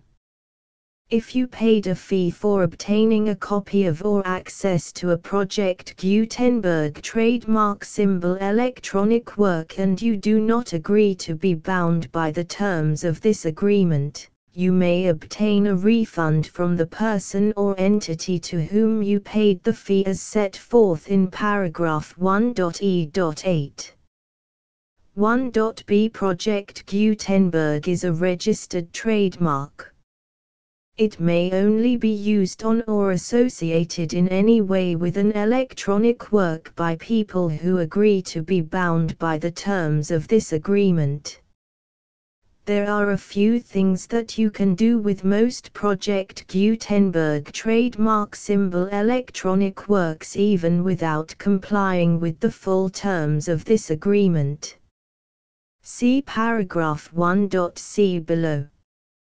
There are a lot of things you can do with Project Gutenberg trademark symbol electronic works if you follow the terms of this agreement and help preserve free future access to Project Gutenberg trademark symbol electronic works. See paragraph 1.e below. 1.c The Project Gutenberg Literary Archive Foundation the foundation or PGLAF, owns a compilation copyright in the collection of Project Gutenberg trademark symbol electronic works. Nearly all the individual works in the collection are in the public domain in the United States. If an individual work is unprotected by copyright law in the United States and you are located in the United States, we do not claim a right to prevent you from copying, distributing, performing, displaying or creating derivative works based on the work as long as all references to Project Gutenberg are removed. Of course, we hope that you will support the Project Gutenberg trademark symbol mission of promoting free access to electronic works by freely sharing Project Gutenberg trademark symbol works in compliance with the terms of this agreement for keeping the Project Gutenberg trademark symbol name associated with the work you can easily comply with the terms of this agreement by keeping this work in the same format with its attached full Project Gutenberg trademark symbol license when you share it without charge with others. 1.d The copyright laws of the place where you are located also govern what you can do with this work. Copyright laws in most countries are in a constant state of change. If you are outside the United States, check the laws of your country in addition to the terms of this agreement before downloading, copying, displaying, performing, distributing or creating derivative works based on this work or any other Project Gutenberg trademark symbol work the Foundation makes no representations concerning the copyright status of any work in any country other than the United States. 1.e Unless you have removed all references to Project Gutenberg, 1.e.1. The following sentence, with active links to, or other immediate access to, the full Project Gutenberg trademark symbol license must appear prominently whenever any copy of a Project Gutenberg trademark symbol work, any work on which the phrase Project Gutenberg appears, or with which the phrase Project Gutenberg is associated, is accessed, displayed, performed, viewed, copied or distributed. This ebook is for the use of anyone anywhere in the United States and most other parts of the world at no cost and with almost no restrictions whatsoever. You may copy it, give it away or reuse it under the terms of the Project Gutenberg license included with this ebook or online at www.gutenberg.org. If you are not located in the United States, you will have to check the laws of the country where you are located before using this ebook. 1.e.2 If an individual Project Gutenberg trademark symbol electronic work is derived from texts not protected by U.S. copyright law, does not contain a notice indicating that it is posted with permission of the copyright holder, the work can be copied and distributed to anyone in the United States without paying any fees or charges. If you are redistributing or providing access to a work with the phrase Project Gutenberg associated with or appearing on the work, you must comply either with the requirements of paragraphs 1.e.1 through 1.e.7 or obtain permission for the use of the work and the Project Gutenberg trademark symbol trademark as set forth in paragraphs 1.e.8 or 1.e.9. 1.e.3 if an individual Project Gutenberg trademark symbol electronic work is posted with the permission of the copyright holder, your use and distribution must comply with both paragraphs 1.e.1 through 1.e.7 and any additional terms imposed by the copyright holder. Additional terms will be linked to the Project Gutenberg trademark symbol license for all works posted with the permission of the copyright holder found at the beginning of this work. 1.e.4 Do not unlink or detach or remove the full Project Gutenberg trademark symbol license terms from this work or any files containing a part of this work or any other work associated with Project Gutenberg trademark symbol. 1.e.5 Do not copy, display, perform, distribute or redistribute this electronic work, or any part of this electronic work without prominently displaying the sentence set forth in paragraph 1.e.1 with active links or immediate access to the full terms of the Project Gutenberg trademark symbol license. 1.e.6 You may convert to and distribute this work in any binary, compressed, marked up, non-proprietary or proprietary form, including any word processing or hypertext form. However, if you provide access to or distribute copies of a Project Gutenberg trademark symbol work in a format other than plain vanilla ASCII or other format used in the official version posted on the official Project Gutenberg trademark symbol website, www.gutenberg.org, you must, at no additional cost, fee or expense to the user, provide a copy, a means of exporting a copy, or a means of obtaining a copy upon request, of the work in its original plain vanilla ASCII or other form. Any alternate format must include the full Project Gutenberg trademark symbol license as specified in paragraph 1.e.1. 1.e.7 Do not charge a fee for access to, viewing, displaying, performing, copying or distributing any Project Gutenberg trademark symbol works unless you comply with paragraph 1.e.8 or 1.e.9.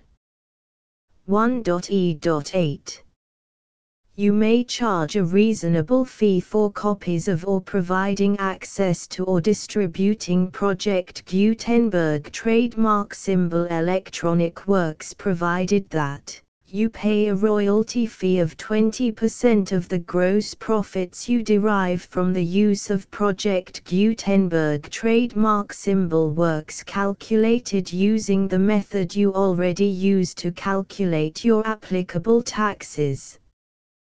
The fee is owed to the owner of the Project Gutenberg trademark symbol trademark but he has agreed to donate royalties under this paragraph to the Project Gutenberg Literary Archive Foundation.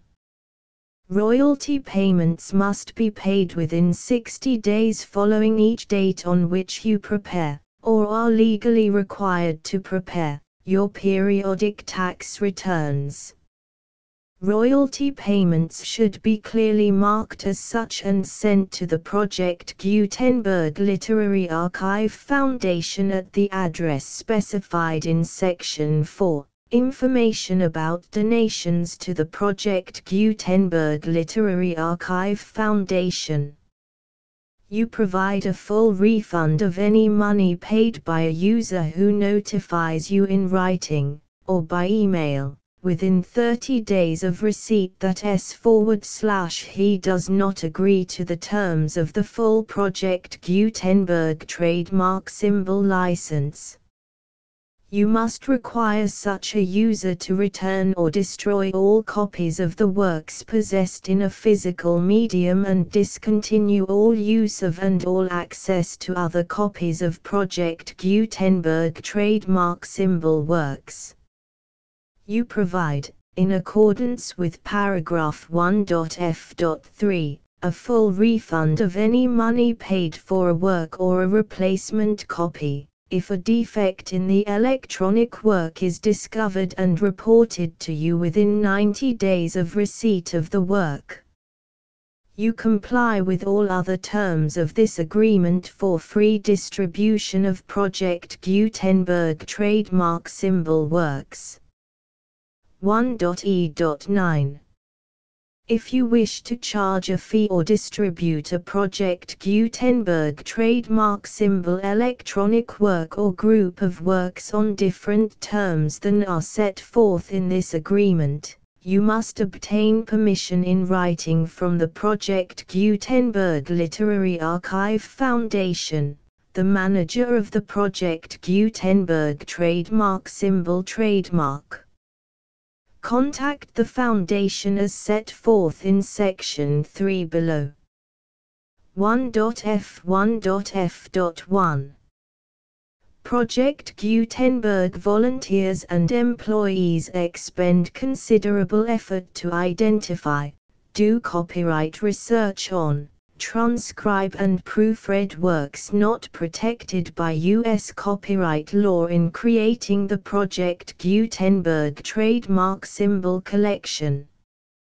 Despite these efforts, Project Gutenberg trademark symbol electronic works, and the medium on which they may be stored, may contain defects such as, but not limited to, incomplete, inaccurate or corrupt data, transcription errors, a copyright or other intellectual property infringement, a defective or damaged disk or other medium, a computer virus, or computer codes that damage or cannot be read by your equipment. 1.f.2 Limited warranty, disclaimer of damages, except for the right of replacement or refund described in paragraph 1.f.3, the Project Gutenberg Literary Archive Foundation, the owner of the Project Gutenberg trademark symbol trademark, and any other party distributing a Project Gutenberg trademark symbol electronic work under this agreement, disclaim all liability to you for damages, costs and expenses, including legal fees. You agree that you have no remedies for negligence, strict liability, breach of warranty or breach of contract except those provided in paragraph 1.f.3. You agree that the Foundation, the trademark owner, and any distributor under this agreement will not be liable to you for actual, direct, indirect, consequential, punitive or incidental damages even if you give notice of the possibility of such damage. 1.f.3 Limited right of replacement or refund if you discover a defect in this electronic work within 90 days of receiving it, you can receive a refund of the money, if any, you paid for it by sending a written explanation to the person you received the work from. If you received the work on a physical medium, you must return the medium with your written explanation.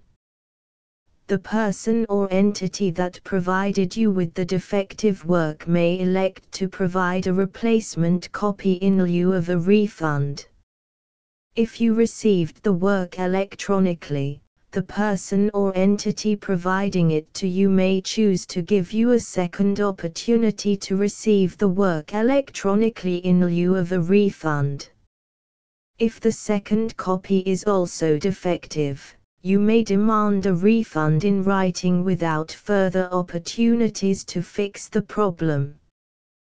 1.f.4 Except for the limited right of replacement or refund set forth in paragraph 1.f.3, this work is provided to you as is, with no other warranties of any kind, express or implied, including but not limited to warranties of merchantability or fitness for any purpose. 1.f.5 Some states do not allow disclaimers of certain implied warranties or the exclusion or limitation of certain types of damages. If any disclaimer or limitation set forth in this agreement violates the law of the state applicable to this agreement, the agreement shall be interpreted to make the maximum disclaimer or limitation permitted by the applicable state law. The invalidity or unenforceability of any provision of this agreement shall not void the remaining provisions. 1.f.6 Indemnity. You agree to indemnify and hold the foundation, the trademark owner, any agent or employee of the foundation, anyone providing copies of Project Gutenberg trademark symbol electronic works in accordance with this agreement, and any volunteers associated with the production promotion and distribution of Project Gutenberg trademark symbol electronic works, harmless from all liability, costs and expenses, including legal fees, that arise directly or indirectly from any of the following which you do or cause to occur. A. Distribution of this or any Project Gutenberg trademark symbol work. B alteration, modification, or additions or deletions to any Project Gutenberg trademark symbol work, and c. any defect you cause. Section 2 Information about the mission of Project Gutenberg trademark symbol Project Gutenberg trademark symbol is synonymous with the free distribution of electronic works in formats readable by the widest variety of computers including obsolete, old, middle-aged and new computers. It exists because of the efforts of hundreds of volunteers and donations from people in all walks of life volunteers and financial support to provide volunteers with the assistance they need are critical to reaching Project Gutenberg trademark symbol S goals and ensuring that the Project Gutenberg trademark symbol collection will remain freely available for generations to come. In 2001, the Project Gutenberg Literary Archive Foundation was created to provide a secure and permanent future for Project Gutenberg trademark symbol and future generations. To learn more about the Project Gutenberg Literary Archive Foundation and how your efforts and donations can help, See sections 3 and 4 and the Foundation information page at www.gutenberg.org. Section 3 Information about the Project Gutenberg Literary Archive Foundation The Project Gutenberg Literary Archive Foundation is a non-profit 501 c. 3 educational corporation organized under the laws of the state of Mississippi and granted tax-exempt status by the Internal Revenue Service. The Foundation's EIN or Federal Tax Identification Number is 64-6221541. Contributions to the Project Gutenberg Literary Archive Foundation are tax deductible to the full extent permitted by U.S. federal laws and your state's laws.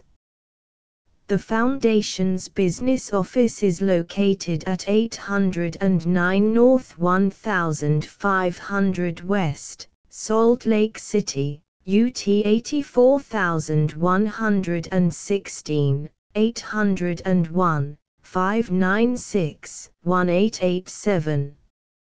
Email contact links and up-to-date contact information can be found at the Foundation's website and official page at www.gutenberg.org forward slash contact section 4. Information about donations to the Project Gutenberg Literary Archive Foundation Project Gutenberg trademark symbol depends upon and cannot survive without widespread public support and donations to carry out its mission of increasing the number of public domain and licensed works that can be freely distributed in machine-readable form accessible by the widest array of equipment including outdated equipment. Many small donations, $1 to $5,000, are particularly important to maintaining tax-exempt status with the IRS. The Foundation is committed to complying with the laws regulating charities and charitable donations in all 50 states of the United States.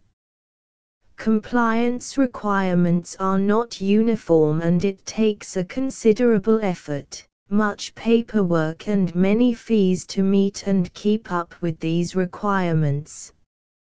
We do not solicit donations in locations where we have not received written confirmation of compliance.